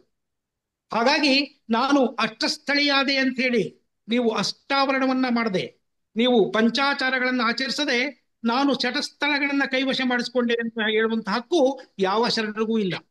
ಇವೆಲ್ಲವೂ ಬಹಳ ನೋಡಿ, ನಮಗನ್ಸುತ್ತೆ, ಇದು ಎಲ್ಲೋ ಒಂದು ಆದ್ರೆ ಇದಕ್ಕೆ ತುಂಬಾ ಗಟ್ಟಿಯಾದಂತ ಹಿನ್ನೆಲೆ ಇದೆ. ತುಂಬಾ ಗಟ್ಟಿಯಾದಂತ ಶರಣರ ವಿಚಾರಗಳಿದೆ. ಇಲ್ಲಿ ಅವರು ಹೇಳಿರುವಂತಹ ಪ್ರತಿಯೊಂದು ಕೂಡ ಒಂದಕ್ಕೆ ಒಂದು ಬೆಸೀತಾ ಹೋಗುತ್ತೆ. ಯಾವುದೂ ಕೂಡ ಒಂದನ್ನ ಬಿಟ್ಟು ಇನ್ನೊಂದಿಲ್ಲ. ಅಂಗವನ್ನ ಬಿಟ್ಟು ಪ್ರಾಣ ಇಲ್ಲ, ಪ್ರಾಣವನ್ನ ಬಿಟ್ಟು ಅಂಗ ಇಲ್ಲ, ಆತ್ಮ ಈ ಎರಡನ್ನೂ ಬಿಟ್ಟು ಇಲ್ಲ. ಹಾಗಾಗಿ ಇಲ್ಲಿ ಪ್ರಾಯಶಃ ಜಗತ್ತೇ ಕಾಣದಂತಹ ಒಂದು ಆಧ್ಯಾತ್ಮಿಕದ ಸೆಲೆ ಇದೆ. ಇದನ್ನ ನಾವು ಅರ್ಥ ಮಾಡ್ಕೊಳ್ಬೇಕು. ಬ ಶರಣರು ಜೀವಿಸಿದಂತಹ ಆದಿ ಏನಿದೆ ನೋಡಿ ಇಲ್ಲಿ ಮತ್ತೆ ನಾವು ಮತ್ತೆ ಮತ್ತೆ ಮಾತಾಡ್ತೇವೆ. ಬಸವಣ್ಣನನ್ನ ಒಂದು ಧರ್ಮದ ಪ್ರವರ್ಚಕ ಅಂತ ಕರಿತೇವೆ. ಆದ್ರೆ ಎಲ್ಲ ಧರ್ಮಗಳ ನೆಲೆಗಳನ್ನ ಧಿಕ್ಕರಿಸಿದಂತ ಎಲ್ಲ ಧರ್ಮಗಳಲ್ಲಿ ನೆಲೆಯನ್ನ ಅರಸಿದಂತಹ ಮಹಾಪುರುಷನನ್ನ ಒಂದು ಧರ್ಮವನ್ನು ಕಟ್ಟಿದವನು ಅಂತ ಹೇಳೋದು ಅನ್ಯಾಯವಾಗುತ್ತೆ. ಅವರು ಯಾವ ಧರ್ಮವನ್ನು ಕಟ್ಟಲಿಲ್ಲ. ಅವರು ಅರಿವಿನ ಬೆಳಕನ್ನ ಜಗತ್ತಿನಲ್ಲಿ ಸಾರಿದರು. ನೀವು ಅದನ್ನ ಧರ್ಮ ಕರೆದಿಟ್ಟು ನಿಮ್ಮನ್ನ ನೀವು ಒಂದು ಬಂಧಿಸಿಕೊಳ್ಳುವ ಪ್ರಯತ್ನವನ್ನ ಮಾಡ್ತಾ ಇದ್ದೀರಿ. ಆದ್ರೆ ಶರಣರೆಂದು ಧರ್ಮಗಳನ್ನ ಕಟ್ಟುವಂತ ಗೋಜಿ ಎಂಬುದವರಲ್ಲ ಅವರು ವಿಚಾರ ಶಕ್ತಿಯ ಪ್ರಕಾರವಾದಂತಹ ಚಿಲುಮೆಯಾಗಿದ್ದರು ಅನ್ನುವ ಮಾತನ್ನ ಅರ್ಥ ಮಾಡ್ಕೊಳ್ಬೇಕು. ಹಾಗಾಗಿ ಇಷ್ಟು ಮಾತನ್ನು ಮಾತ್ರ ನಾ ಹೇಳ್ತಾ ಇಲ್ಲಿ ಅನೇಕ ವಿಚಾರಗಳಿಗೆ ತಮ್ಮ ಪ್ರವಚನ ದಾರಿ ಮಾಡಿಕೊಡುತ್ತೆ. ಆ ವಿಚಾರಗಳನ್ನ ನಮ್ಮ ಗೆಳೆಯ ನಂದೀಶ್ವರ ಹೇಳಿದ ಹಾಗೆ ಪ್ರಾಯಶಃ ನಿಮ್ಮ ಈ ಪ್ರವಚನದ ವಿಡಿಯೋ ಸಿಕ್ಕ ನಂತರ, ನಮ್ಮ ಸರ್ ಅವರು ಹಾಕಿದ ನಂತರ ಪ್ರಾಯಶಃ ನಿಮ್ಮ ಮಾತುಗಳನ್ನು ಕೇಳಿದ ನಂತರ ಮತ್ತಷ್ಟು ನಮ್ಮಲ್ಲಿನ ವಿಚಾರಗಳು ಗಟ್ಟಿಯಾಗುತ್ತಾ ಹೋಗುತ್ತೆ. ನಮ್ಮ ಪರಿಕಲ್ಪನೆಗಳಿಗೆ ಮತ್ತಷ್ಟು ರೆಕ್ಕೆ ಬರುತ್ತೆ ಅನ್ನುವ ವಿಷಯನ ಹೇಳ್ತಾ, ಮತ್ತೆ ಇಲ್ಲಿ ಮತ್ತೆ ಇನ್ನೊಂದು ನನಗೆ ಅನ್ಸುತ್ತೆ ನೋಡಿ. ಸಕ್ರಿ ಅಕ್ಕವರನ್ನ ನಾವು ಕೇಳ್ತೇವೆ ಪೋಸಿಟ್ ಪಾಟೀಲ್ ಕೇಳ್ತೇವೆ. ಪ್ರಾಯಶಃ ಶರಣರ ಚಿಂತನೆಗಳನ್ನ ಉತ್ತರ ಕರ್ನಾಟಕದ ಭಾಷೆಯಲ್ಲಿ ಹೇಳದಷ್ಟು ನಮ್ಮ ದಕ್ಷಿಣ ಭಾ, ದಕ್ಷಿಣ ಕರ್ನಾಟಕದ ಭಾಷೆಯಲ್ಲಿ ಹೇಳೋದಕ್ಕಾಗೋದಿಲ್ಲ ನೋಡಿ, ಉತ್ತರ ಕರ್ನಾಟಕದ ಭಾಷೆ ಶರಣರ ವಚನಗಳಿಗೆ ಹೇಳಿ ಮಾಡಿಸಿದಂತ ಭಾಷೆ ಅಂತ ನನಗೆ ಅರ್ಥ ಆಗುತ್ತೆ. ನಾನು ಮೊನ್ನೆ ಇನ್ನೊಂದು ಕಡೆ ಉತ್ತರ ಕರ್ನಾಟಕದ ಮತ್ತೊಬ್ಬ ನಮ್ಮ ಲೋಕಾಪುರ ಬರುವಂತಹ ಒಂದು ಪ್ರವಚನ ಕೇಳ್ತಾ ಇದ್ದೆ. ನಿಮ್ಮ ಭಾಷೆಯ ಸೊಗಡೇನಿದೆಯಲ್ಲ, ಅದು ಶರಣರ ವಚನಗಳನ್ನ ಅಗೆದು ಅಗೆದು ಬಡಿಸುವಂತಹ ಗಣಿ ಅಂತೇಳಿ ನಾನು ಕರೀತೇನೆ. ಆದ್ರೆ ದುರದೃಷ್ಟವಶಾತ್ ಆ ಭಾಷೆಯ ಜಾಡನ್ನ ನಾನು ಹಿಡಿದುಕೊಳ್ಳೋದಿಲ್ಲ ಇದಕ್ಕಾಗಿ ನನಗೆ ಖೇದ ಇದೆ. ಉತ್ತರ ಕರ್ನಾಟಕದಲ್ಲಿ ಶರಣ ನೆಲದಲ್ಲಿ ಆ ಪಂಪ ಹೇಳಿದ ಹಾಗೆ ಮುಂದೊಂದು ಜನ್ಮವಿದ್ದರೆ ನಾನು ಉತ್ತರ ಕರ್ನಾಟಕದಲ್ಲಿ ಜನ್ಮ ಜನ್ಮವನ್ನು ಹುಟ್ಟಲಿಕ್ಕೆ ನಾನು ಬಯಸ್ತೇನೆ ಅನ್ನುವಂತಹ ಮಾತನ್ನ ಈ ವೇದಿಕೆಯ ಮುಖಾಂತರ ಶಿವನಲ್ಲಿ ಬಿಡುತ್ತಾ ಸದಾ ಶಿವಾಚಾರವನ್ನ ನಾವು ಆಚರಿಸೋಣ ಅನ್ನೋ ಮಾತುಗಳೊಂದಿಗೆ ನನ್ನ ಒಂದೆರಡು ಮಾತುಗಳನ್ನು ಮುಗಿಸ್ತೇನೆ. ಶರಣ ಶರಣಾರ್ಥಿಗಳು. ಶರಣ ಶರಣಾರ್ಥಿ sir. Thank you sir thank you very much ಶರಣಾರ್ಥಿಗಳು. ಆ ಗುರು ಅನ್ನೋರು ಜಾನ್ ಆಗಿದ್ದಾರೆ ಗುರು ಕುಚ್ಚಂಗಿ ಅವರ ಶೋಭಾರಾಣಿ ಅವರು? ಹಾ ಸರ್ ಅವಕಾಶ ಕೊಟ್ಟ ಒಂದೆರಡು ನೋಡಿ. ಹೇಳಿ. ಸರ್ವ ಶರಣು ಮತ್ತು ಶರಣೆಯರಿಗೂ ಶರಣು ಶರಣಾರ್ಥಿ. ಇವತ್ತಿನ ಅನುಭವ ತುಂಬಾ ಅದ್ಭುತವಾಗಿತ್ತು. ಅದರಲ್ಲಿ ಶಬ್ರಿನಾ ಮೊಹಮ್ಮದ್ ಅಲಿ ಮೇಡಮ್ ಅವ್ರದಂತೂ ನನಗೆ ಮನ ಮುಟ್ಟುವಂತಿತ್ತು ಇವತ್ತು. ಹೇಳಕ್ಕೆ ಪದಗಳೇ ಇಲ್ಲ ವರ್ಣಿಸಕ್ಕೆ. ಆಧ್ಯಾತ್ಮಿಕದ ಮೊರೆ ಒಕ್ಕರೆ ಜೀವನಕ್ಕೆ ಬೇಕಾದ ಜ್ಞಾನವನ್ನ ಇಂತಹ ಸತ್ಸಂಗದಿಂದ ದೊರೀತದ ಅಂತ ಅನ್ನಕ್ಕೆ ಇವತ್ತಿಂದು ನಿದರ್ಶನ ತುಂಬಾ ಚೆನ್ನಾಗಿತ್ತು ಇವತ್ತಿನ ಮೇಡಮ್ದು. ಎಷ್ಟು ಎಳೆ ಎಳೆಯಾಗಿ ಹೇಳಿದ್ರ ಅಂದ್ರೆ ಸಮಷ್ಟಿಯ ಹಿತ ಮೇಡಮ್ ಇವತ್ತ ನಿಮ್ಮ ಅನುಭವದಲ್ಲಿ ಅಡಗಿತ್ತು ಮೇಡಮ್. ಇವತ್ತಿನ ಅನುಭವ ನೀವು ಅಂತರಂಗದಿಂದ ತನ್ಮಯರಾಗಿ ಏಕಾತನಯತೆಯಿಂದ ತುಂಬಾ ಅಚ್ಚುಕಟ್ಟಾಗಿ ಮಕ್ಕಳಿಗೆ ನಾವು ಯಾವ ತರ ಹೇಳ್ಬೇಕು ಅಂದ್ರೆ ಪ್ರತಿಯೊಬ್ರು ಎಲ್ಲರ ಮನೆಯಲ್ಲೂ ಹೇಳ್ಬೇಕು ಅನ್ನೋದು ತುಂಬಾ ಚೆನ್ನಾಗಿ ಹೇಳಿದ್ರೆ. ನನಗಂತೂ ತುಂಬಾ ಸಂತೋಷ ಆಯ್ತು. ನಾನು ಕೊನೆ ಕೊನೆ ಜಾಯಿನ್ ಆದ್ರೂ ನಂಗೆ ತುಂಬಾ ಇಷ್ಟ ಆಯ್ತು. ನಾನು ತಿರ್ಗಾ ರಿಟರ್ನ್ ಕೇಳ್ತೀನಿ, ತಪ್ಪದೆ ಮಿಸ್ ಮಾಡಲ್ಲ. ಅದರಲ್ಲಿ ಇವತ್ ಇನ್ನೊಂದು ಏನ್ ಹೆಮ್ಮೆ ವಿಷಯ ಅಂದ್ರೆ ನಮ್ಮ ವಿಶ್ವಗುರು ಬಸವಣ್ಣವರು ಕಂಡ ಕನಸು ಇದೆ. ಏನಂದ್ರೆ ಜಾತಿ, ಧರ್ಮ ಮೀರಿ ಸಮನ್ವಯ ಭಾವ ಎಲ್ರಲ್ಲೂ ಮೂಡ್ಬೇಕನ್ನೋದೇ. ಈ ತರ ಎಲ್ರಲ್ಲೂ ಮೂಡಿದ್ರೆ ಯಾವ ಗಲಭೆನೂ ಇರಲ್ಲ. ಯಾವುದು ಮನಸ್ಸಿಗೆ ಯಾರಿಗೂನು ಏನು ಒಂದು ನಕಾರಾತ್ಮಕ ಯೋಚನೆಗಳೇ ಬರಲ್ಲ. ಈ ತರ ಕೇಳ್ತಾ ಇದ್ರಲ್ಲಿ ನೋಡಿ ಮನಸ್ಸಿಗೆ ಎಷ್ಟು ಹಿತ ಆನಂದ. ಏನು ನಮ್ಮ ಅನುಭವ ಮಂಟಪದಲ್ಲಿ ಶರಣರ ಸತ್ಸಂಗದಲ್ಲಿ ನೀವು ಇದ್ರೇನೋ ನಮ್ಮ ಶಿವ ಅನುಭವದಲ್ಲಿ ಅಂತ ಅನಿಸುತ್ತೆ. ನಿಮ್ಮ ಮುಖ ನಿಮ್ಮ ಮುಖ ನಮಸ್ತೆ ಮೇಡಮ್ ಅಂತೂ ತುಂಬಾ ಖುಷಿ. ಹೃದಯ ತುಂಬಿ ಹೇಳ್ತಾ ಇದ್ದೀನಿ. ತುಂಬಾ ಚೆನ್ನಾಗಿ ಹೇಳಿದ್ರಿ. ಆ ಏನಂದ್ರೆ ಎಲ್ರು ಇದೇ ತರ ಆದ್ರೆ ನಮ್ದು ಕರ್ನಾಟಕ ಎಷ್ಟು ಸುಭಿಕ್ಷವಾಗಿರ್ತದೆ ಅಂತಂದ್ರೆ ಶರಣರ ನಾಡು ಹೆಮ್ಮೆಯಿಂದ ಹೇಳ್ಕೋಬಹುದು ಹೇಳ್ಬೇಕಂದ್ರೆ ಶರಣರ ಹಾದಿಯಲ್ಲಿ ಏನಾದ್ರೂ ನಾವು ನಡೆದ್ರೆ ಮೇಡಮ್ ನಮ್ಮ ಕರ್ನಾಟಕ ಸ್ವರ್ಗನೇ ಆಗುತ್ತೆ. ಅದ್ರಲ್ಲಿ ಎರಡು ಮಾತಿಲ್ಲ. ಯಾರು ಹೋದ್ರುನು ಚೆನ್ನಾಗಿದ್ದೀರಾ ಬರ್ರಿ ಕುತ್ಕೊಳ್ರಿ ಅನ್ನೋದೇ ಇದೆಯಲ್ಲ ಆ ಬಾಂಧವ್ಯ ಹೇಳ್ದೆ ಕೇಳ್ದೆ ತಾನಾಗ್ ಮೂಡ್ ಬಂದ್ಬಿಡುತ್ತೆ ನಮ್ಮ ಮನೆಗೆ ಸಣ್ಣ ತತ್ವ ಆಚರಿಸಿದ್ರೆ ನಮ್ಮ ಮನೆಗ್ ಬಾಗಿಲು ಕೂಡ ಬೇಕಾಗಿಲ್ಲ ಮೇಡಮ್ ಯಾಕೆಂದ್ರೆ ಅಲ್ಲಿ ಯಾರು ಇರಲ್ಲ. ಬಾಗಿಲ ಅವಶ್ಯಕತೆ ಇರಲ್ಲ. ಅಷ್ಟು ವಿಶಾಲವಾದ ಹೃದಯವನ್ನ ಅಂದ್ರೆ ನಮ್ಮ ನಡವಳಿಕೆ ಹೇಗಿರ್ಬೇಕು ಅಂತ ಶರಣ ತತ್ವ ಹೇಳಿದಷ್ಟು ಇನ್ಯಾವ್ದು ಹೇಳಕ್ ಸಾಧ್ಯ ಇಲ್ಲ ಮೇಡಮ್ ಹೌದು. ಅದನ್ನ ನೀವು ನಿಮ್ ಮಾತಲ್ಲಿ ಅರ್ಥ ಆಗ್ತಿದೆ ಇವತ್ ನೀವು ಅಳವಡಿಸ್ಕೊಂಡಿದ್ದೀರಾ ಅಂತ. ಹಂಗದೆ ಅದೇ ಒಮ್ಮೆ ಅದೇ ಪುಸ್ತಕ ತುಂಬಾ ಅಮಿತಾ ಬೇಗ ಅವರೊಬ್ರು ಮಾತಾಡಿದ್ದು ನೋಡಿದ್ದೀನಿ. ಈಗ ನೀವು ಒಬ್ರು. ಇಬ್ರು ತುಂಬಾ ಚೆನ್ನಾಗಿದೆ ಮೇಡಮ್. ಧನ್ಯವಾದಗಳು. ಶರಣ ಶರಣಾರ್ಥಿ ಮೇಡಮ್. ಥ್ಯಾಂಕ್ ಯು ಶರಣ ಶರಣಾರ್ಥಿ. Thank you thank you Shivakumar Swami ಅವರು ಒಂದು ಪ್ರಶ್ನೆಯನ್ನು ಕೇಳಿದರೆ ಹಾ ಸರ್. ಆ, ನಮ್ಮ ಶಿವಪ್ರಕಾಶ್ ಅವರು ಮಾತನಾಡ್ತಾ ಯಾವ ಧರ್ಮವನ್ನು ಕಟ್ಟಲಿಲ್ಲ ಅಂತ ಹೇಳಿದ್ನಲ್ಲ ಅವರು ಅಬ್ಜೆಕ್ಟ್ ಮಾಡ್ತಾ ಇದ್ರೆ ಆ, ಶಿವಕುಮಾರ್ ಸ್ವಾಮಿ ಅವರೇ ತಾವು ಮಾತಾಡ್ಬೋದಾ? ಶಿವಕುಮಾರ್ ಸ್ವಾಮಿ ಅವರೇ? ಸರ್ ಶರಣಾರ್ಥಿ. ಸರ್ ಹೇಳಿ. ಹ್ಮ್. ತಾವು ಪ್ರಶ್ನೆನ ಕೇಳಿದ್ರೆ ಅದಕ್ಕೆ ತಾವೇ ಮಾತಾಡಿ ಆಕ್ಚುಲಿ ಶಿವಯೋಗ ಶಿವಯೋಗದ ಅನುಭವ ಅಂದ ತಕ್ಷಣನೇ ನಾನು ಇಲ್ಲಿ ಆಕ್ಚುಲಿ ಈ ಬಿಜಾಪುರಕ್ಕೆ ಬಂದಿದ್ದೆ. ಹೌದು ಗೊತ್ತ. ಯಾವತ್ತು ನಾನು ಜಾಯಿನ್ ಆಗಿರ್ಲಿಲ್ಲ. ಏನ್ ವಿಶೇಷವಾಗಿದೆಯಲ್ಲ ಅಂದ್ಬಿಟ್ಟು ಅದು ಟೈಮ್ ಆಯ್ತು ಅಂತ ಜಾಯಿನ್ ಆದೆ. ಅಷ್ಟೊತ್ಕಾಗ್ಲೆ ಅಕ್ಕ ಅವ್ರದ್ದು ಉಪನ್ಯಾಸ ಮುಗ್ದಿತ್ತು. ಆ ಉಪನ್ಯಾಸದ ವಿಶ್ಲೇಷಣೆ ಹೇಳ್ತಿದ್ದು ನೋಡಿದ್ರೆ ನನಗೆ ಉಪನ್ಯಾಸ ಮತ್ತೆ ಕೇಳಬೇಕು ಅನಿಸ್ತಾ ಇತ್ತು ಓಕೆ. ಅದಕ್ಕೆ ಅದಕ್ಕೆ ಎಲ್ಲ ಕಮೆಂಟ್ ಮಾಡುವಾಗ ಅಣ್ಣವ್ರು ಹೇಳಿದ್ರಲ್ಲ ಶಿವಪ್ರಕಾಶ್ ಅವರು ಅದಕ್ಕೆ ಬಸವಣ್ಣನವರು ಯಾವ ಧರ್ಮನೂ ಕಟ್ಟಲಿಲ್ಲ ಅಂತ ಒಂದ್ ಮಾತು ಹೇಳಿದ್ರಲ್ಲ ಅದೇನು ಅದೇನು ನಮ್ಗೇನು ಸಮಂಜಸ ಅನ್ಸ್ಲಿಲ್ಲ. ಅದ್ರಲ್ಲಿ ಏನು ತಪ್ಪೇನಿಲ್ಲ ಬಸವಣ್ಣನ ಒಂದು ಜಾತಿ ರಹಿತ ವರ್ಗ ರಹಿತ ಶರಣ ಸಮಾಜ ಲಿಂಗಾಯತ ಧರ್ಮ ಕಟ್ಟಿದ್ದಾರೆ ಅಂತ ಹೇಳ್ಕೊಳ್ಳೋದ್ರಲ್ಲಿ ಏನು ತಪ್ಪಿಲ್ಲ ಅಂತ ಅನಿಸ್ತಾ ಇದೆ. ಹಾಗಾಗಿ ಈಗ ಪ್ರತಿಯೊಬ್ರು ಒಂದೊಂದು ಆಶುವಕ್ಕಾಗಿ ಒಂದೊಂದು ಧರ್ಮದಕ್ಕೆ ಏನೋ ಕನೆಕ್ಟೆಡ್ ಇದ್ದೇ ಇರ್ತಾರೆ.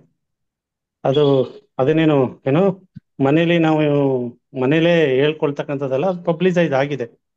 ಎಲ್ಲಾ ಎಲ್ಲಾ ತರದಲ್ಲೂ ಕೂಡ ರಾಜಕೀಯೇತರವಾಗಿ ಎಲ್ಲಾ ಆಸುವಕ್ಕಾಗಿ ಒಬ್ಬ- ಒಬ್ಬೊಬ್ರು ಒಂದೊಂದು ಧರ್ಮಕ್ಕೆ ಅವರು ಗುರುತಿಸ್ಕೊತಾ ಇದ್ದಾರೆ. ಹಾಗಾಗಿ ನನಗೆ ನಮ್ಗೇನು ಬಸವಣ್ಣ ಧರ್ಮ ಕಟ್ಟಿಲ್ಲ ಜಾತಿ ಕಟ್ಟಿಲ್ಲ ಅಂತಕ್ಕಂತ ಒಂದು ಮಾತನ್ನ ಅದನ್ನು ಐಡ್ ಮಾಡೋ ನೆಸೆಸಿಟಿ ಇಲ್ಲ. ಅವರು ಲಿಂಗಾಯತ ಧರ್ಮ ಧರ್ಮ ಕೊಟ್ರು ಜಗತ್ತಿಗೆ. ಒಂದು ವೈಶಿಷ್ಟ್ಯವಾದಂತ ಧರ್ಮ ಕೊಟ್ರು. ಲಿಂಗಾಯತ ಧರ್ಮೀಯರು ಅಂತ ಹೇಳ್ಕೊಡೋದ್ರಲ್ಲಿ ಹೆಮ್ಮೆ ಇದೆ ಅಂತ ನನ್ನ ಒಂದು opinion okay sir thank you okay ಮತ್ತಾರಾದ್ರೂ ಮಾತನಾಡ್ತಾರಾ ಹ್ಮ್. ಯಾರು ಮಾತಾಡಲಿಲ್ಲ ಅಂದ್ರೆ ಶರಣ ಸಮರ್ಪಣೆಗೆ ಹೋಗಿ ಇಂದಿನ ಕಾರ್ಯಕ್ರಮವನ್ನ ಮುಗಿಸೋಣಂತೆ ಓಕೆ. ಮತ್ತೆ ಯಾರಾದ್ರೂ ಅಭಿಪ್ರಾಯ ಮಂಡಿಸ್ಬೋದಾ? ಓಕೆ. ಮೋಸ್ಟ್ಲಿ ಯಾರ್ದು ಅಭಿಪ್ರಾಯನ ಹೇಳ ಹೇಳೋರು ಇಲ್ಲ ಅಂದ್ರೆ ಶರಣ ಸಮರ್ಪಣೆ. Sir doctor Vijayakumar sir. Sir ಹೇಳಿ. ಈಗ ಆ, ಈಗ ತಾನೇ ಶರಣರು ಮಾತಾಡಿದಂತಹ ಅಭಿಪ್ರಾಯಗಳಿಗೆ ನಾನು ಒಪ್ಪಿಸುತ್ತಿದ್ದೇನೆ ಆದ್ರೆ ನನ್ನ ಮಾತುಗಳಿಗೆ ಸಾಕ್ಷ್ಯ ಈ ವೇದಿಕೆಯಲ್ಲೇ ಸಿಕ್ಕಿದೆ. ಶಬ್ರಿನಾ ಮೊಹಮ್ಮದ್ ಅಲಿಯವರು ಬೇರೆ ಧರ್ಮದವರು. ಶರಣ ಧರ್ಮವನ್ನ ಇಷ್ಟು ಆಳವಾಗಿ ಅರ್ಥ ಮಾಡ್ಕೊಂಡಿದ್ದಾರೆ ಅಂದ್ರೆ ಶರಣ ನಮ್ಮ ಲಿಂಗಾಯತ ಧರ್ಮ ಧರ್ಮ ಅಂತ ನಾನು ಹೇಳ್ತೇನೆ. ಯಾಕಂದ್ರೆ ಬೇರೆ ಶಬ್ದ ಹೇಳೋದಕ್ಕೆ ಸಾಧ್ಯವಾಗದೇ ಇರೋದ್ರಿಂದ ಇದೊಂದು ಅರಿವಿನ ತತ್ವ. ಅವರು ಇದ್ರ ಬಗ್ಗೆ ಪ್ರಚಾರ ಮಾಡ್ತಿರೋದು ಹೇಗೆ? ಅವರು ಈಗ ಒಬ್ಬ ಮುಸ್ಲಿಮ ಅಂತಲೇ ನಾನು ಭಾವಿಸ್ತೇನೆ ಅವರು ಮುಸ್ಲಿಮ್ ಕೂಡ. ಆದರೂ ಕೂಡ ಶರಣ ಧರ್ಮವನ್ನು ಅವರು ಒಪ್ಪಿಕೊಂಡಿರುವ ಕಾರಣ ಏನು? ಹಾಗಾಗಿ ಧರ್ಮಗಳನ್ನ ಮೀರಿ ನಿಂತಹ ಮಾನವೀಯತೆ ಇದು ಅಂತ ನಾನು ಹೇಳ ಬಯಸ್ತೇನೆ. ನಾವು ಒಂದು ಧರ್ಮ ಅಂದುಕೊಂಡ ತಕ್ಷಣ ನಮ್ಮ ಜಮೀನಿಗೆ ಬೇಲಿ ಹಾಕುವಂತ ಕೆಲಸವನ್ನು ಮಾಡ್ತೇವೆ. ಧರ್ಮ ಅನ್ನುವಂಥದ್ದು, ಜಾತಿ ಅನ್ನುವಂಥದ್ದು ನಮ್ಮ ಮನಸ್ಸುಗಳಿಗೆ ಬೇಲಿಗಳನ್ನ ಕಟ್ಟುತ್ತೆ. ಬೇಲಿಗಳನ್ನ ಕಳಚುವ ಕೆಲಸ ಮಾಡೋದಿಲ್ಲ. ಶರಣರೆಂದು ಮನಸ್ಸುಗಳಿಗೆ ಬೇಲಿ ಹಾಕಲಿಲ್ಲ. ಸ್ವಚ್ಛಂದವಾಗಿ, ಸ್ವಚ್ಛಂದವಾದಂತಹ ಕೋಗಿರಿ ಅಂತ ಶರಣರು ಹಾಡಿದ್ರು. ಅವರಿಗೆ ಯಾವ ಜಾತಿ ಬಂಧನಗಳಿರಲಿಲ್ಲ, ಯಾವ ಧರ್ಮದ ಬಂಧನಗಳಿರಲಿಲ್ಲ. ಅವ್ರು ಹೇಳಿದ್ದಲ್ಲ, ಈ ನಮ್ಮ ಪಂಚಾಚಾರಗಳೇ ಇರಲಿ, ಶಸ್ತ್ರಗಳೇ ಇರಲಿ, ಮತ್ತೆ ಅಷ್ಟಾವರಣಗಳೇ ಇರಲಿ, ಇವು ಜೀವನದಲ್ಲಿ ನಡೆಯುವಂತಹ ಆದ್ಯ ಕ್ರಮವಾಗಬೇಕೇ ಹೊರತು ಇದೇ ಒಂದು ಧರ್ಮದ ಸಾಧನೆಗಳನ್ನಾಗಿ ಅವರೆಂದೂ ನೋಡಲಿಲ್ಲ. ಮನುಷ್ಯನನ್ನ ಭವಿಯಿಂದ ಭಕ್ತನಾಗುವ ಕಡೆಗೆ ನಡೆಸಿಕೊಂಡು ಹೋಗುವಂತಹ ಒಂದು ಹಾದಿಯುದ್ದಕ್ಕೂ ಬರುವಂತಹ ಮೈಲಿಗಲ್ಲುಗಳು ಅಷ್ಟೇವಾಗಿ ಉಳಿತವೆ ಹೊರತು ಕೂಡ ಇವತ್ತು ಕೂಡ ಅನ್ಯ ಧರ್ಮೀಯರು ಕೂಡ ಇದರಲ್ಲಿ ಬಹಳ ಮಾತನ್ನು ಒತ್ತಿ ಹೇಳ್ತೇನೆ. ಅನ್ಯ ಧರ್ಮವನ್ನ ಪಾಲಿಸುತ್ತಾ ಅವರೂ ಕೂಡ ಶರಣರಾಗುವಂತಹ ಸಾಧ್ಯತೆಗಳನ್ನ ಶಬ್ರೀನಾ ಮೊಹಮ್ಮದ್ ಅಲಿ ಅವರು ಎತ್ತಿ ತೋರಿಸಿದ್ದಾರೆ. ಹಾಗಾಗಿ ಯಾಕೋ ನನ್ನ ಮನಸ್ಸಿಗೆ ಬಸವಣ್ಣವರು ಒಂದು ಧರ್ಮವನ್ನು ಕಟ್ಟಿದ್ರು ಅಂತೇಳಿ ಅನ್ಸ್ಕೊಳ್ಳಿಕ್ಕೆ ಸಾಧ್ಯ ಇಲ್ಲ. ಧರ್ಮವನ್ನ ಮೀರಿದಂತಹ ಒಂದು ಮಾನವೀಯತೆಯ ನಡೆವಳಿಕೆಯ ನೆಲೆಯನ್ನ ಬಸವಾದಿ ಶರಣರು ತಟ್ಟಿದ್ದಾರೆ. ಪೋಷಿಸಿದ್ದಾರೆ ಅಂತೇಳಿ ಈಗಲೂ ಕೂಡ ನನ್ನ ಅಚಲ ನಂಬಿಕೆ ಶರಣ ಶರಣಾರ್ಥಿಗಳು ಓಕೆ ಸರ್ ಓಕೆ ಓಕೆ ಆಚರಣೆ ಅಷ್ಟೇ. ಓಕೆ ಸರಿ ಸರ್ ಸರಿ ಸರ್ ಓಕೆ ಇನ್ನು ಶರಣು ಸಮರ್ಪಣೆಗೆ ಹೋಗೋಣ. ಇಂದಿನ ಕಾರ್ಯಕ್ರಮದಲ್ಲಿ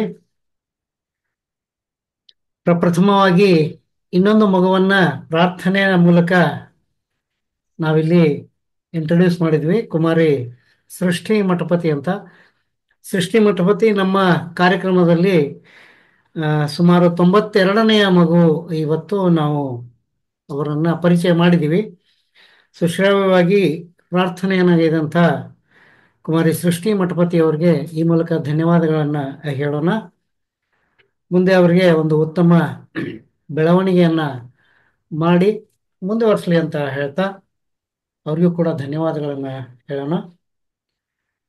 ಇನ್ನು ಈ ಉಪನ್ಯಾಸದ ಕೇಂದ್ರ ಬಿಂದುವಾದಂಥ ಶಿವಾಚಾರ್ಯವನ್ನ ಒಂದು ಸುಂದರ ಉಪನ್ಯಾಸದ ಮೂಲಕ ಕಟ್ಕೊಟ್ಟಿದ್ದಾರೆ. ಅವ್ರಿಗೆ ಧನ್ಯವಾದಗಳನ್ನು ಹೇಳೋಣ. ಒಟ್ಟು ಈ ಉಪನ್ಯಾಸದಲ್ಲಿ ಆರು ಅಧ್ಯಾಯಗಳ ಮೂಲಕ ಅವರು ತಮ್ಮ ಈ ಉಪನ್ಯಾಸವನ್ನ ಕಟ್ಕೊಟ್ರು ಅಂತ ನನ್ನ ಅನಿಸಿಕೆ. ಸಮಾನತೆಯ ದೃಷ್ಟಿಯಲ್ಲಿ ಹುಟ್ಟಿನಿಂದ ಸಮಾನತೆ ಪ್ರಕೃತಿಯಲ್ಲಿನ ಸಮಾನತೆ, ಅರಿವಿನ ಸಮಾನತೆ, ವೃತ್ತಿ ಸಮಾನತೆ ಹಾಗೂ ಜಾತಿ ಸಮಾನತೆ ಈ ಆರು ಅಧ್ಯಾಯಗಳಲ್ಲಿ ತಮ್ಮ ಉಪನ್ಯಾಸವನ್ನ